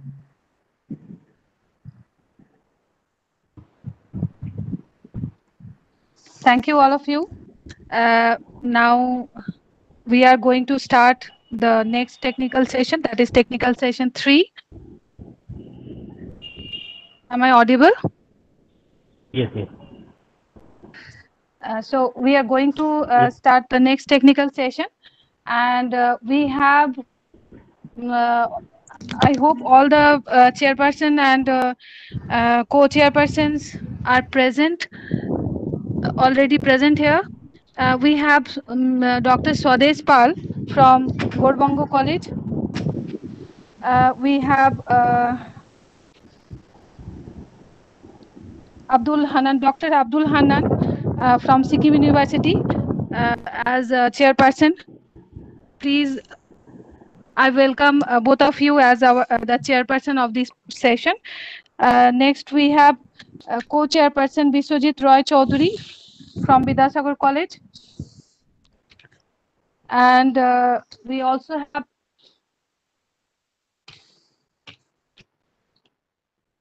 We also have uh, reporter Subroto Guha and Tosif Ahmed.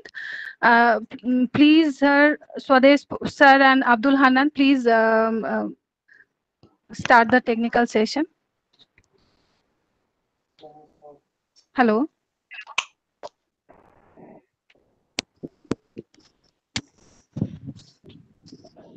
Hello, Swades sir.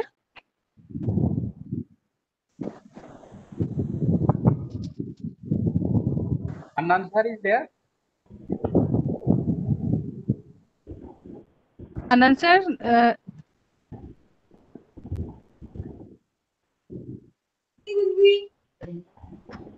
हम क्या करेंगे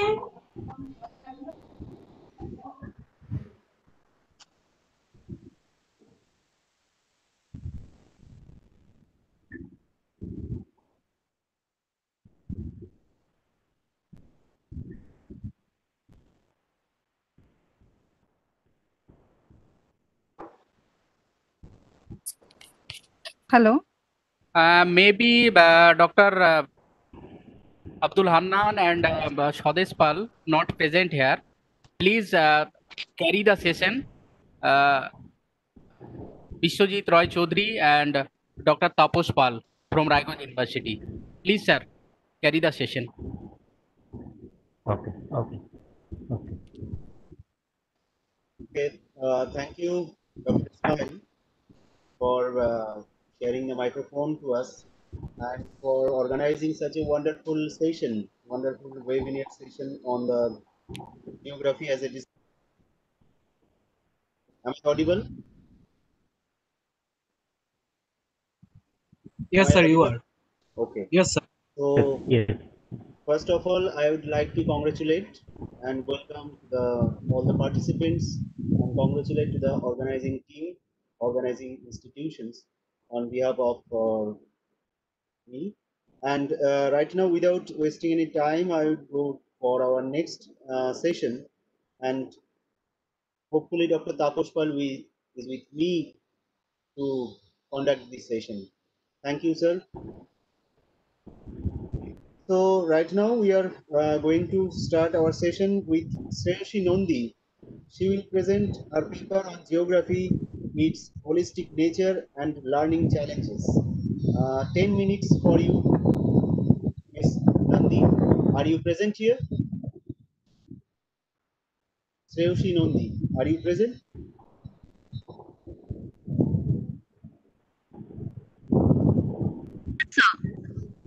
Okay, uh, ma'am, please continue, please.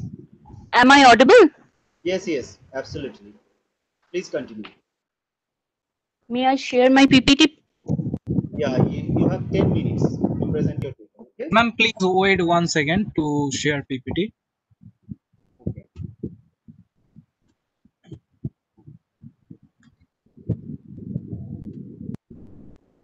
Yes, ma'am. Now you can share your PPT.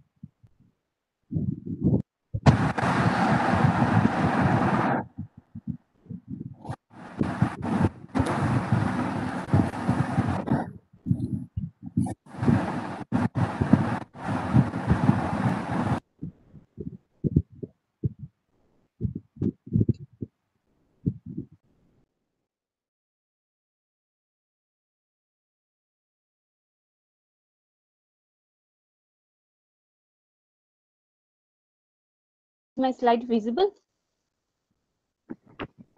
Hello. Yes, it's fine. Yes, ma'am. Yes, ma'am. Good afternoon to all members of organizing committee of Dewan Abdul Gani College and all other members and all the participants. Myself Shreyoshi Nondi.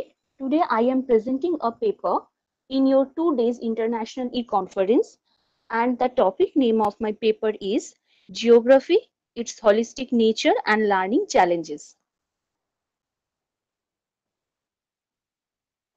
First of all, I gave a short introduction about geography. As we all know, the term geography comes to us from the ancient Greeks who needed a word to describe the writings and maps that were helping them make sense of the world in which we live. Geography considered as a mother of all science. In very short, geography is the study of places and the relationship between people and their environment. From ancient period, the field of geography divided into physical and human part.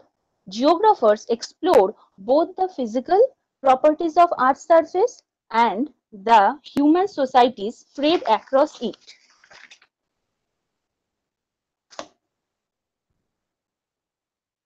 Physical geography relates to the study of Earth's surface, climatic condition, soil structure, etc.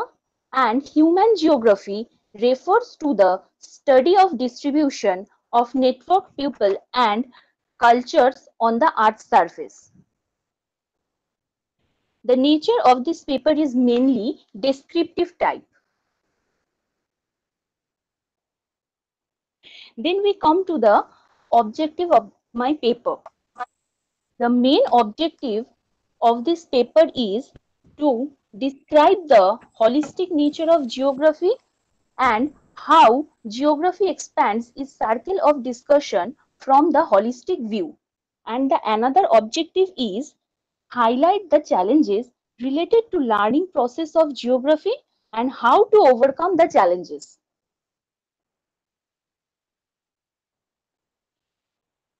Next we come the main discussion part of this paper. The term holistic coined by John Smuts. The approach refers to thoroughly analyze a subject to shed light on or explain everything related to it. The core concept of geography is space. Geographers try to explain everything based on space and take holistic approach means they consider both the physical and human phenomena that are appropriate to understanding the characteristics of the earth here the three main questions are where why and how where refers the location of any elements like address etc why refers the condition and connection and how refers the importance and consequences. For example, how overuse of resources affect the environment. And these all are relates to geography and make the nature of this subject holistic. Then we come to the challenge of learning of geography. First of all, the number of students increasing day by day. And for this reason, clear discussion of every topic to each student doesn't possible.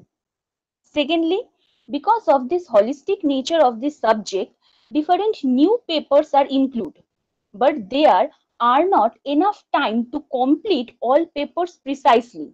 And for this reason, students are being forced to do exam-centric learning. Next, the infrastructural facilities are not equal in every colleges and students face difficulties for this reason. Then because of this holistic nature, the core concept of this subject has lost its importance sometime. To understand the every part of this subject, field survey is so important, but there is not enough time to arrange much field surveys. Then come to the suggestion part. According to me, some suggestions or proposals are adjust the syllabus keeping in view the time so that the students can learn in the right way. Arrange short and budget friendly field surveys. Establish necessary infrastructure in all colleges according to the syllabus of geography. We should represent the subject matter towards the students in an interesting way and discuss the matters from interdisciplinary view. Last, as a conclusion, I must say the holistic nature of geography enrich the scope of this subject and we hope that it will not create so much barrier but it will increase the excellence of the subject. And last, Thank you once again. So, over to you, sir.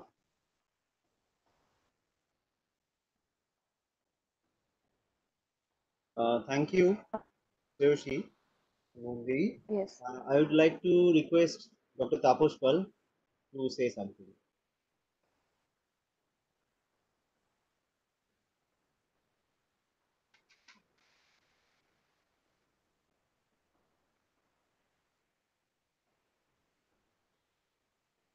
Dr. Taposh Pal, are you here?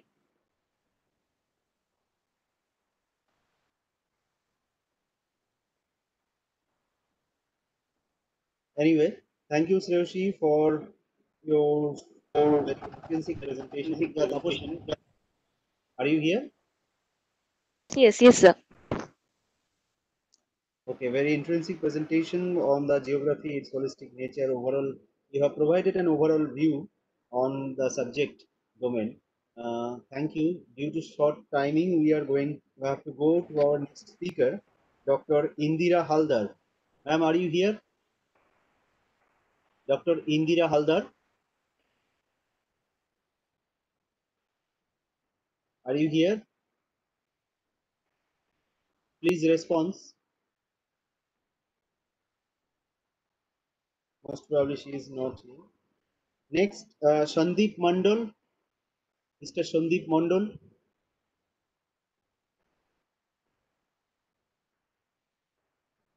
Mr. Shandeep Mandal.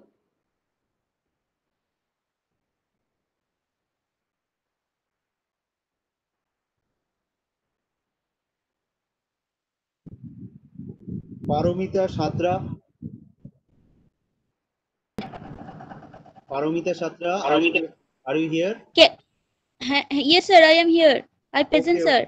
Okay, okay, okay. So Can I you share may my start your presentation, sir? present- You may start your presentation on the topic uh, scope and significance of the geography in the present context.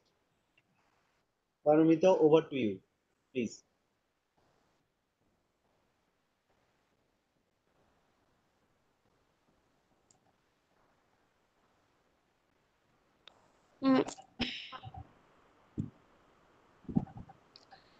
Sir, I uh, cannot pre- present my pres- cannot share my presentation, so I uh, Would you only like to speak. share? Uh, Would you like to share your screen? sir, I did not. Uh, I cannot uh, eat it. Uh, Dr. Now Ismail, try, please. please. Okay. So, sir, I only pay. No. Ma'am, you can. Ma'am, you can. You can uh, present your share. Share your presentation.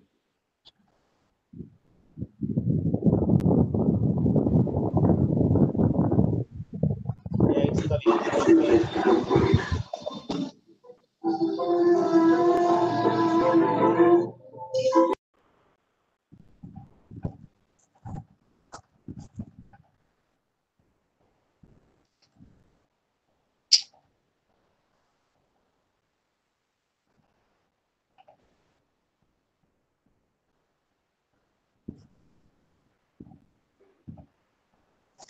uh, can I visible my PPT? Yes, yes, yes. It's visible. You may start.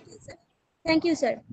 Good afternoon, everyone. Myself, Paromita Shatra. I am a BS student from Vijay Krishna Girls College, Howrah. Today, I will discuss uh, the topic, uh, the scope and significance of the geography in the present context. Uh, these are the key points which are discussed today. Uh, let me start with introduction part. We all are know the concept of geography. I am also just uh, highlight the point. First, I will say the geography is a spatial science. It is discuss, uh, discuss about the phenomenon over the earth surface. It is not only a spatial science, it is a holistic study. It is combined dis discussion uh, of physical aspect as well as social aspect. It's also a systematic subject. Law making, modeling, field study or also include this subject. Uh, geography interact uh, to other discipline. Uh, geography continuously evolving. It's so many paradigm, uh, environmental determinism, possibilism, uh, behavioralism, humanism, modernism, postmodernism. All of the perspective actually indicate that ongoing progress of the subject. Uh, object, the objective, this study.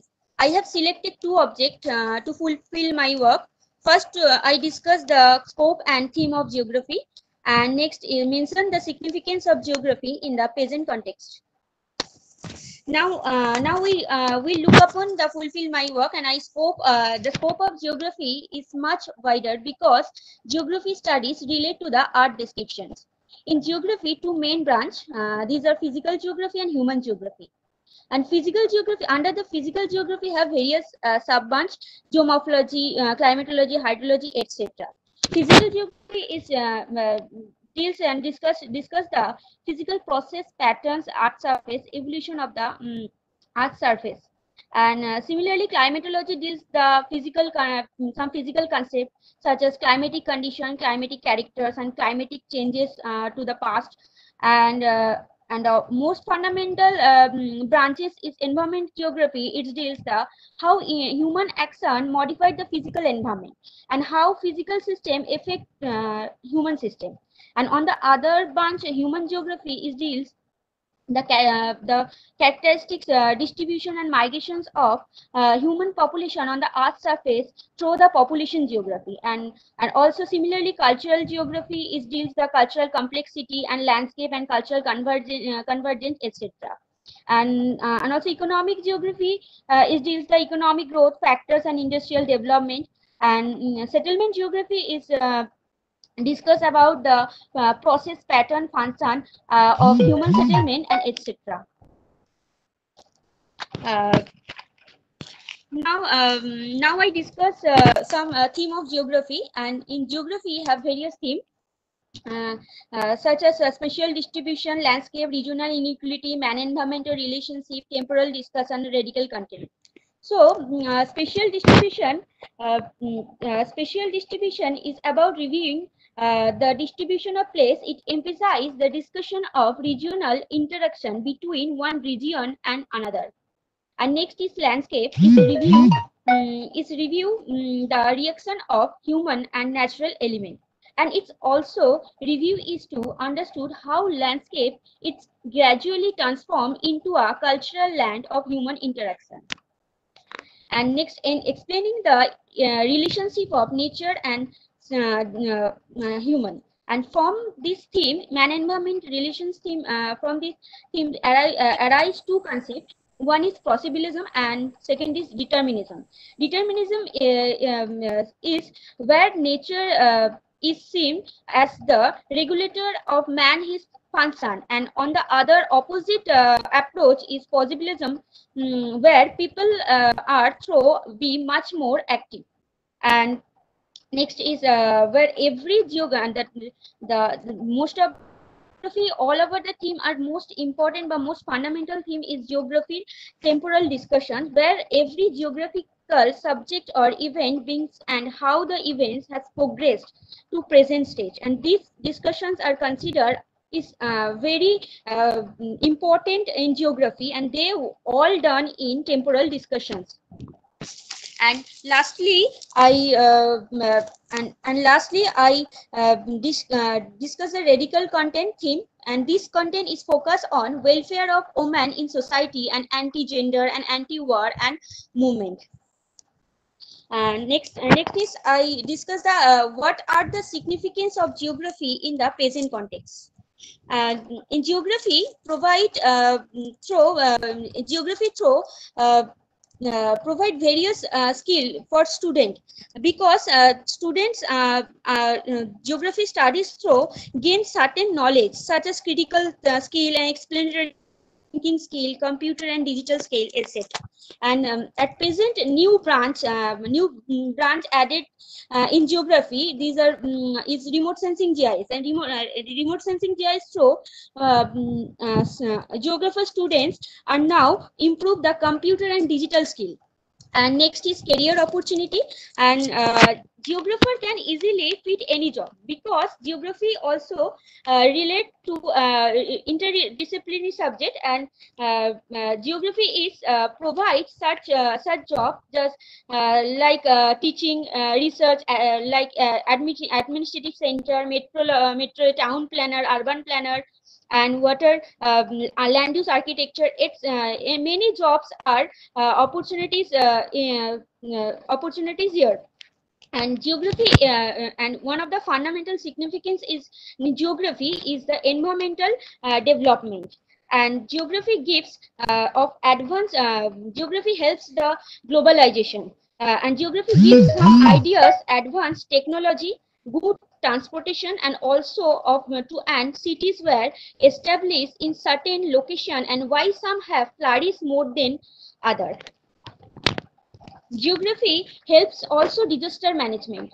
Uh, disaster are being detected in advance through video, various satellite image, uh, uh, satellite indication and image, uh, image. And geography provide uh, so, uh, pro, pro also provide uh, some population um, population information um, mm, geography provides some guideline the population policy and also overpopular overpopulation in any region and mortality and fertility rate of any region and the depending population of any country and region so uh, and lastly i uh, discuss the economic uh, rate, economic growth. Geography informs uh, uh, us to how the sustainability utilize the resource that are available as well as mm, and uh, give uh, as well as well as give a lot information about industrial sector, agriculture sector, and mm, and resource distribution of any region, and also the um, also very um,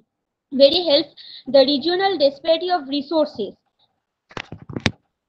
and lastly, I conclude uh, my presentations. And uh, so geography subject uh, need to be made more modern through the attachment of new concept and through various research studies and the practical uh, application in research need to be further enhanced and with the increase in the number of ge geographical studies and efforts should, should be made the further improve geographers through the formation of geography.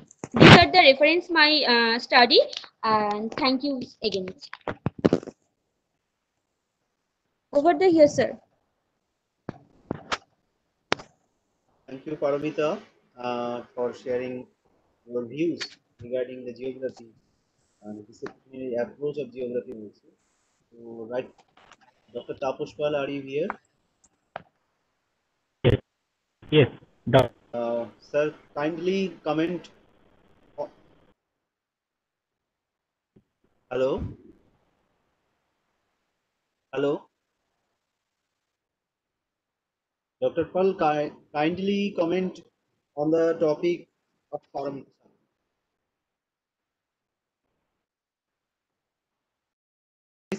Your voice is breaking. Your voice is. during the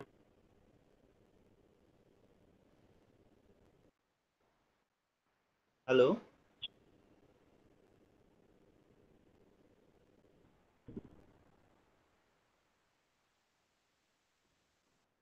Dr. Taposh Pal, your voice is not clear.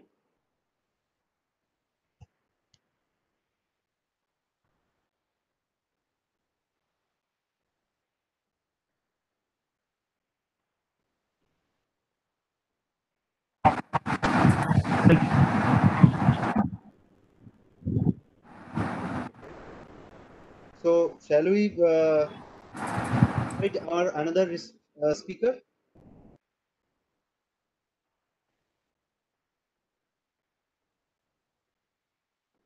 Uh, your voice is uh, audio is not. Hello.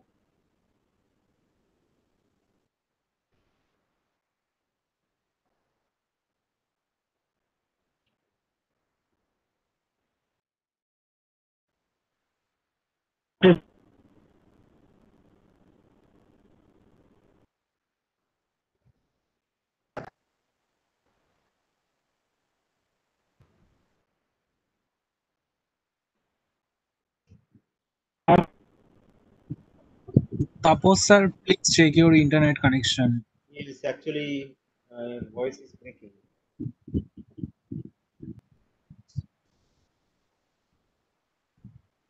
Uh, Tapos, uh, Tapos sir, kindly will you join once again? Yeah, your internet uh, due to some connectivity issues, your voice is not audible clearly.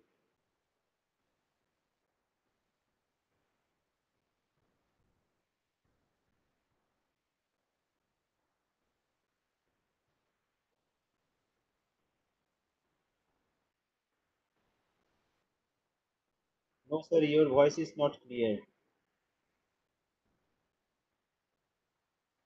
Okay, uh, okay, Dr. Abdul Hanan, sir, are you present here? Dr. Abdul Hanan, sir, or Dr. Shadesh Pal, sir?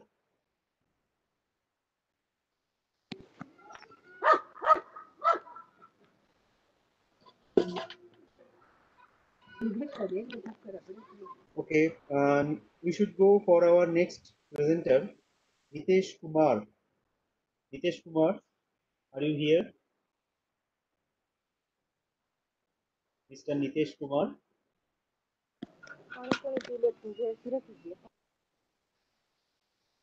Nitesh Kumar, are you here?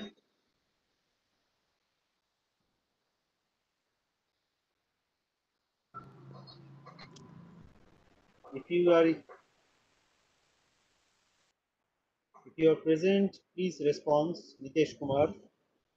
I think no. No, Dr. Shan, uh, Mr. Sanjeev Mahata, are you here? Mr. Sanjeev Mahata.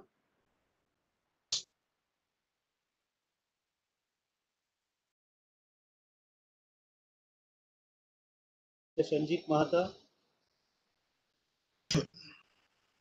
Mahato, sorry.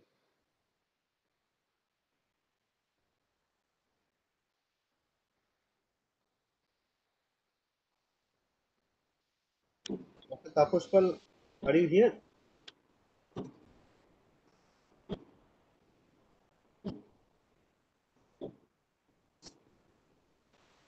Dr. Taposh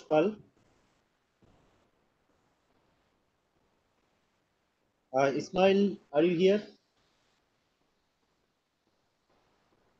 Dr. Ismail.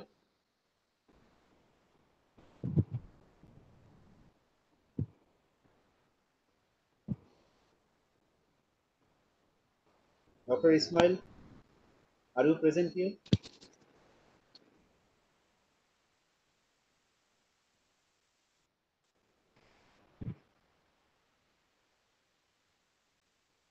Uh, once again, I would like to request the organizers uh, is Dr. Indira, Dr. Indira Haldar, Sandeep Mondol, Nitesh Kumar, Sanjeev Mahato. Is there anybody present? Sir, Sandeep Mondol. Sandeep? Sir, Sandeep Mondol. Sandeep Mondol? Yes, yes. yes. Yeah.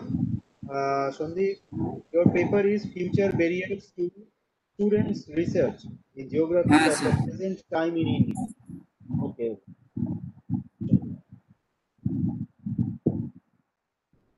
Sir?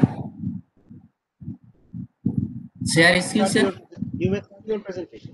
Yeah, yeah. You may yes, you can share your screen. Ah, sir.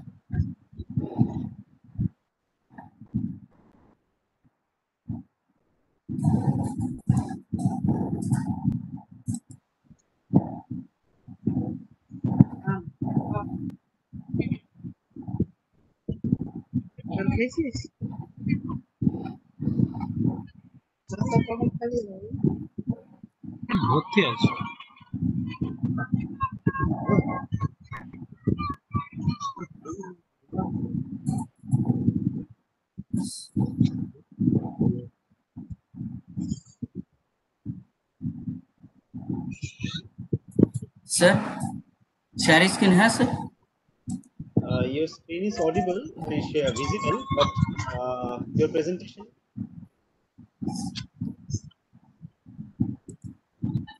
Share screen I would like to request all the audience except Sandeep Mondol kindly mute yourself. Sir হ্যাঁ sir sir শেয়ারটা তো হচ্ছে না, sir. Uh, moderator kindly look after the matter. Your screen is is on shared mode. you need to share your PPT. Is there is is there in Microsoft PPT? Yes, sir. Microsoft is coming.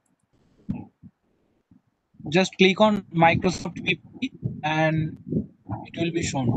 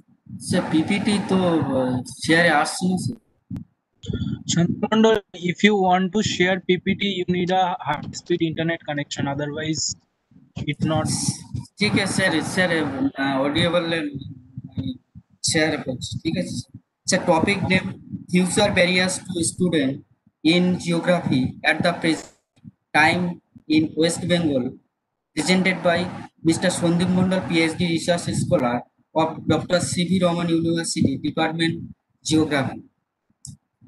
Position in India, education, Indian education. India's higher education system is the world third largest in terms of students, next to China and United States. India has the advantage of English being the primary language of higher education and research, although there have been challenges to higher education in the past. Position of West Bengal higher education. In the case of the our state, West Bengal education is provided by both the public sector as well as the private sector. The modern education system was developed by the British missionaries and the Indian social reformists.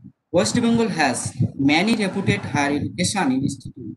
Number of colleges in West Bengal has already existed to 260 colleges and is still growing in number and University of West Bengal offer undergraduate, postgraduate, MPhil, PhD, other diploma and certificate programs objective of study to analyze the present status of the higher education system in West Bengal to highlight the challenges faced by higher education of research scholar, student, and assistant teacher of school in West Bengal. The study is unique in the sense that brings about better understanding of present scenario in the higher education. Oh. Assistant teacher are the main problem in getting job in the colleges or university or higher education, MPhil, PhD or other diploma programs. Many of obstacles come from shoot school, take higher education. Problem in getting no objection certificate from school authority or district inspector of school, not found in most of the uh, another cases. Not getting leave from school authority. No cooperation from colleagues and headmaster. A lot of time from research center not getting cooperation. Recent year wise recruitment and assistant professor by WBCSC. Year of vacancies shown by WBCS of West Bengal College Service Commission 2004 from 2015 157 total number of vacancies total number of interviewer of geography subject. Eight hundred approximately, অর্থাৎ recruitment of percentage 5.6 percentage 2018 WBCS West Bengal college service commission shown by vacancies of year 75 total number of vacancies total number of interview geography subject 3000 um, approximately 2.5 percentage recruitment so student or uh, next slide student or research scholar are in getting jobs in the college or university or higher education according to WBCSC West Bengal uh, College Service Commission and uh, West Bengal Public Service Commission notification vacancies are shown very rarely not everyone get the chance to do research if, they need and set qualified Point three, a lot of money is the research which is difficult from student. Fourth point, various journal books, research papers are published in English and Hindi. But since most of college and university in our state are taught in Bengali, there is lot of difficulty in the research. Present obstacle or challenging of college or university student. Admission of understanding student evil practice of uh, collecting capitation fee for admission, money-based opportunities of teachers recruitment, poor quality teaching system method. The evolution system is qualitatively poor and crop Conduct of examination has become too costly, while hazard, hazardous and dangerous. Political inference in the automatic autonomy of higher education. Poor leadership at higher levels of administration, both college and university. Suggestion, next, next slide. Parents, administrator, politician, reformers, planners, and educationalists should be fully involved in the development of education at all levels, enhancing the quality of teaching, learning, and evolution method encouraging involve in innovation in practical teaching, enhancing the productivity of teacher, focus of continuous development of faculty. Present role of teacher can be encourage thinking, the information provider, the role model, teacher as a facilitator, facilitator teacher as a participant in the learnership first. Teacher to find his own teaching style, recognize himself as a professional, be sensitive to needs and problems. Thank you, sir. Sir, I uh, skin share not uh, be allowed. So uh, very sad, sir.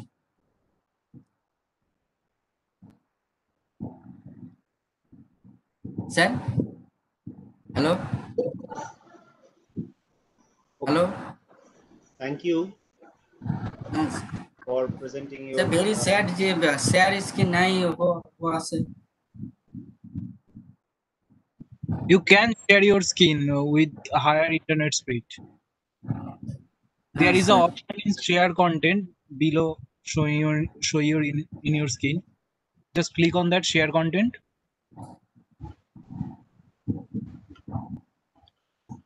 Hello, can you hear me? Hello. Sir, hear me. Just click on share content.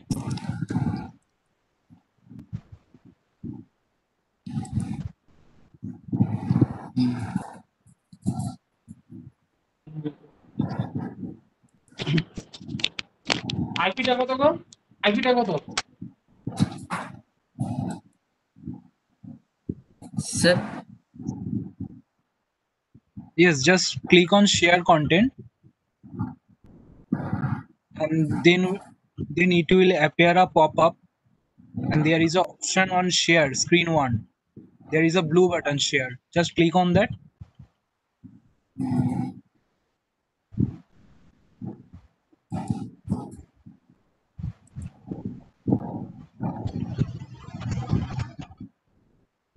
yes, sir, yes, sir. No. So Just click on blue share button and it will share your screen.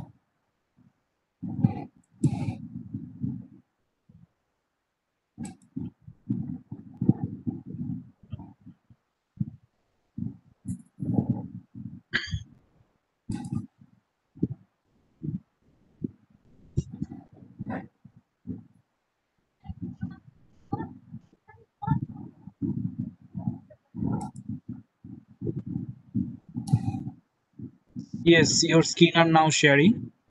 yes, sir.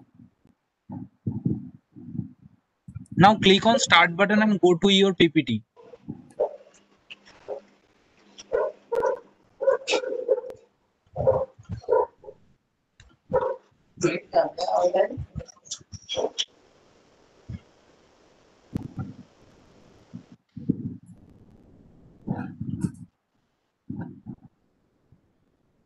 Now please open your PPT in your computer.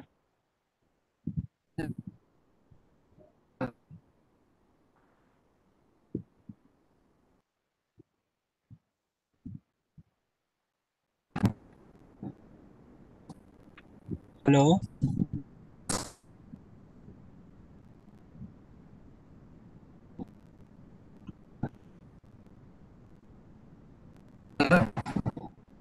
Hello, can you hear me? Now just click on PPT. just think your screen is we are seeing your uh, your so do whatever you want to show Sujita, please uh, carry on the session. Uh, our next. Hello, Vishwajita. Yes, yes, yes. I think Uh, we should go carry on the session and uh, uh, So, uh, anyway, Sandeep, next time we will definitely, it will be possible for us to give your presentation. No issue. And uh, once again, I would like to request, I would like to call Nitesh Kumar Mahato. Are you present?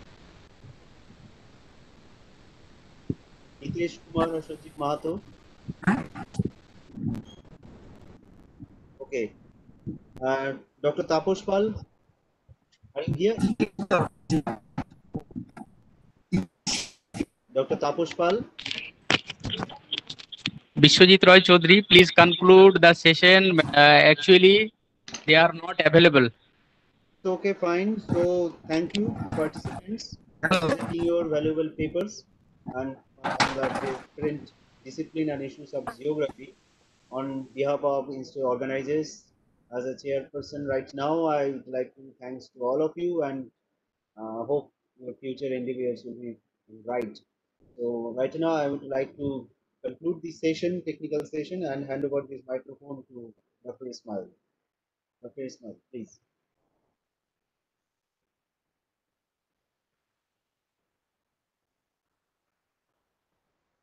Ismail, are you here?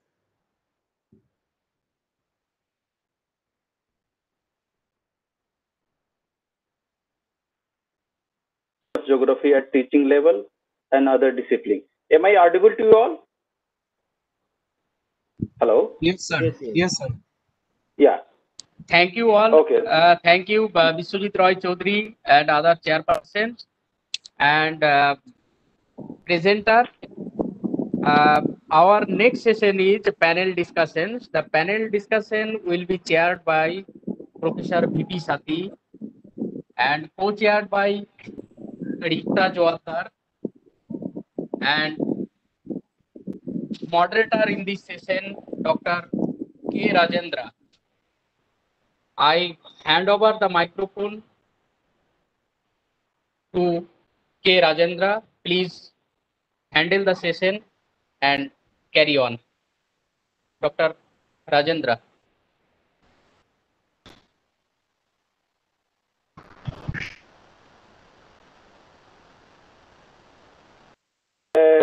Practitioner of geography will going to talk about the global demand of geography at teaching level and other disciplines.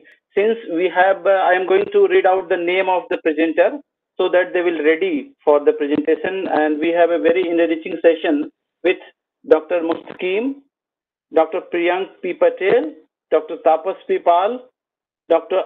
Aznarul Islam, Dr. Mujaffil Haq, Dr. Mukund Misra, Dr. Atul Islam, Ataul Islam, Dr. Ruxana, and Dr.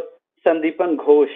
And this chair is uh, this session is uh, ch- chaired by Professor V.P. Sati, co-chaired by Ritika Jo- Joardar, and uh, I, I, I along with Dr. Sunil Saha going to moderate this session. So uh, since it is a very long session and uh, number of presenters is quite high, so I will request all the presenters to uh, have the six minute session. So we try to finish up your point in six minutes. I know it is very it is very difficult for you all to maintain a time uh, schedule, but it is also a challenge for you to complete your and uh, communicate completely. I mean, with the maximum efficiency to your audience. So before uh, we start the session, I would like to invite the chairperson and co-chairperson to uh, have some uh, um, uh, introductory remarks and their view about this uh, subject that is the global demand of geography at teaching level and other disciplines. So over to uh, our, over to our chair, uh, Professor V.P. Sati.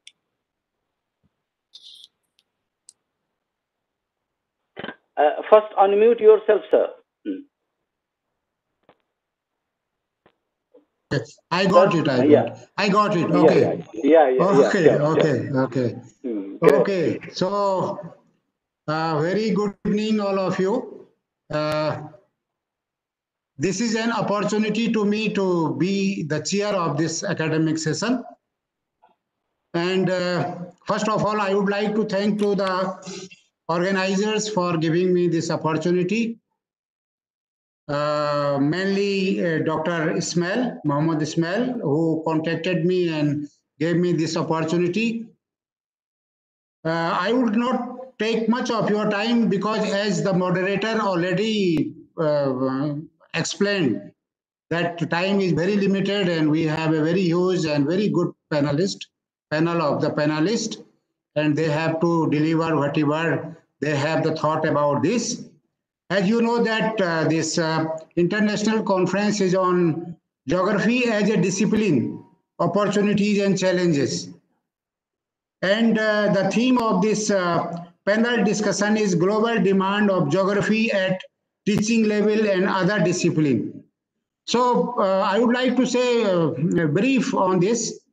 Actually, uh, geography is a father of all the disciplines from the beginning, from the ancient classical period, when there was uh, the development of geography in Greek and Roman Empire. And they shifted from Greek, Roman, and then there was uh, the middle period, that dark period, and then there was new classical period, and then many, many things are there. This is actually the uh, history of geographical thought. We all know about this. My point of view is that most of the disciplines, they are now very burning and very comprehensive at this point of time. Like geology, like remote sensing and uh, this uh, GI, this uh, GIS science, they all come out from, carved out from of geography, all. And now here we are, we stand because geography is uh, actually a multidisciplinary uh, uh, subject in nature. So we are now, uh, in many ways, we are uh, the we are uh, the master of all, but jack for none. That is our dilemma actually. But on the other hand, if you see at international level, geography is actually getting importance in very scientific institutions all over the world. But the thing is that we have to more uh, this kind of this, we have to be uh, technical because as we know that this remote sensing and GIS science is a domain field of geography. But where we stand on this, many botanists, many ge geologists, they have all grabbed this and geology also was a, geology is a small part of geography. Earlier it was uh, within the geography, but now it has becoming a very, very, very prominent subject. So in this way, this conference will definitely will think about that where what we can do on geography and do for geography and what how the geography will be very, very relevant in future uh, in terms of its, it, its because the employment employee employability is very important. Because geography people when you see that if you go to the survey of india suppose i will give you an example survey of india. And if there are any post vacant geography is not there. And survey of india the mapping and all these topo uh, construction of toposheets and maps they all are the domain field of geography. In such a way we have to see we have to see the possibility and probability of the geography where we can take this. So this conference is very timely and very uh, also very uh, uh, good at this point of time. And I hope that I will not take much of time because uh, co-chair has to say something and then moderator will do actually. Yeah, I was in um, thought in my mind that moderator will moderate this. It is better, sir. Uh, our moderator is this K. Rajendra, sir. You have to continue this and I have some problem of networking here. So maybe sometimes I may not be here. Anyway, thank you very much, all of you, and uh, uh, thank you for the organizers. I hand over to Dr. K. Rajendra. Yeah, yeah. Thank you. Thank you very much for your introductory remark and citing some historical context how the geography come into being and now is spread across the different interdisciplinary domains. And there is also some issues and challenges that you are facing not only for the geography but all all the space related subjects where the, we are more concerned about the spatial and temporal contexts So India, the issue is a little bit different, and the many speaker will going to bring this issue in detail. So now I this is time to invite uh, our co-chair, uh, uh, Dr. Rikita Joardar, ma'am, to have um, her vision on this context and the topic that chosen for this panel discussion. So over to uh, uh, Rik, Rik, Rikita Joardar, ma'am. Good evening. I am audible? Yes, yes.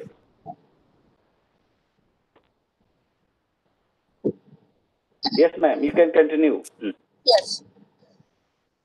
Firstly, I am very honored to co-chair this session and I am thankful to the organizers of this uh, international webinar. Uh, the uh, theme of the this panel discussion, global demand of geography at teaching level and other discipline is very timely as uh, uh, here is an exciting uh, truth for us. Geography and geographers are in greater demand now than at any time in recent history. And we better to understand these planet-wide realities than a geographer. Actually, ge geography graduates are very employable, employable and uh, with the skills, knowledge, and understanding gained during a geography degree are held in high regard. So uh, this session is very uh, enriching, and our uh, speakers are uh, all are enlightened persons, enlightened geographers, and I'm very keen to hear uh, from them. so I am not taking much time and uh, I hand over to moderator to carry on the session. Thank you.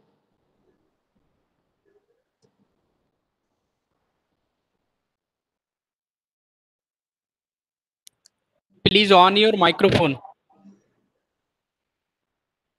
I would like to uh, uh, request my co-moderator, Dr. Sunil Saha, to be on the dais so that everyone can see him.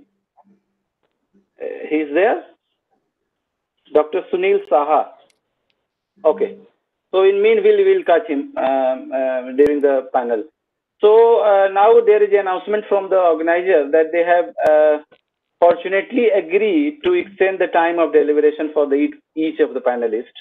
And now instead of six minutes, we have liberty to extend up to 10 or 12 minutes maximum.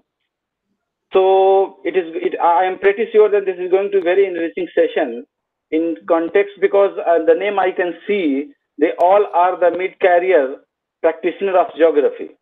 So they are going to uh, bring a very relevant perspective at this juncture, juncture because this is time where all the spatial subjects are in demand, not only in the context of the science and technology point of view, but also the social social uh, social contextualization where the I mean the where where the quest is uh, the sustainable development. And in the pandemic the necessity of this discussion on this topic is also paramount of, of paramount importance.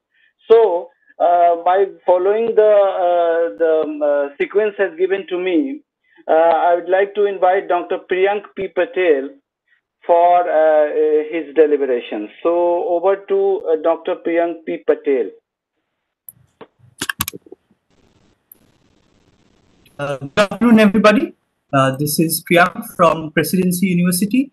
I'll just start. Uh, I hope I you can listen to me.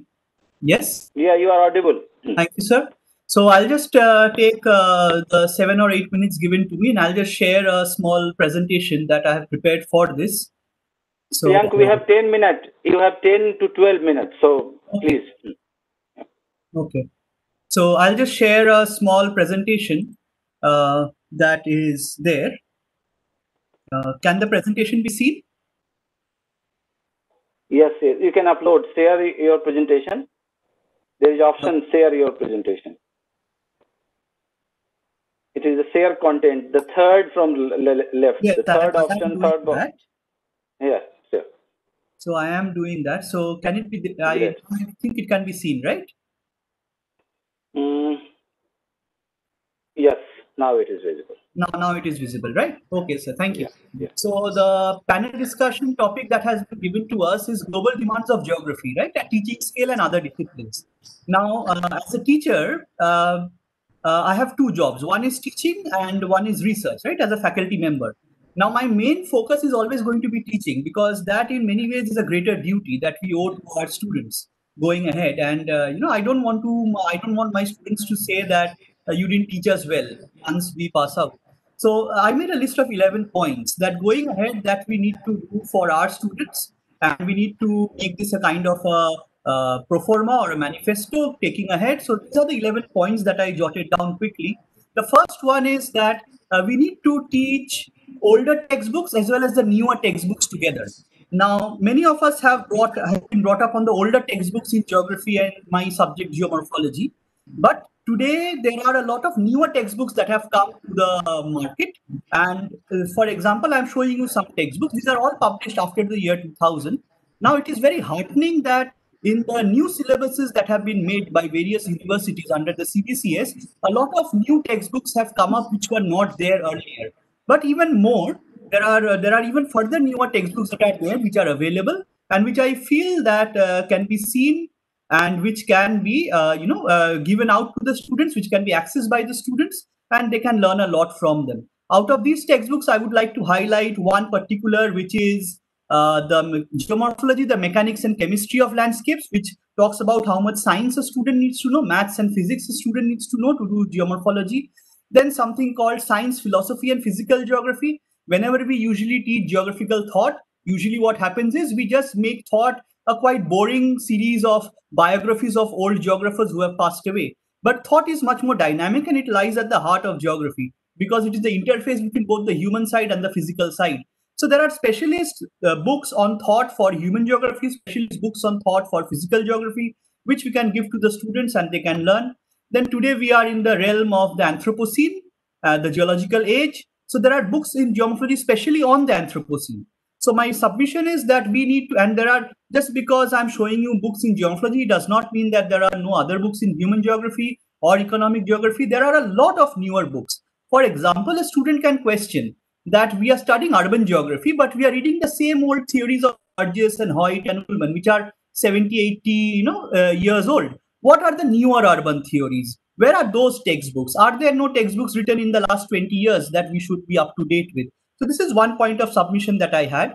The next point of submission was that uh, while we are teaching uh, the newer things, we should also discuss some very recent research papers. For example, if I'm teaching a topic on slope development or if I'm teaching a topic on urban planning. So what are the two or three main recent papers that are there uh, published in the last two years that are relevant to my topic and which I should you know inform my class about? They may not be able to understand the entire research paper, I will take them through a reading phase by phase of the paper, show them the main paragraphs, show them the main equations, the main points of discussion. So what will it what it will do to a class, both BSc and MSc, is that it will teach them how to you know recognize a research paper, what are the components of a research paper, how research is written and carried out, and also how to read a research paper, judge the quality of a research paper. That is very, very important. Then the other thing that we need to do is Many a time, the geography that we teach in our classrooms is dissociated from the wider world. Uh, our students have to imagine a landform, or our students have to imagine a social situation, right? Because the, the words are just dry letters on a textbook. We are not really connecting with them in such manner. So why don't we take every day in each class or once a week some of the latest news stories that are there in the newspapers and try and find out the geographical angles of those news because all news is related to a region or an issue and all issues are related to the geography of that particular region or that particular social group or that area. So I'm sure within each news component, uh, we can find out some aspect of political geography, resource geography, geomorphology, right? And if we can discuss the newspapers with our students, the recent news that is going on, current affairs, not only will it increase their general knowledge, not only will it make them better for the competitive exams going ahead, but also it will teach them to look at newspapers, take up newspapers in a different way, and that will improve their reading habits in any language, be it Bengali, Hindi, uh, English, any language, right? And then something fun, because today we are in a COVID situation, we are looking at uh, possibly the next semester, even two semesters, which we have to be which we have to teach online. So why not along with the dry learning techniques, dry uh, your uh, uh, textbooks, why don't we give them some fun things to do? For example, why don't we give them some fun novels to read? For example, Amitav Ghosh, I'm talking about English, but you will find lots of examples in Hindi. Uh, you will find lots of examples in Bangla. For example, Amitav Ghosh's novel Hungry Tide that talks about the sea level rise, or James Lovelock Gaia hypothesis, Rachel Carson's Silent Spring. So we can these books can be given as a class assignment. You can have students in groups. You can have them discuss these uh, various uh, uh, books, write a short report on these groups. I'll show you some more books. For example, The Great Deluge, which is the flooding of the Mississippi and how it changed U.S. policy towards river geomorphology, leading to the development of the you know main irrigation canal systems. Then Dirt, which is the importance of soil. Then Long Summer, that is the importance of climate change in human history right? Or even say there is a book called Darjeeling. For example, Darjeeling talks about how the tea plantations in the Darjeeling area change the social geography and economic geography of that landscape. So these are the kind of books that you know. These are fun books. These are not heavy textbooks. Our students and these are quite short, maybe 100 pages, 150 pages.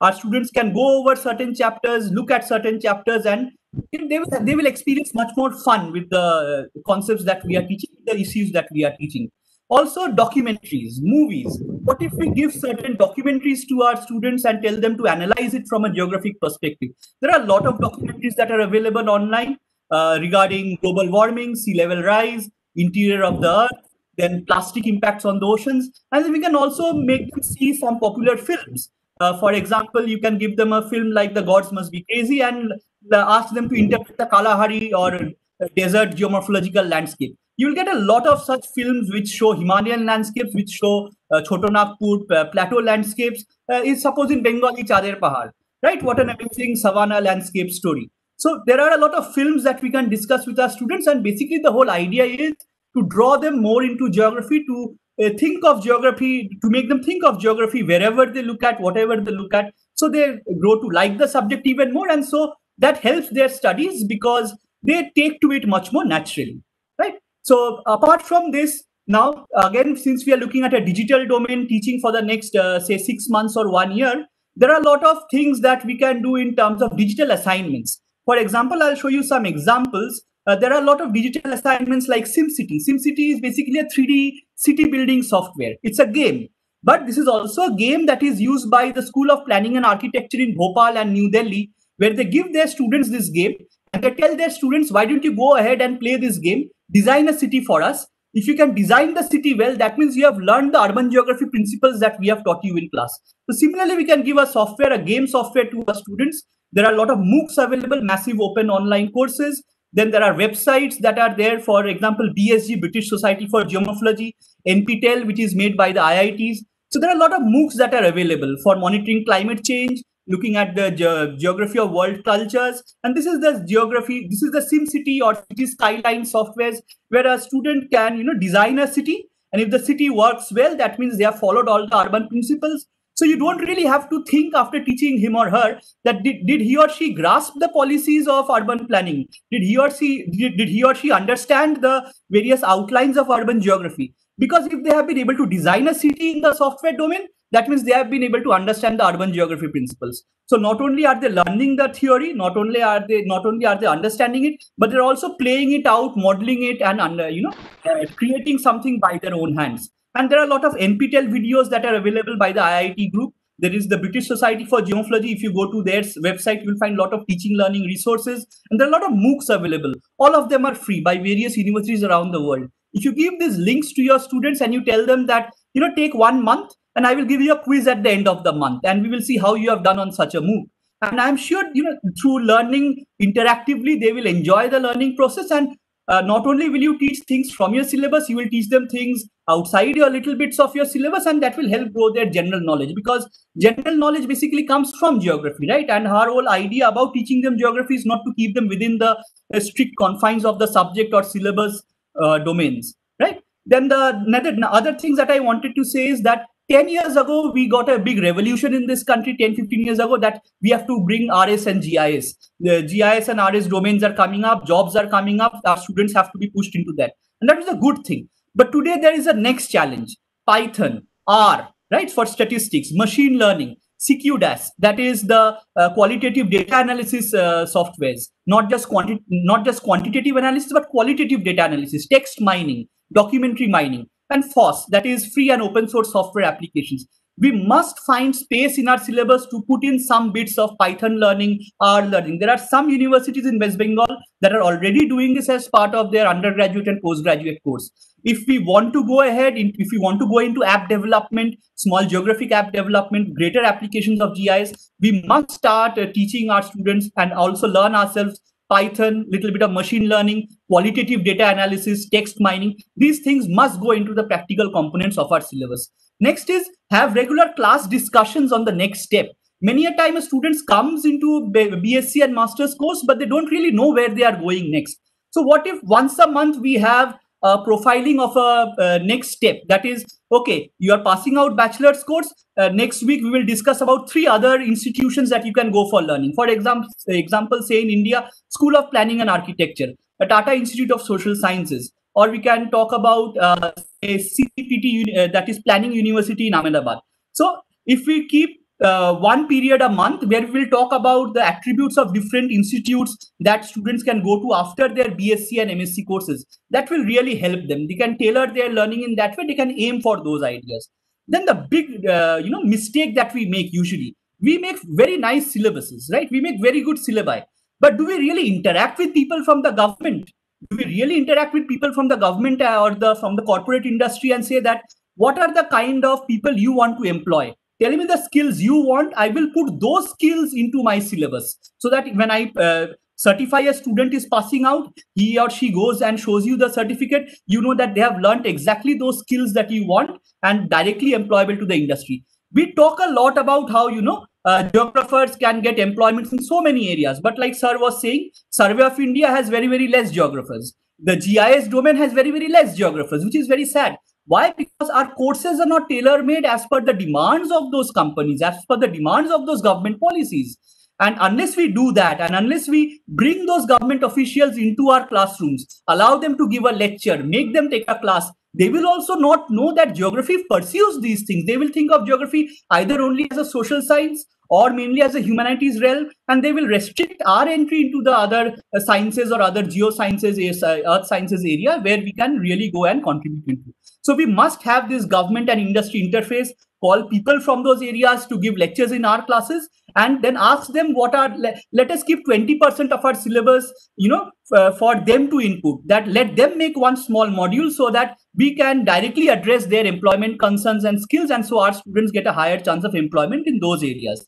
So these are some of the careers that are applicable, right? So why don't we call some of them? The other issue that I wanted to say is that you know the other uh, flaw that we geographers have the last the last two that i want to say i'll take two more minutes the last two that we have is we must make space for internships today uh, dr priyank we can take we can take five five six minutes more no issue we okay, can sir, thank you. Uh, uh, today uh, today a lot of companies lot of iits IISERs they are providing internships right for example my university has a two month break in the summer when students can go for internships outside so they look at the websites of IIT, IISER, NIO, Goa, and these areas. What are the adver advertised internships? And if a student goes for an internship, the university gives them that uh, attendance. The university gives because they are doing some academic course. So what happens? A student goes for an internship in these areas. They make some new contacts. They come back, finish their bachelor's or master's course. Then they can go for another internship or because they have made some prior contacts, then they can go for a phd or higher learning or some uh, project related job in those particular areas so we must start to create a two month uh, gap during our uh, teaching courses and we have this ability with our semester system that our students can go and hunt for internships. Every department should create a database of internships. What are the internships available in different organizations in uh, in and around india? What are the grants available for doing this? Because many a time a student will be paid to do this paid to go for internships right? So if you can list these internships if you can uh, make our students go for these internships it, it increases their domain it increases their outlook into geography and they don't don't think of geography just as go to a class read a textbook and that's it. They're exposed to the wider world.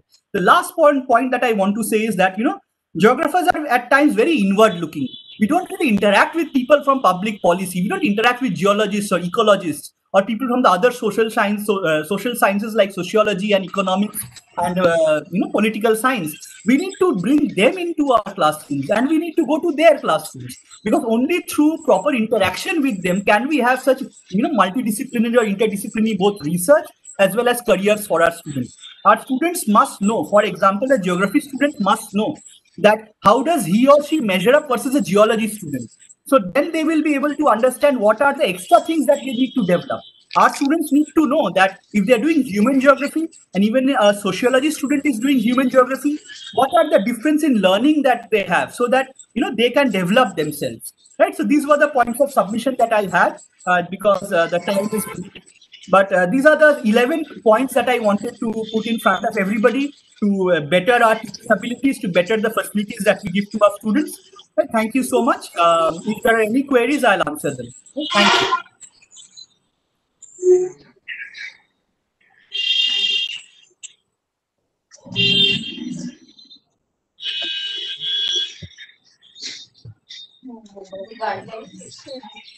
Yes. Uh, So, so- uh, uh, uh, there is a lot of enthusiasm you have created through your presentation.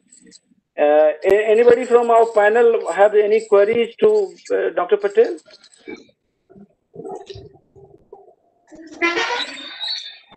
If not, that I have some to share something hmm, for you.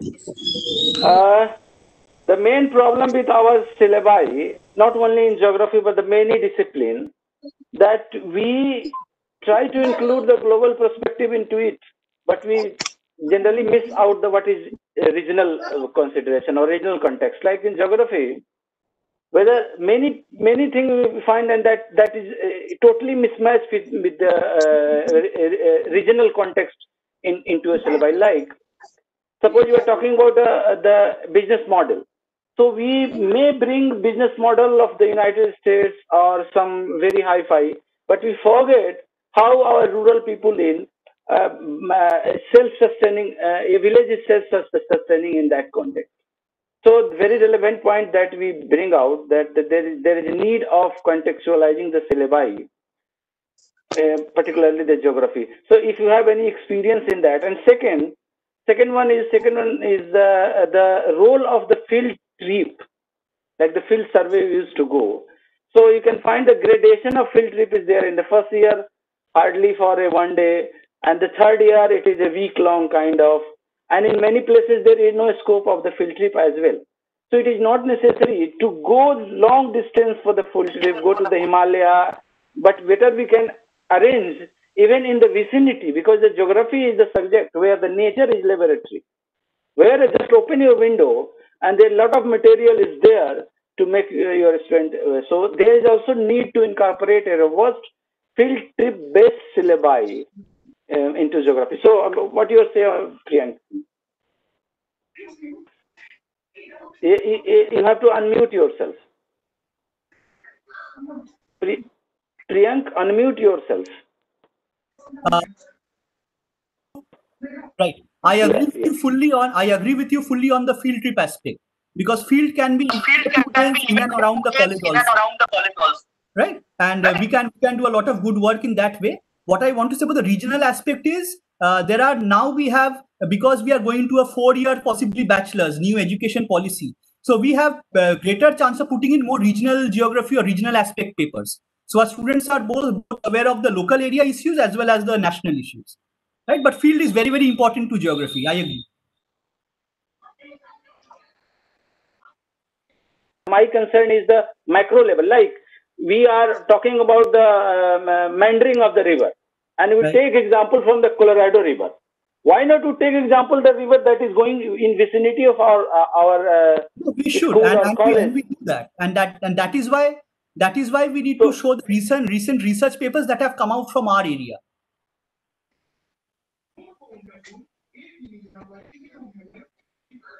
the Mississippi River River Project, Colorado River Project, but we don't have. There is a lot of dam in the Jharkhand, in the Bihar, in the uh, in vicinity of your your location.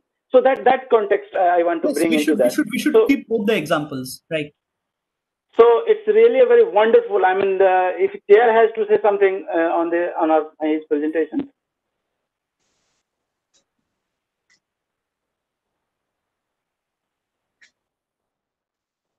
Okay.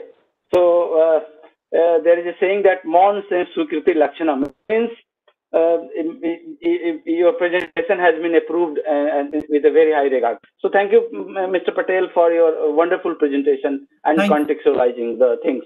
Now our uh, the we have the next speaker, Dr. Taposh Pal. Uh, um, Dr. Pal is here. Dr. Taposh Pal.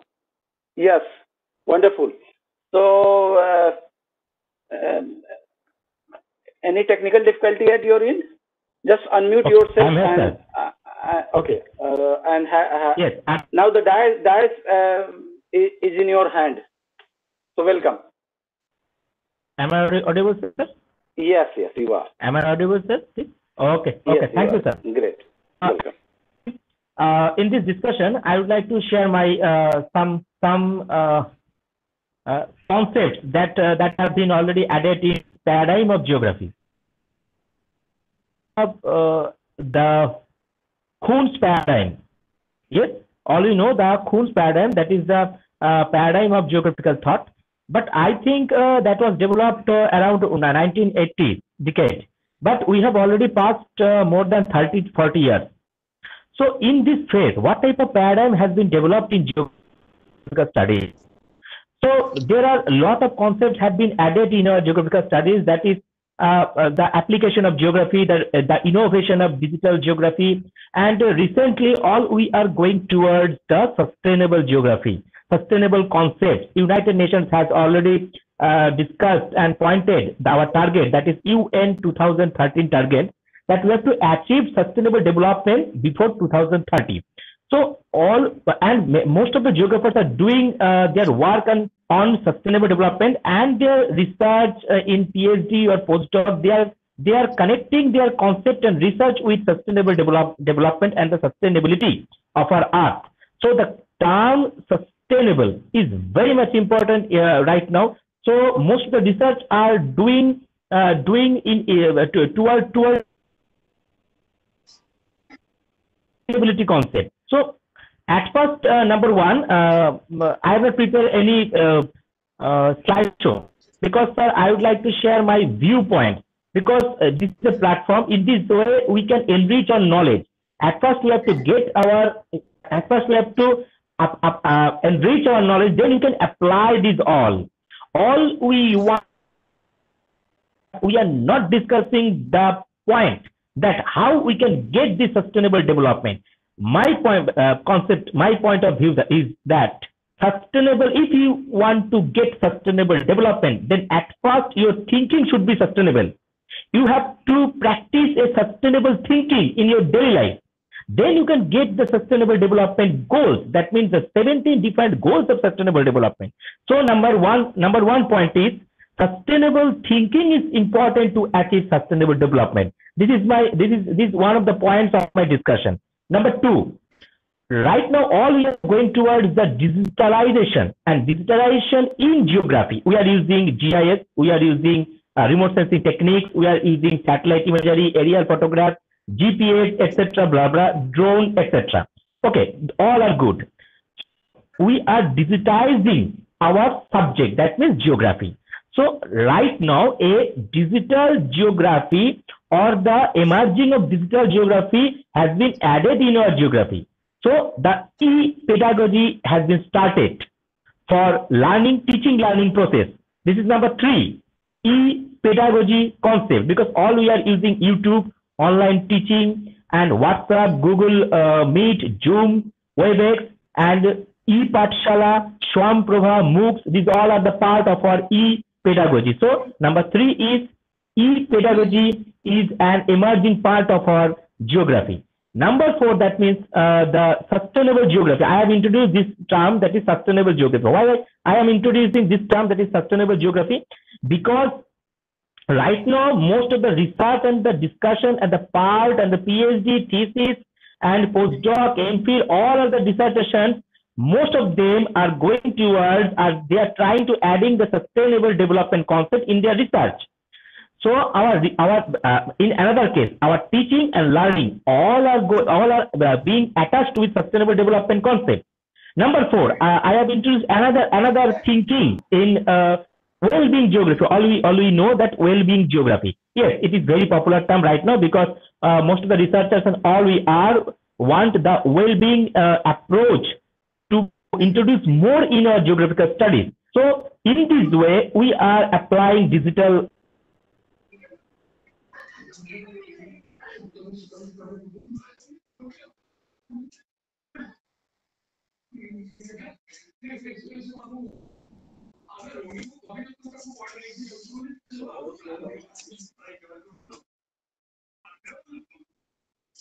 I think there is some technical issue at uh, Dr. Sorry, Bali. yes, networking problem. Yeah, yeah. Yes, I, I, Yeah, please, no issue. Yes, sir. Yeah. Uh, Okay, okay. Sorry, sir, for networking problems. sir. Sorry, sir. Okay, okay, okay. Uh, another thing that is the neo point number five that that I would like to share with this uh, online digital platform. Neo development. All we know that development and growth both are not same. But now development has been converted into neo development. Why I have added this neo, the term neo? Because now the human resource is being used through digital platform and for this the human resource is being using in form of inhuman resource. Because now if you are you are accessing your internet if you have the ability to access your internet if you have the ability to access your uh, laptop computer digital world then you can you can use your digital knowledge to nourish and flourish the geographical studies. So neo development concept has been already generated and most important thing geography is being considered as a holistic geography and the multidisciplinary geography. Geography is considering is considering being a being a uh, multidisciplinary geography because uh, national education policy. All we know about the national education policy. Yes, yes. Are you hearing my sound, sir? Am I audible, sir? Am I audible? Okay. Okay. Thank you, sir. All we know about the National Education Policy 2020, the draft of the National Education Policy. So, according to National Education Policy, anybody can do their research uh, in any discipline. And uh, one thing ha- uh, uh, has been already added that is IDC. IDC, the, the part of IDC has, has been already added in our curriculum. So geography is going towards multidisciplinary geography more. Though we know that geography is uh, related with different subjects, but in recent time, geographers, geography and geographers are not mainly confined into geomorphological or geological or climatological studies, but now geography is being treated as multidisciplinary geography. That means multidisciplinary in geography and geography interdisciplinary. This type of uh, approaching has been already started, and this all uh, another thing uh, I would like to share that is I have introduced another thinking in my uh, abstract on the paper that is e-feelings. All we are accessing, all we are uh, using WhatsApp, Facebook, chatting, Messenger, uh, LinkedIn, etc. That means the digital platform. So once you, uh, different type of uh, celebration can be arranged to, uh, on the basis of the face-to-face human interaction. But right now, all type of interaction are through digital. You are, sharing your uh, emotion through and using different emoji. Right? So your feelings, the feel which is, which is directly connected with the population geography, human resource, human and population culture. So feeling has been converted into e-feeling. This all because we are we are passing through e-society or e-civilization. Mostly it is related with the pandemic situation and the after pandemic situation. The concept of e-feelings and the e-society or e-civilization are, are, are, are, coming in our society, our virtual society. So these all can be the uh, uh, new the, the, platform to do new research in geography and geographical studies. These all are my uh, approach that I have already shared. Thank you to all. Thank you to chairman, co-chairman, rapporteur, and moderators, and also the uh, the college authority and Dr. Smile also. Thank you. So thank you, Dr. Pal. You bring a lot of new terminology and very that is very catchy also. So there is always a very critical importance of the acronyms and the new new terminology in academics, but now it is also widely applicable, widely used in our public discourse. So certainly it is going to help us. And he brought uh, one thing that um, uh, every thesis, every dissertation, whatever topic you choose, people incorporate sustainability.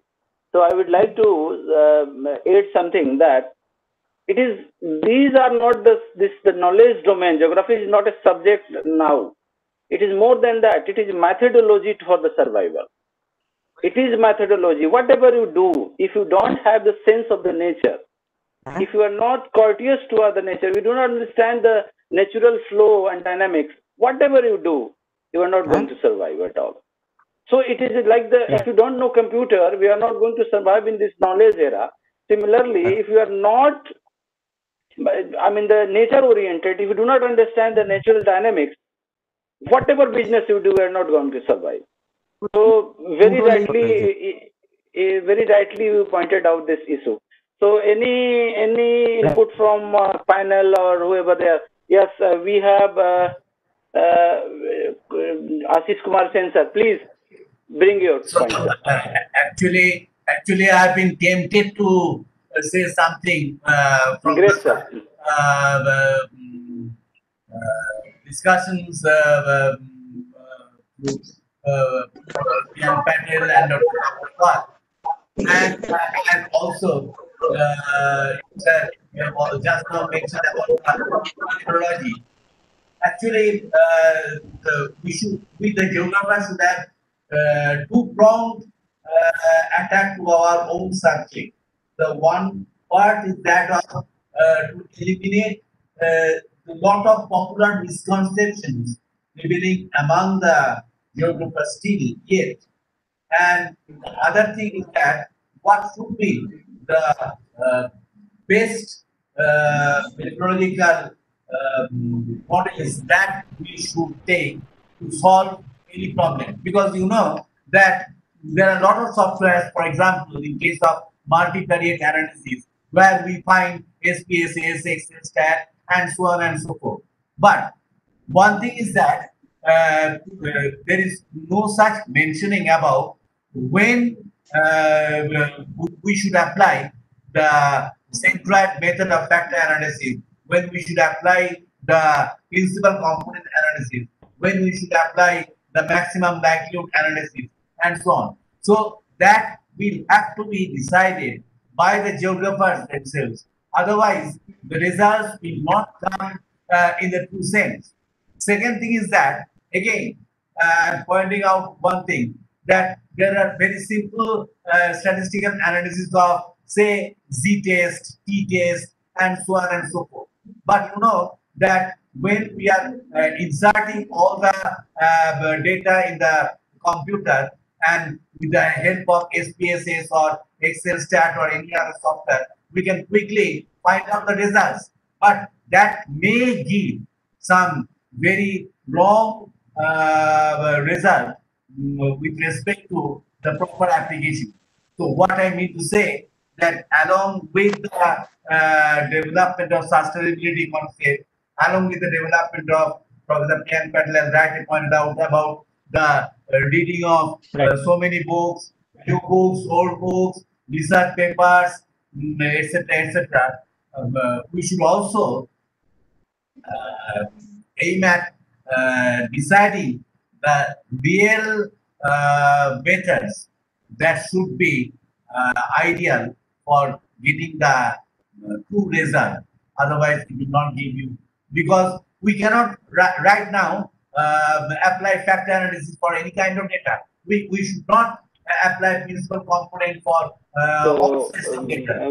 very, very, very, very relevant observation, sir. And about the statistics, there is a saying that there is a lie and there is a statistic. So it depends upon who. If without, I mean, the interdisciplinary understanding, if anybody uh, treat with the data, then the result might be very I mean, astonishing. So thank you very much for your input. Now uh, this is time to invite uh, Dr.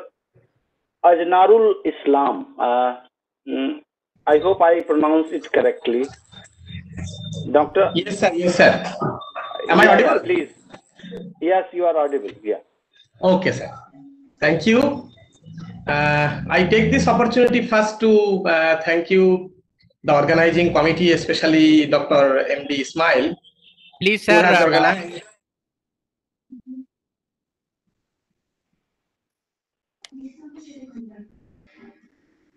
Has. Audible? Hello? no, no visible. Am I audible? Yes, you are audible. Please go ahead. Okay, okay, okay. Thank you, thank you, thank you. So, I take this opportunity to thank uh, the organizing committee, especially Dr. M.D. Ismail, uh, Abdul Dewan Gani College. Uh, they have organized such a nice program, uh, Geography as a Disciplines, Opportunities and Challenges. And since early morning, I have uh, attended several lectures and I co-chaired a session with Professor Mukhopadhyay, Malay Mukhopadhyay. And uh, I heard, uh, I had the opportunity to attend some lectures uh, uh, gi- given by uh, Professor Ranjan Basu. Uh, he discussed about the uh, mm, geographical uh, problems, uh, scope, opportunities, especially uh, in the context of the new uh, education policy uh, uh, adopted by government of India.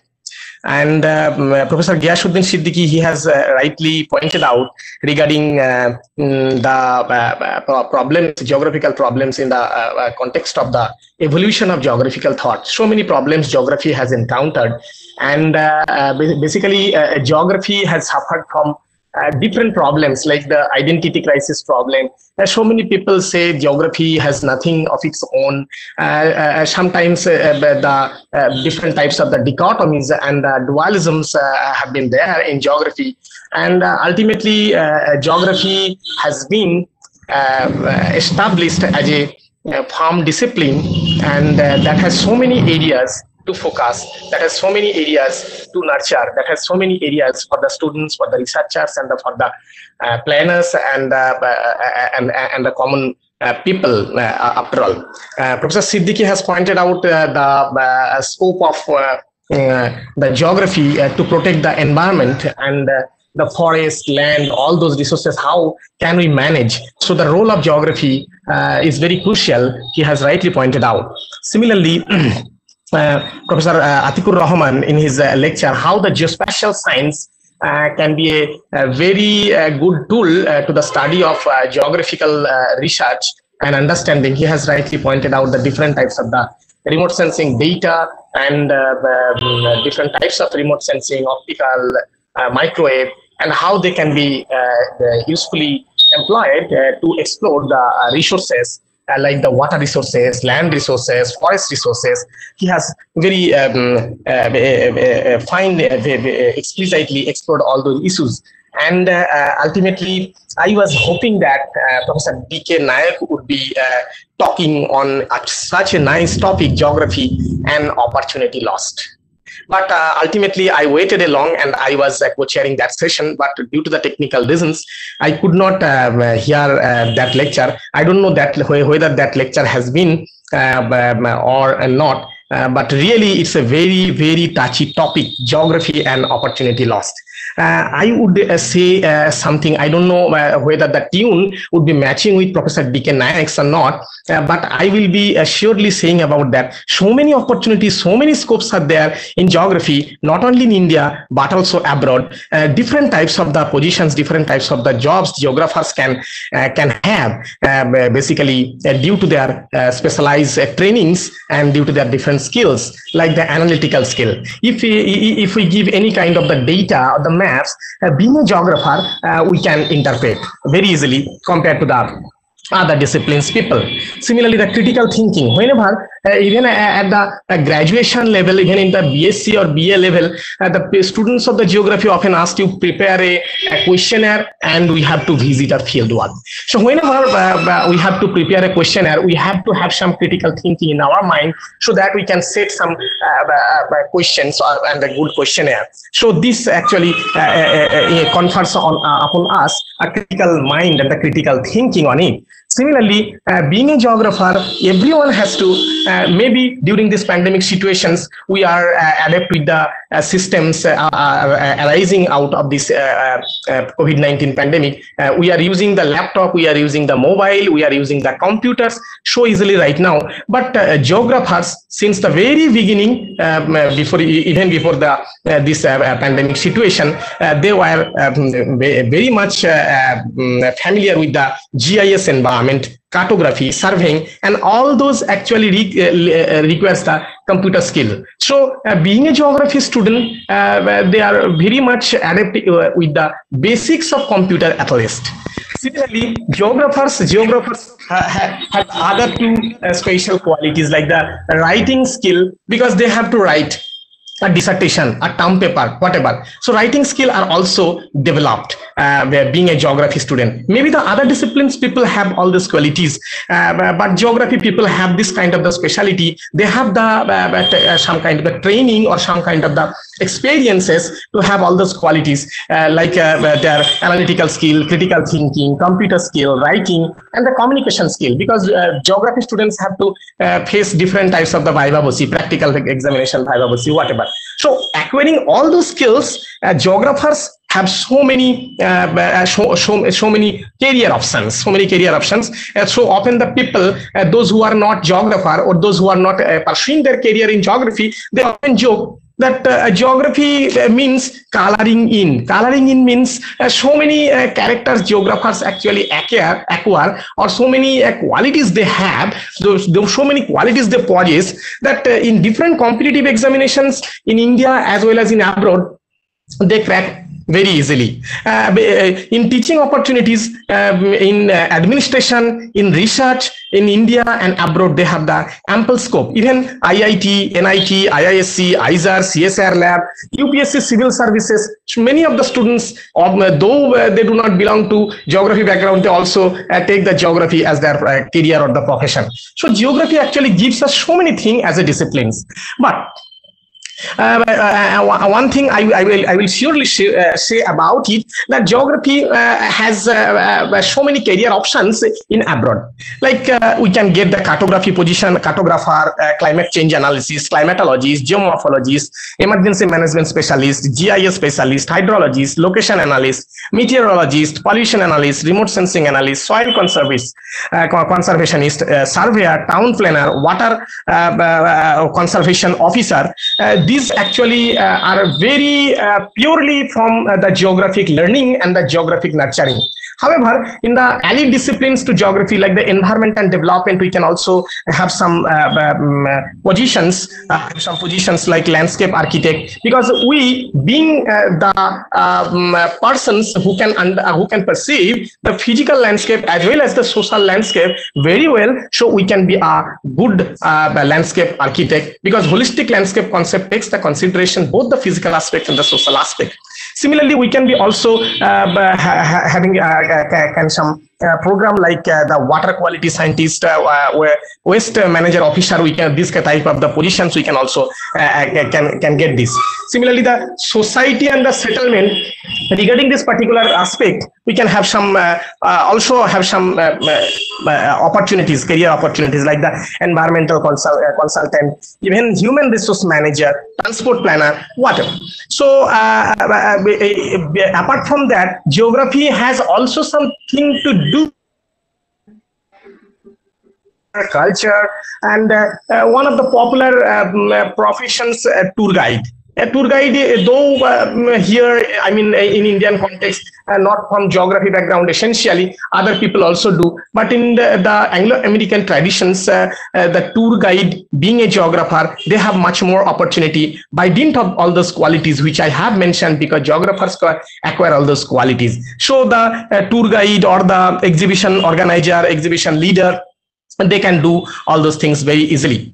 Uh, but one uh, thing I will say what Professor D.K. Nayak uh, intended, most probably intended to say, uh, geographers uh, uh, opportunity loss, geographers opportunity loss. Why? We being the geographer, we have so many opportunities, but we are facing the challenges day by day.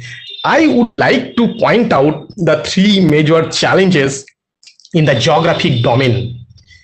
The first is the I am restricting restricting the term not to all, but some people, some geography learner or the some geography teachers that pretending to be a master of all contents. That means jack of all trades, good for nothing. But this is this is the trend uh, uh, which is being adopted by a segment of the teachers or the uh, learners of whatever.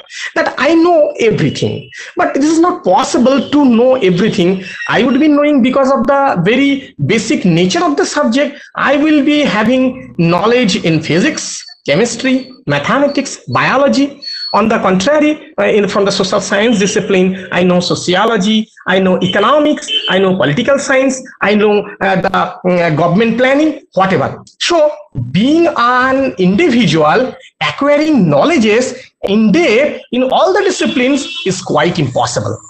It's not at all possible. So I should be very much specialized on a particular aspect. Maybe i don't know i don't know uh, the new uh, education policy uh, the government has proposed uh, for four year ug uh, program. I don't know whether there, there, there, will be uh, some kind of the specialized aspect. Even after having the four year program there will be one year pg degree. Maybe that one year pg degree i don't know whether it would be a specialized aspect of geography. That means simultaneously after a certain limit we have to be either physical geographer we have to be either uh, or uh, human geographer.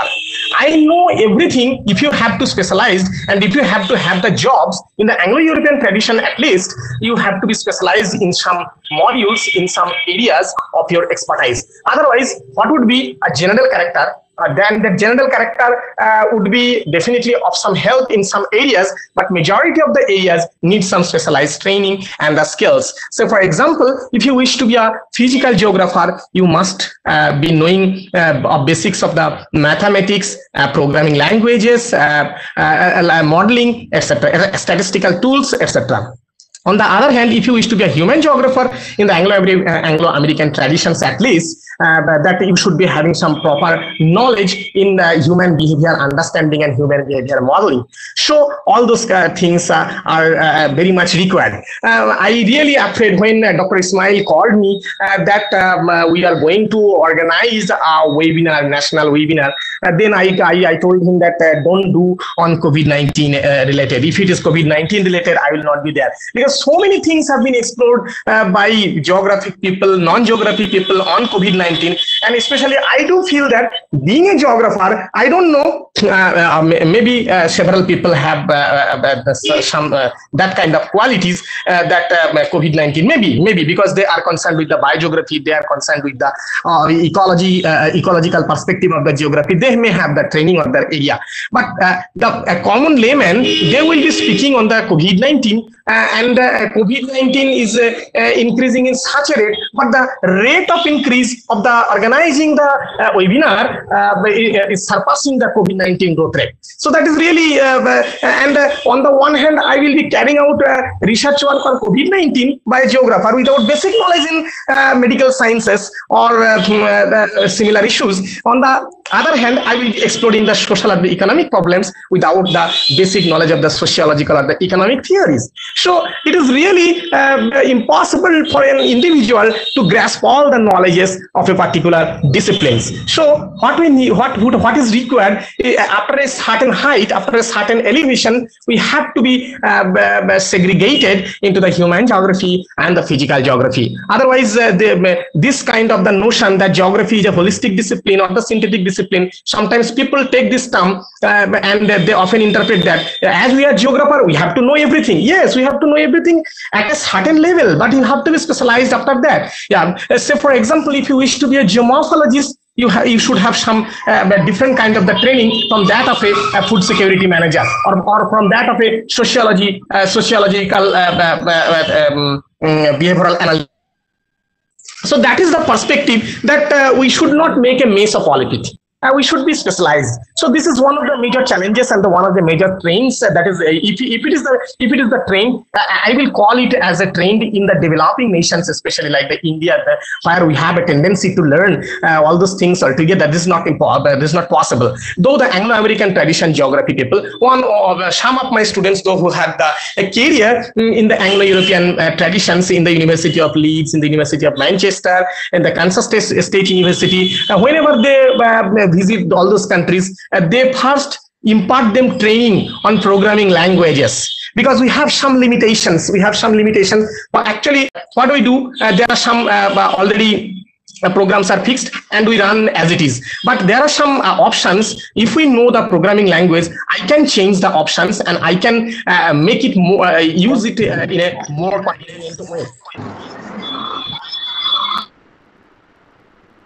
the uh, challenges uh, which is often encountered by a geographer that is the lack of employability. Lack of employability means uh, basically we are uh, more theoretically uh, focused than its practical application. Uh, just a few time a few, few minutes back you and priyanka were telling about the field orientation of the subject. Really it's a very good thing that everything and i do know that priyanka uh, most probably uh, at the weekend uh, or at least twice a month he took the students to visit the field. Whatever he has learned he, he has taught the students he took the students and go to the field and he he just explained these are the theoretical knowledge which we have acquired from the text from the lectures and you just try to apply all those things to explain how they exist and what are the processes happening over there that is very fantastic. So otherwise this this can enhance the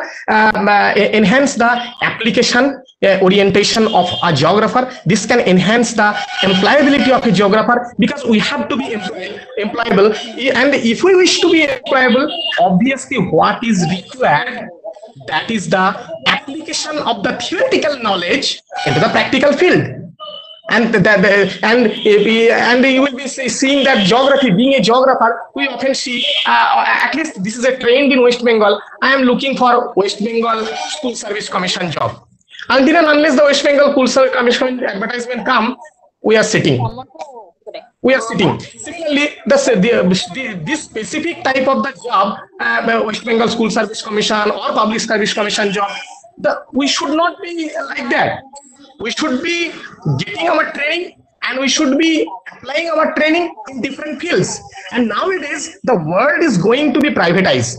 Maybe uh, t- t- 20 years uh, later or so on there will be no government jobs in india also. So what we have to do we have to do we have to get the training we have to get the sti- uh, skill instead of getting the theoretical perspective only because the company or the uh, uh, the industry they will they will they will uh, assess your uh, skill instead of your certificate uh, uh, that means hands-on training which is much more required.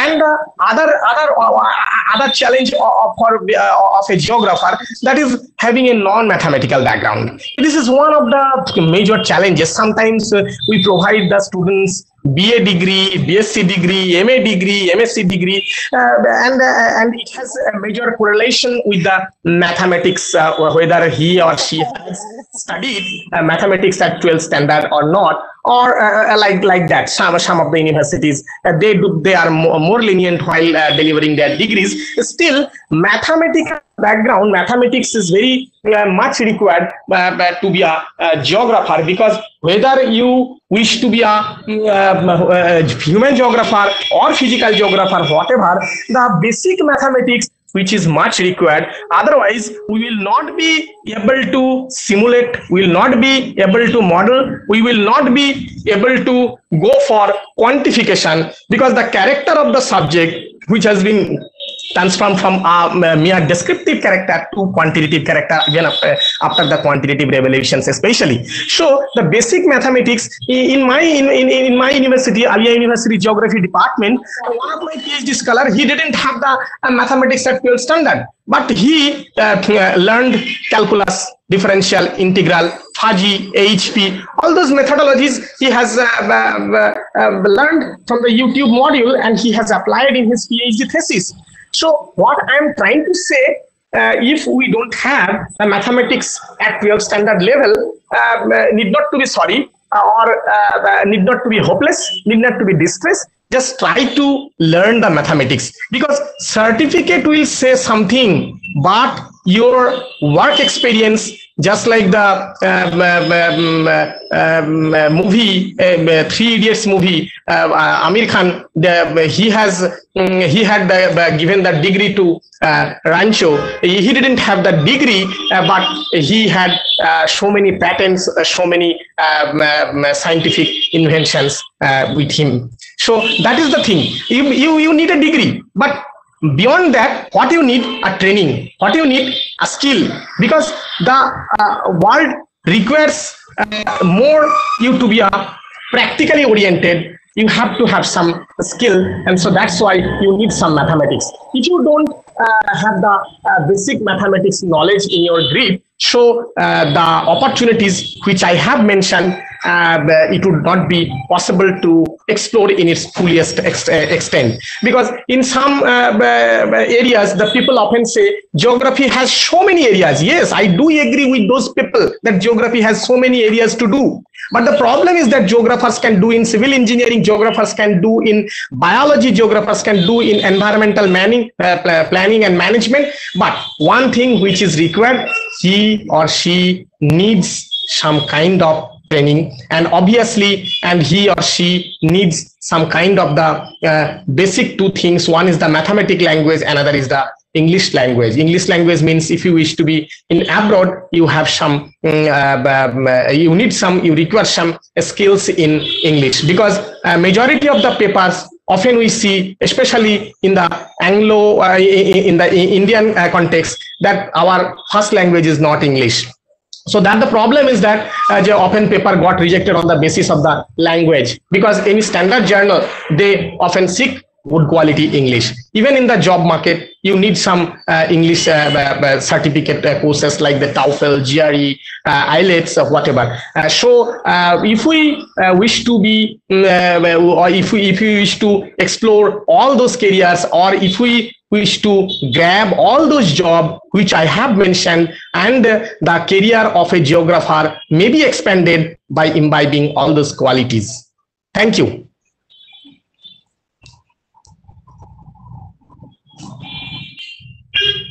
Thank you.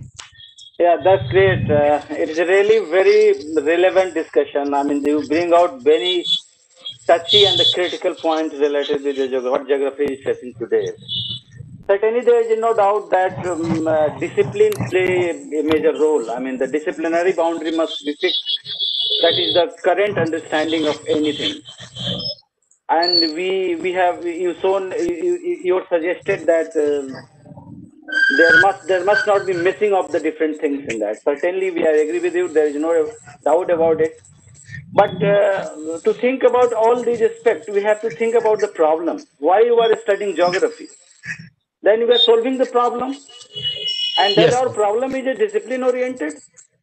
Yes, yes. So, if you bring a, a, a, topic of debate, I mean, whether should be the disciplinary boundary is fixed or whether it should be diluted, and what are the context of this dilution, at what extent it should be uh, firm or it should be open. So certainly, so thank you very much, uh, uh, Aznarul Islam uh, for your uh, wonderful um, uh, contextualizing the contemporary problem what the geography is facing. So uh, my uh, any, uh, among the panel, if any point is there, so we can have discussion now. Now. I, I, would like to say one thing. sure. Priyank here. I, I really agree with what Aznarul said that it does not matter whether a student comes with all mathematical skills if they are able to develop it then then they can really do good work and that is something that is very much required he made a very very good point and the same thing goes about english right? We must be able to through five years they must be able to pick up the english writing and learning skills also. So he made a very very good point. Basically these two are not only required in geography. For anything quantitative understanding is very much relevant even in humanities if you in the because it, it is provide the logic. Mathematics is nothing. I mean it is not the calculus it's not the differential it's not the statistics. But it gives you the argument the logic and the inference what you are going to bring it out so it is relevant for every discipline particularly geography it is more so thank you very much uh, now uh, uh, uh, uh i am going to invite uh, our speaker dr sandeepan ghosh dr ghosh can you hear me? Dr. Sandeepan Ghosh. There is a complete silence. So, better to uh, invite uh, Dr. Rukhsana. Dr. Sandeepan Ghosh, Dr. Rukhsana. No, they are tempting us to discuss among ourselves. All the four presentations eh, uh, uh, are really wonderful. So we can discuss a lot on that topic. But uh, um, I, I, have certain limitation. I have to invite all. Dr. Mishra, Dr. Mukund Mishra. No. Uh, uh, Dr. Ataul Islam. Hello, uh, am I audible? Yeah, yeah, sure, sure, sure. Okay. Thank you very much that you joined. okay. Great. Thank you so yeah. much. Uh, uh, I would like to thank uh, the organizers and uh, especially Dr. Ismail. Uh, first of all, I'm a very wrong guy in this conference because geography is not my field although I am here and I'm listening the all panelists and it is excellent and excellently explained what is the demand uh, uh, of the geography.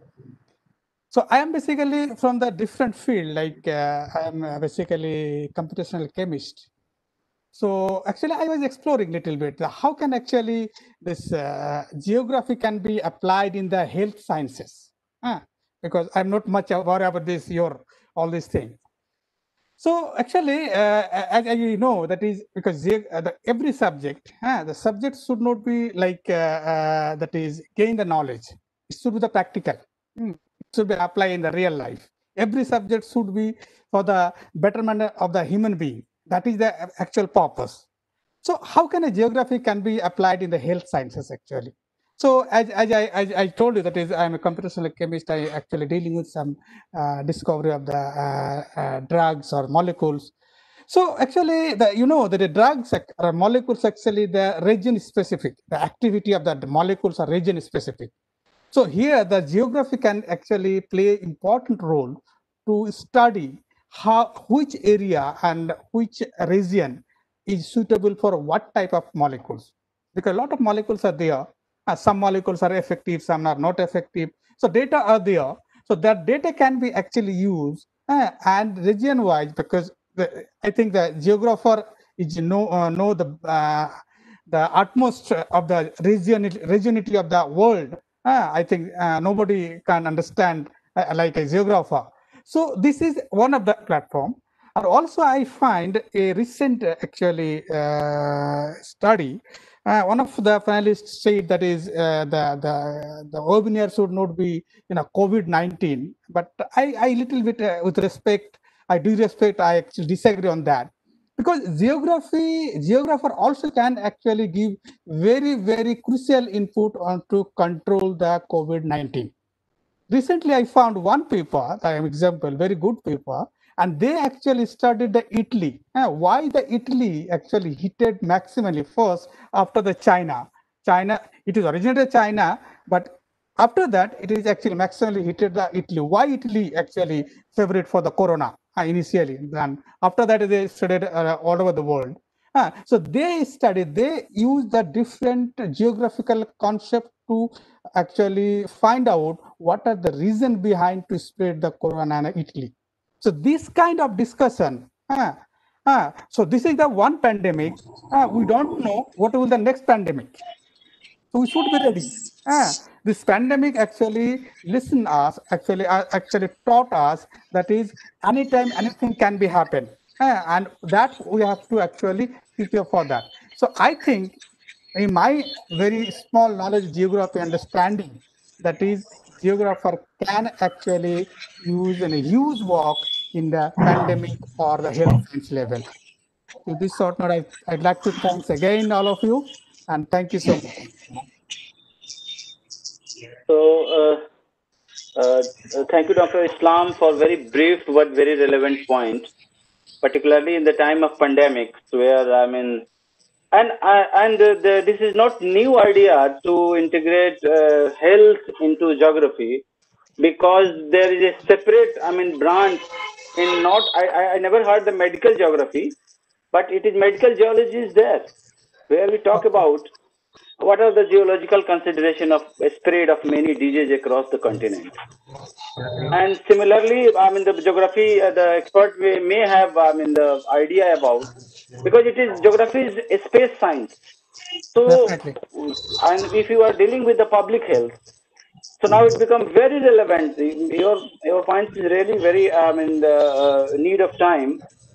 Uh, to explore out. I mean, the people are a lot of um, uh, people are working on the data set what we receive from the different region of the globe, uh, their recovery rate, their mortality rate, their morbidity rate, and their impact, uh, their their uh, their correlation with the different uh, locations, different continent, different climatic zones. I mean, the several theory has brought up, broken up during the initial phase of the pandemic that uh, colder region has more impact than comparative to the tropical region. But the long run, these all theories have been vanished because there is no uh, data-based validity. So uh, I really looking for my one of my co-moderator, uh, uh, Dr. Sunil Saha. I don't know. So it is in fair um, uh, injustice not to engage him for this discussion. Dr. Sunil Saha? No. So now I would like to invite Dr. S.K. Mafizul Haq. I'm sorry if my pronunciation is not at par. Uh, Dr. S.K. Mafizul Haq. Okay. So now I call all the panelists. I again going to repeat the, the all the panelists. Dr. Sandipan Ghosh, can I hear, hear you? Dr. Sandipan Ghosh, Dr. Rukshana,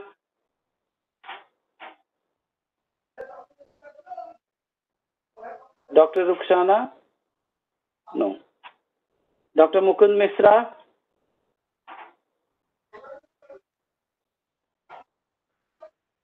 so uh, I think there, there may be some technical issue at their end. So we can have discuss. We have time, ten minutes more for the further discussion. If you have any question, any panelists have any discussion, any point they can raise. Uh, uh, I would like to invite the chair first to have some, then uh, co-chair, then Ashish Kumar Sen is, sir is there. So, uh, uh, uh, chair sir for you, Professor Sati. Uh, please unmute yourself. Yes. Okay, thank you very much. And uh, actually, my internet is almost exhausted. So I wrote one message also, but now it is over. Uh, thanks all the presenters. Actually, uh, this all discussion by the panelist was actually very, very mm, uh, inciting. And uh, it is all kind of this multidisciplinary actually. So different ways they are talking because geography is a multidisciplinary subject. Uh, definitely, it has lots of scope in terms of the employment or in terms of the research, teaching, and all aspects. But we have to see actually uh, the way. Yeah, some some some. I think Priyank told about the Python or some other. I don't know who talk about this Python or machine learning. This may not be so much suitable for a student of geography because we have or we have to we have to go to that way. I don't know how much it is relevant for us. Even we do not use the statistical tools completely for our research, and we are also not able to use this uh, GIS science for our research. So that way, and GIS, if you see the syllabi of uh, most of the universities and colleges in India, it is it may be there, but it is as a token no, general knowledge like this. Some some primary uh, things are there. The deep knowledge we don't have like this. So my point of view is that I know that all these presenters, the four presenters, they have very good presentations. They have very diverse uh, knowledge and diverse uh, this contents they have uh, printed for us. But at the same time, I don't know how you are going to shift paradigm shift for your uh, this traditional uh, syllabus to the new syllabus. One of our uh, panelists also talk about that we have to go together from the old and with, with, with collaboration from the old and the new together also. I don't know how much it is going to be done and uh, mm, um, uh, it is also very big task. But in terms of the job also, employment, employability also, in, in the field of research, geography have lots of scope, though there are many drawbacks also. Where we are stand, as I told in the beginning, where we are standing is also very, very difficult to say. But internationally, tomorrow I am going to present my one of the one one my my presentation on mountain geography. And if you see mountain geography, now there are more than 20 institutes. They are on they are focused on mountain studies. And mountain is, geography is very fit for that. So because geography is now there is also paradigm shift it's changing from the traditional to new. But at the same time, we need to uh, develop our syllabus in, the, in that way. And uh, because it is now, we, everything is coming from the Delhi or uh, at the national level, and they are training, we are adopting this.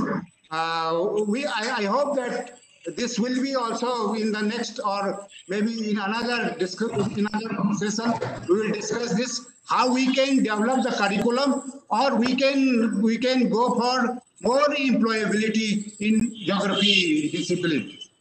At, at present, yeah, though the geography is uh, a very important subject for civil services.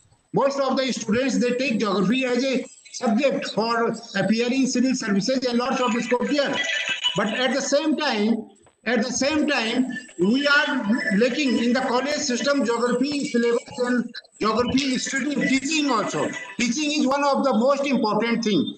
I don't know how much the students learning. Now the, the books, uh, the, the textbooks or reference book, they are very the relevant one.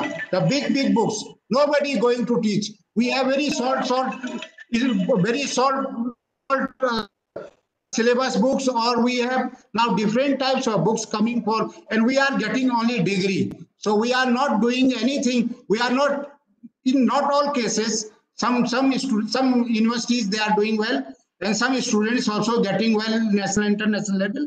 But as a whole, if you see the geography situation in India, it is very critical. And I hope that we will uh, think about this. And I thank you. Here, I thank you because my internet is almost exhausted. I am taking leave. And I, I, I take leave from the moderator and also the um, organizers. And thank you very much.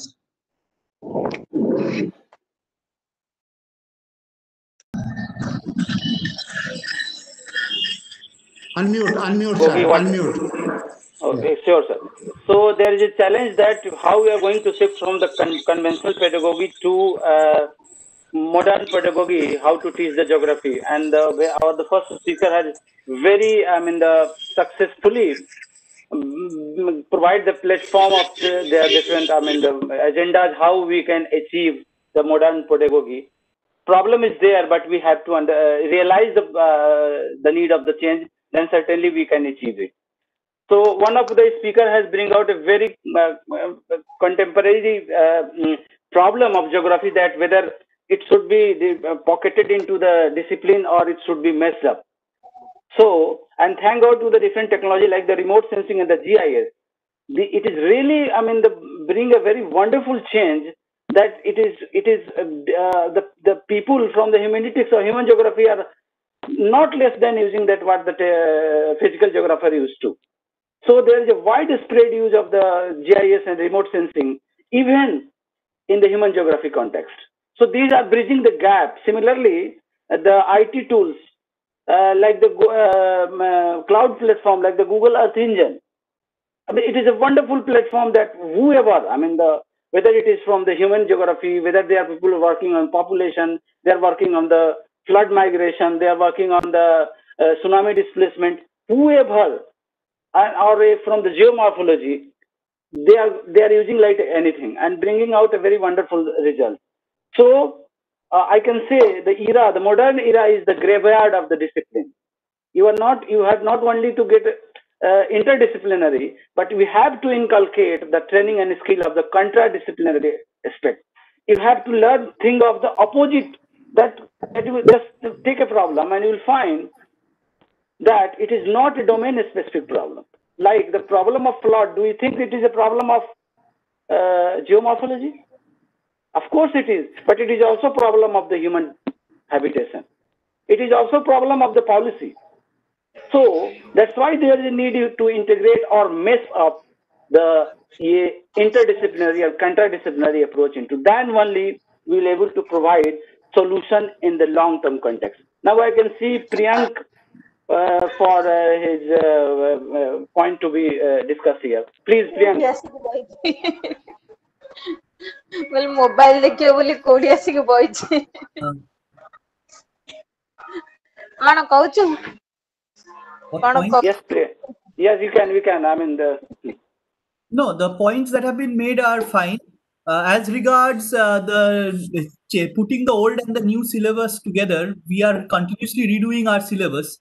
And some of the 11 points that I showed, my university has adopted because we make space for internships for students. And uh, so that they can go outside and interact with people in both government uh, panels and in uh, corporate industries. So if all colleges and industry uh, uh, universities can have internship slots two months every year, which can have gap between the semesters, that is one way.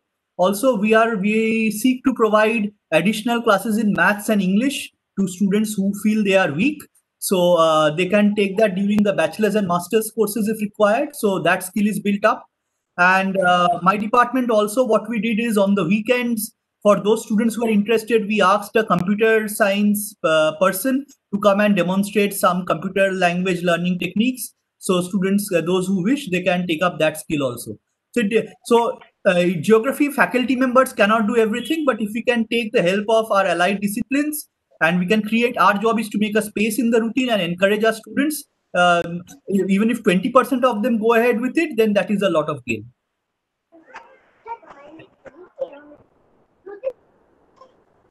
Thank you, uh, Dr. Patel.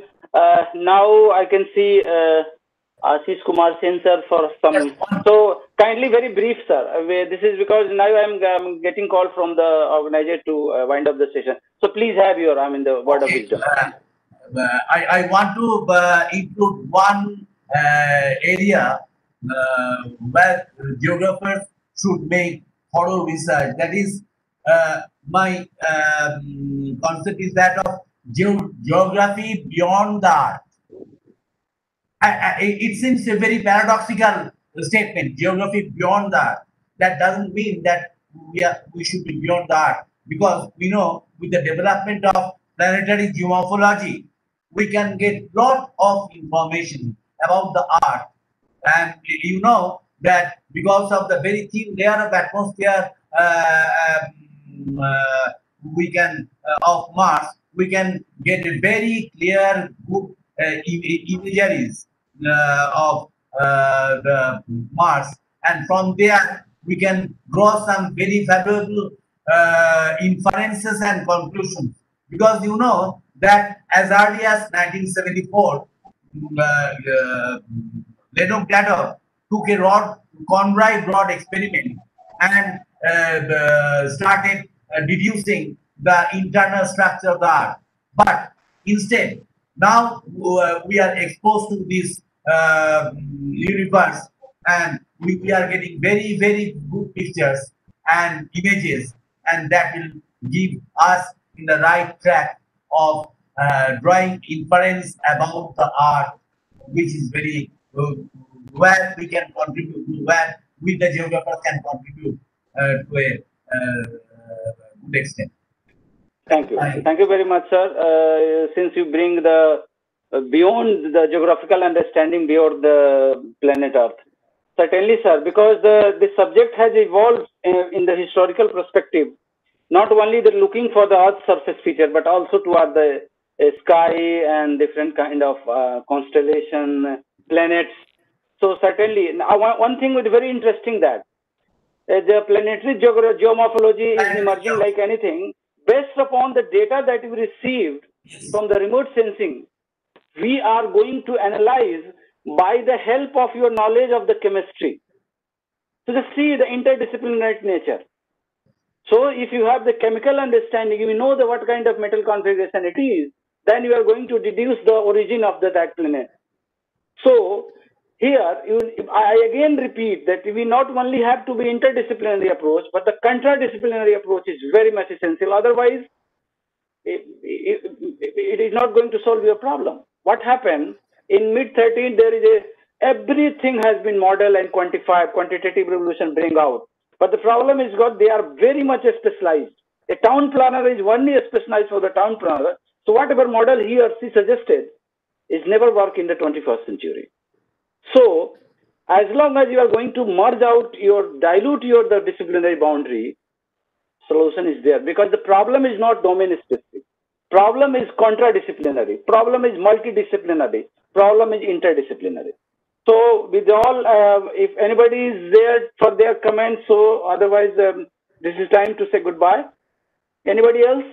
Uh, uh, I would like to invite the uh, Islam for uh, its final say, if anything you would like to say. Uh, it's me. Anything you would like to uh, uh, uh, conclude or you like to say something? Uh, that's fine. Uh, so I think uh, uh, this is a wonderful uh, discussion, and uh, I would like to actually add one thing. So uh, uh, I know that is now the globalization is there, so the people are actually collaborating with the abroad, with the good universities and institute. So that I think, especially from the institute from the West Bengal or India, if they actually try to collaborate. Now, now, now the, in the in this situation, uh, we know that is we're in the digital India digital platform. So it is not always that you have to go visit the uh, uh, university or like that. So that will be uh, added advantage according to me. So thank you so much once again. Okay, uh, thank you. Uh, I just uh, updated that medical geography is a very established uh, domain. So Okay. sorry for my my uh, uh, less understanding of that area of the geography. Okay. okay. So I mentioned that whether it is geog- medical geography is there, but it is very much there. It is very well established subject. And in that same line, the, there is a medical geology is there. So so this is all for today. Um, uh, on the feedback from the organizer, I, this is time to conclude the session. So I would like to thank, extend my very hearty thankful to uh, organizer, college administration, and all the participants, including the keynote speakers and all the dignitaries, uh, student and everyone. So I, I personally thankful to uh, mm, uh, organizer for giving this platform to conduct uh, this session. Earlier, I thought how are going to uh, manage the nine or ten speakers in a very tight session, but uh, due to some technical uh, issue, many of our speakers are unable to turn up. So it will give opportunity to give opportunity for us to have the very uh, condu- conducive discussion in very packed manner. I mean, the only four or five discussions discussions were there. So this is really wonderful experience. Thank you very much. Thank you all. So it is time to say goodbye. I am signing off now. Thank you. Hello, sir. I am the technician. So may I end Yeah. the meeting? Yeah, yes, yes, yes. You can. Thank you, sir. Thank you very much. Thank you. Goodbye.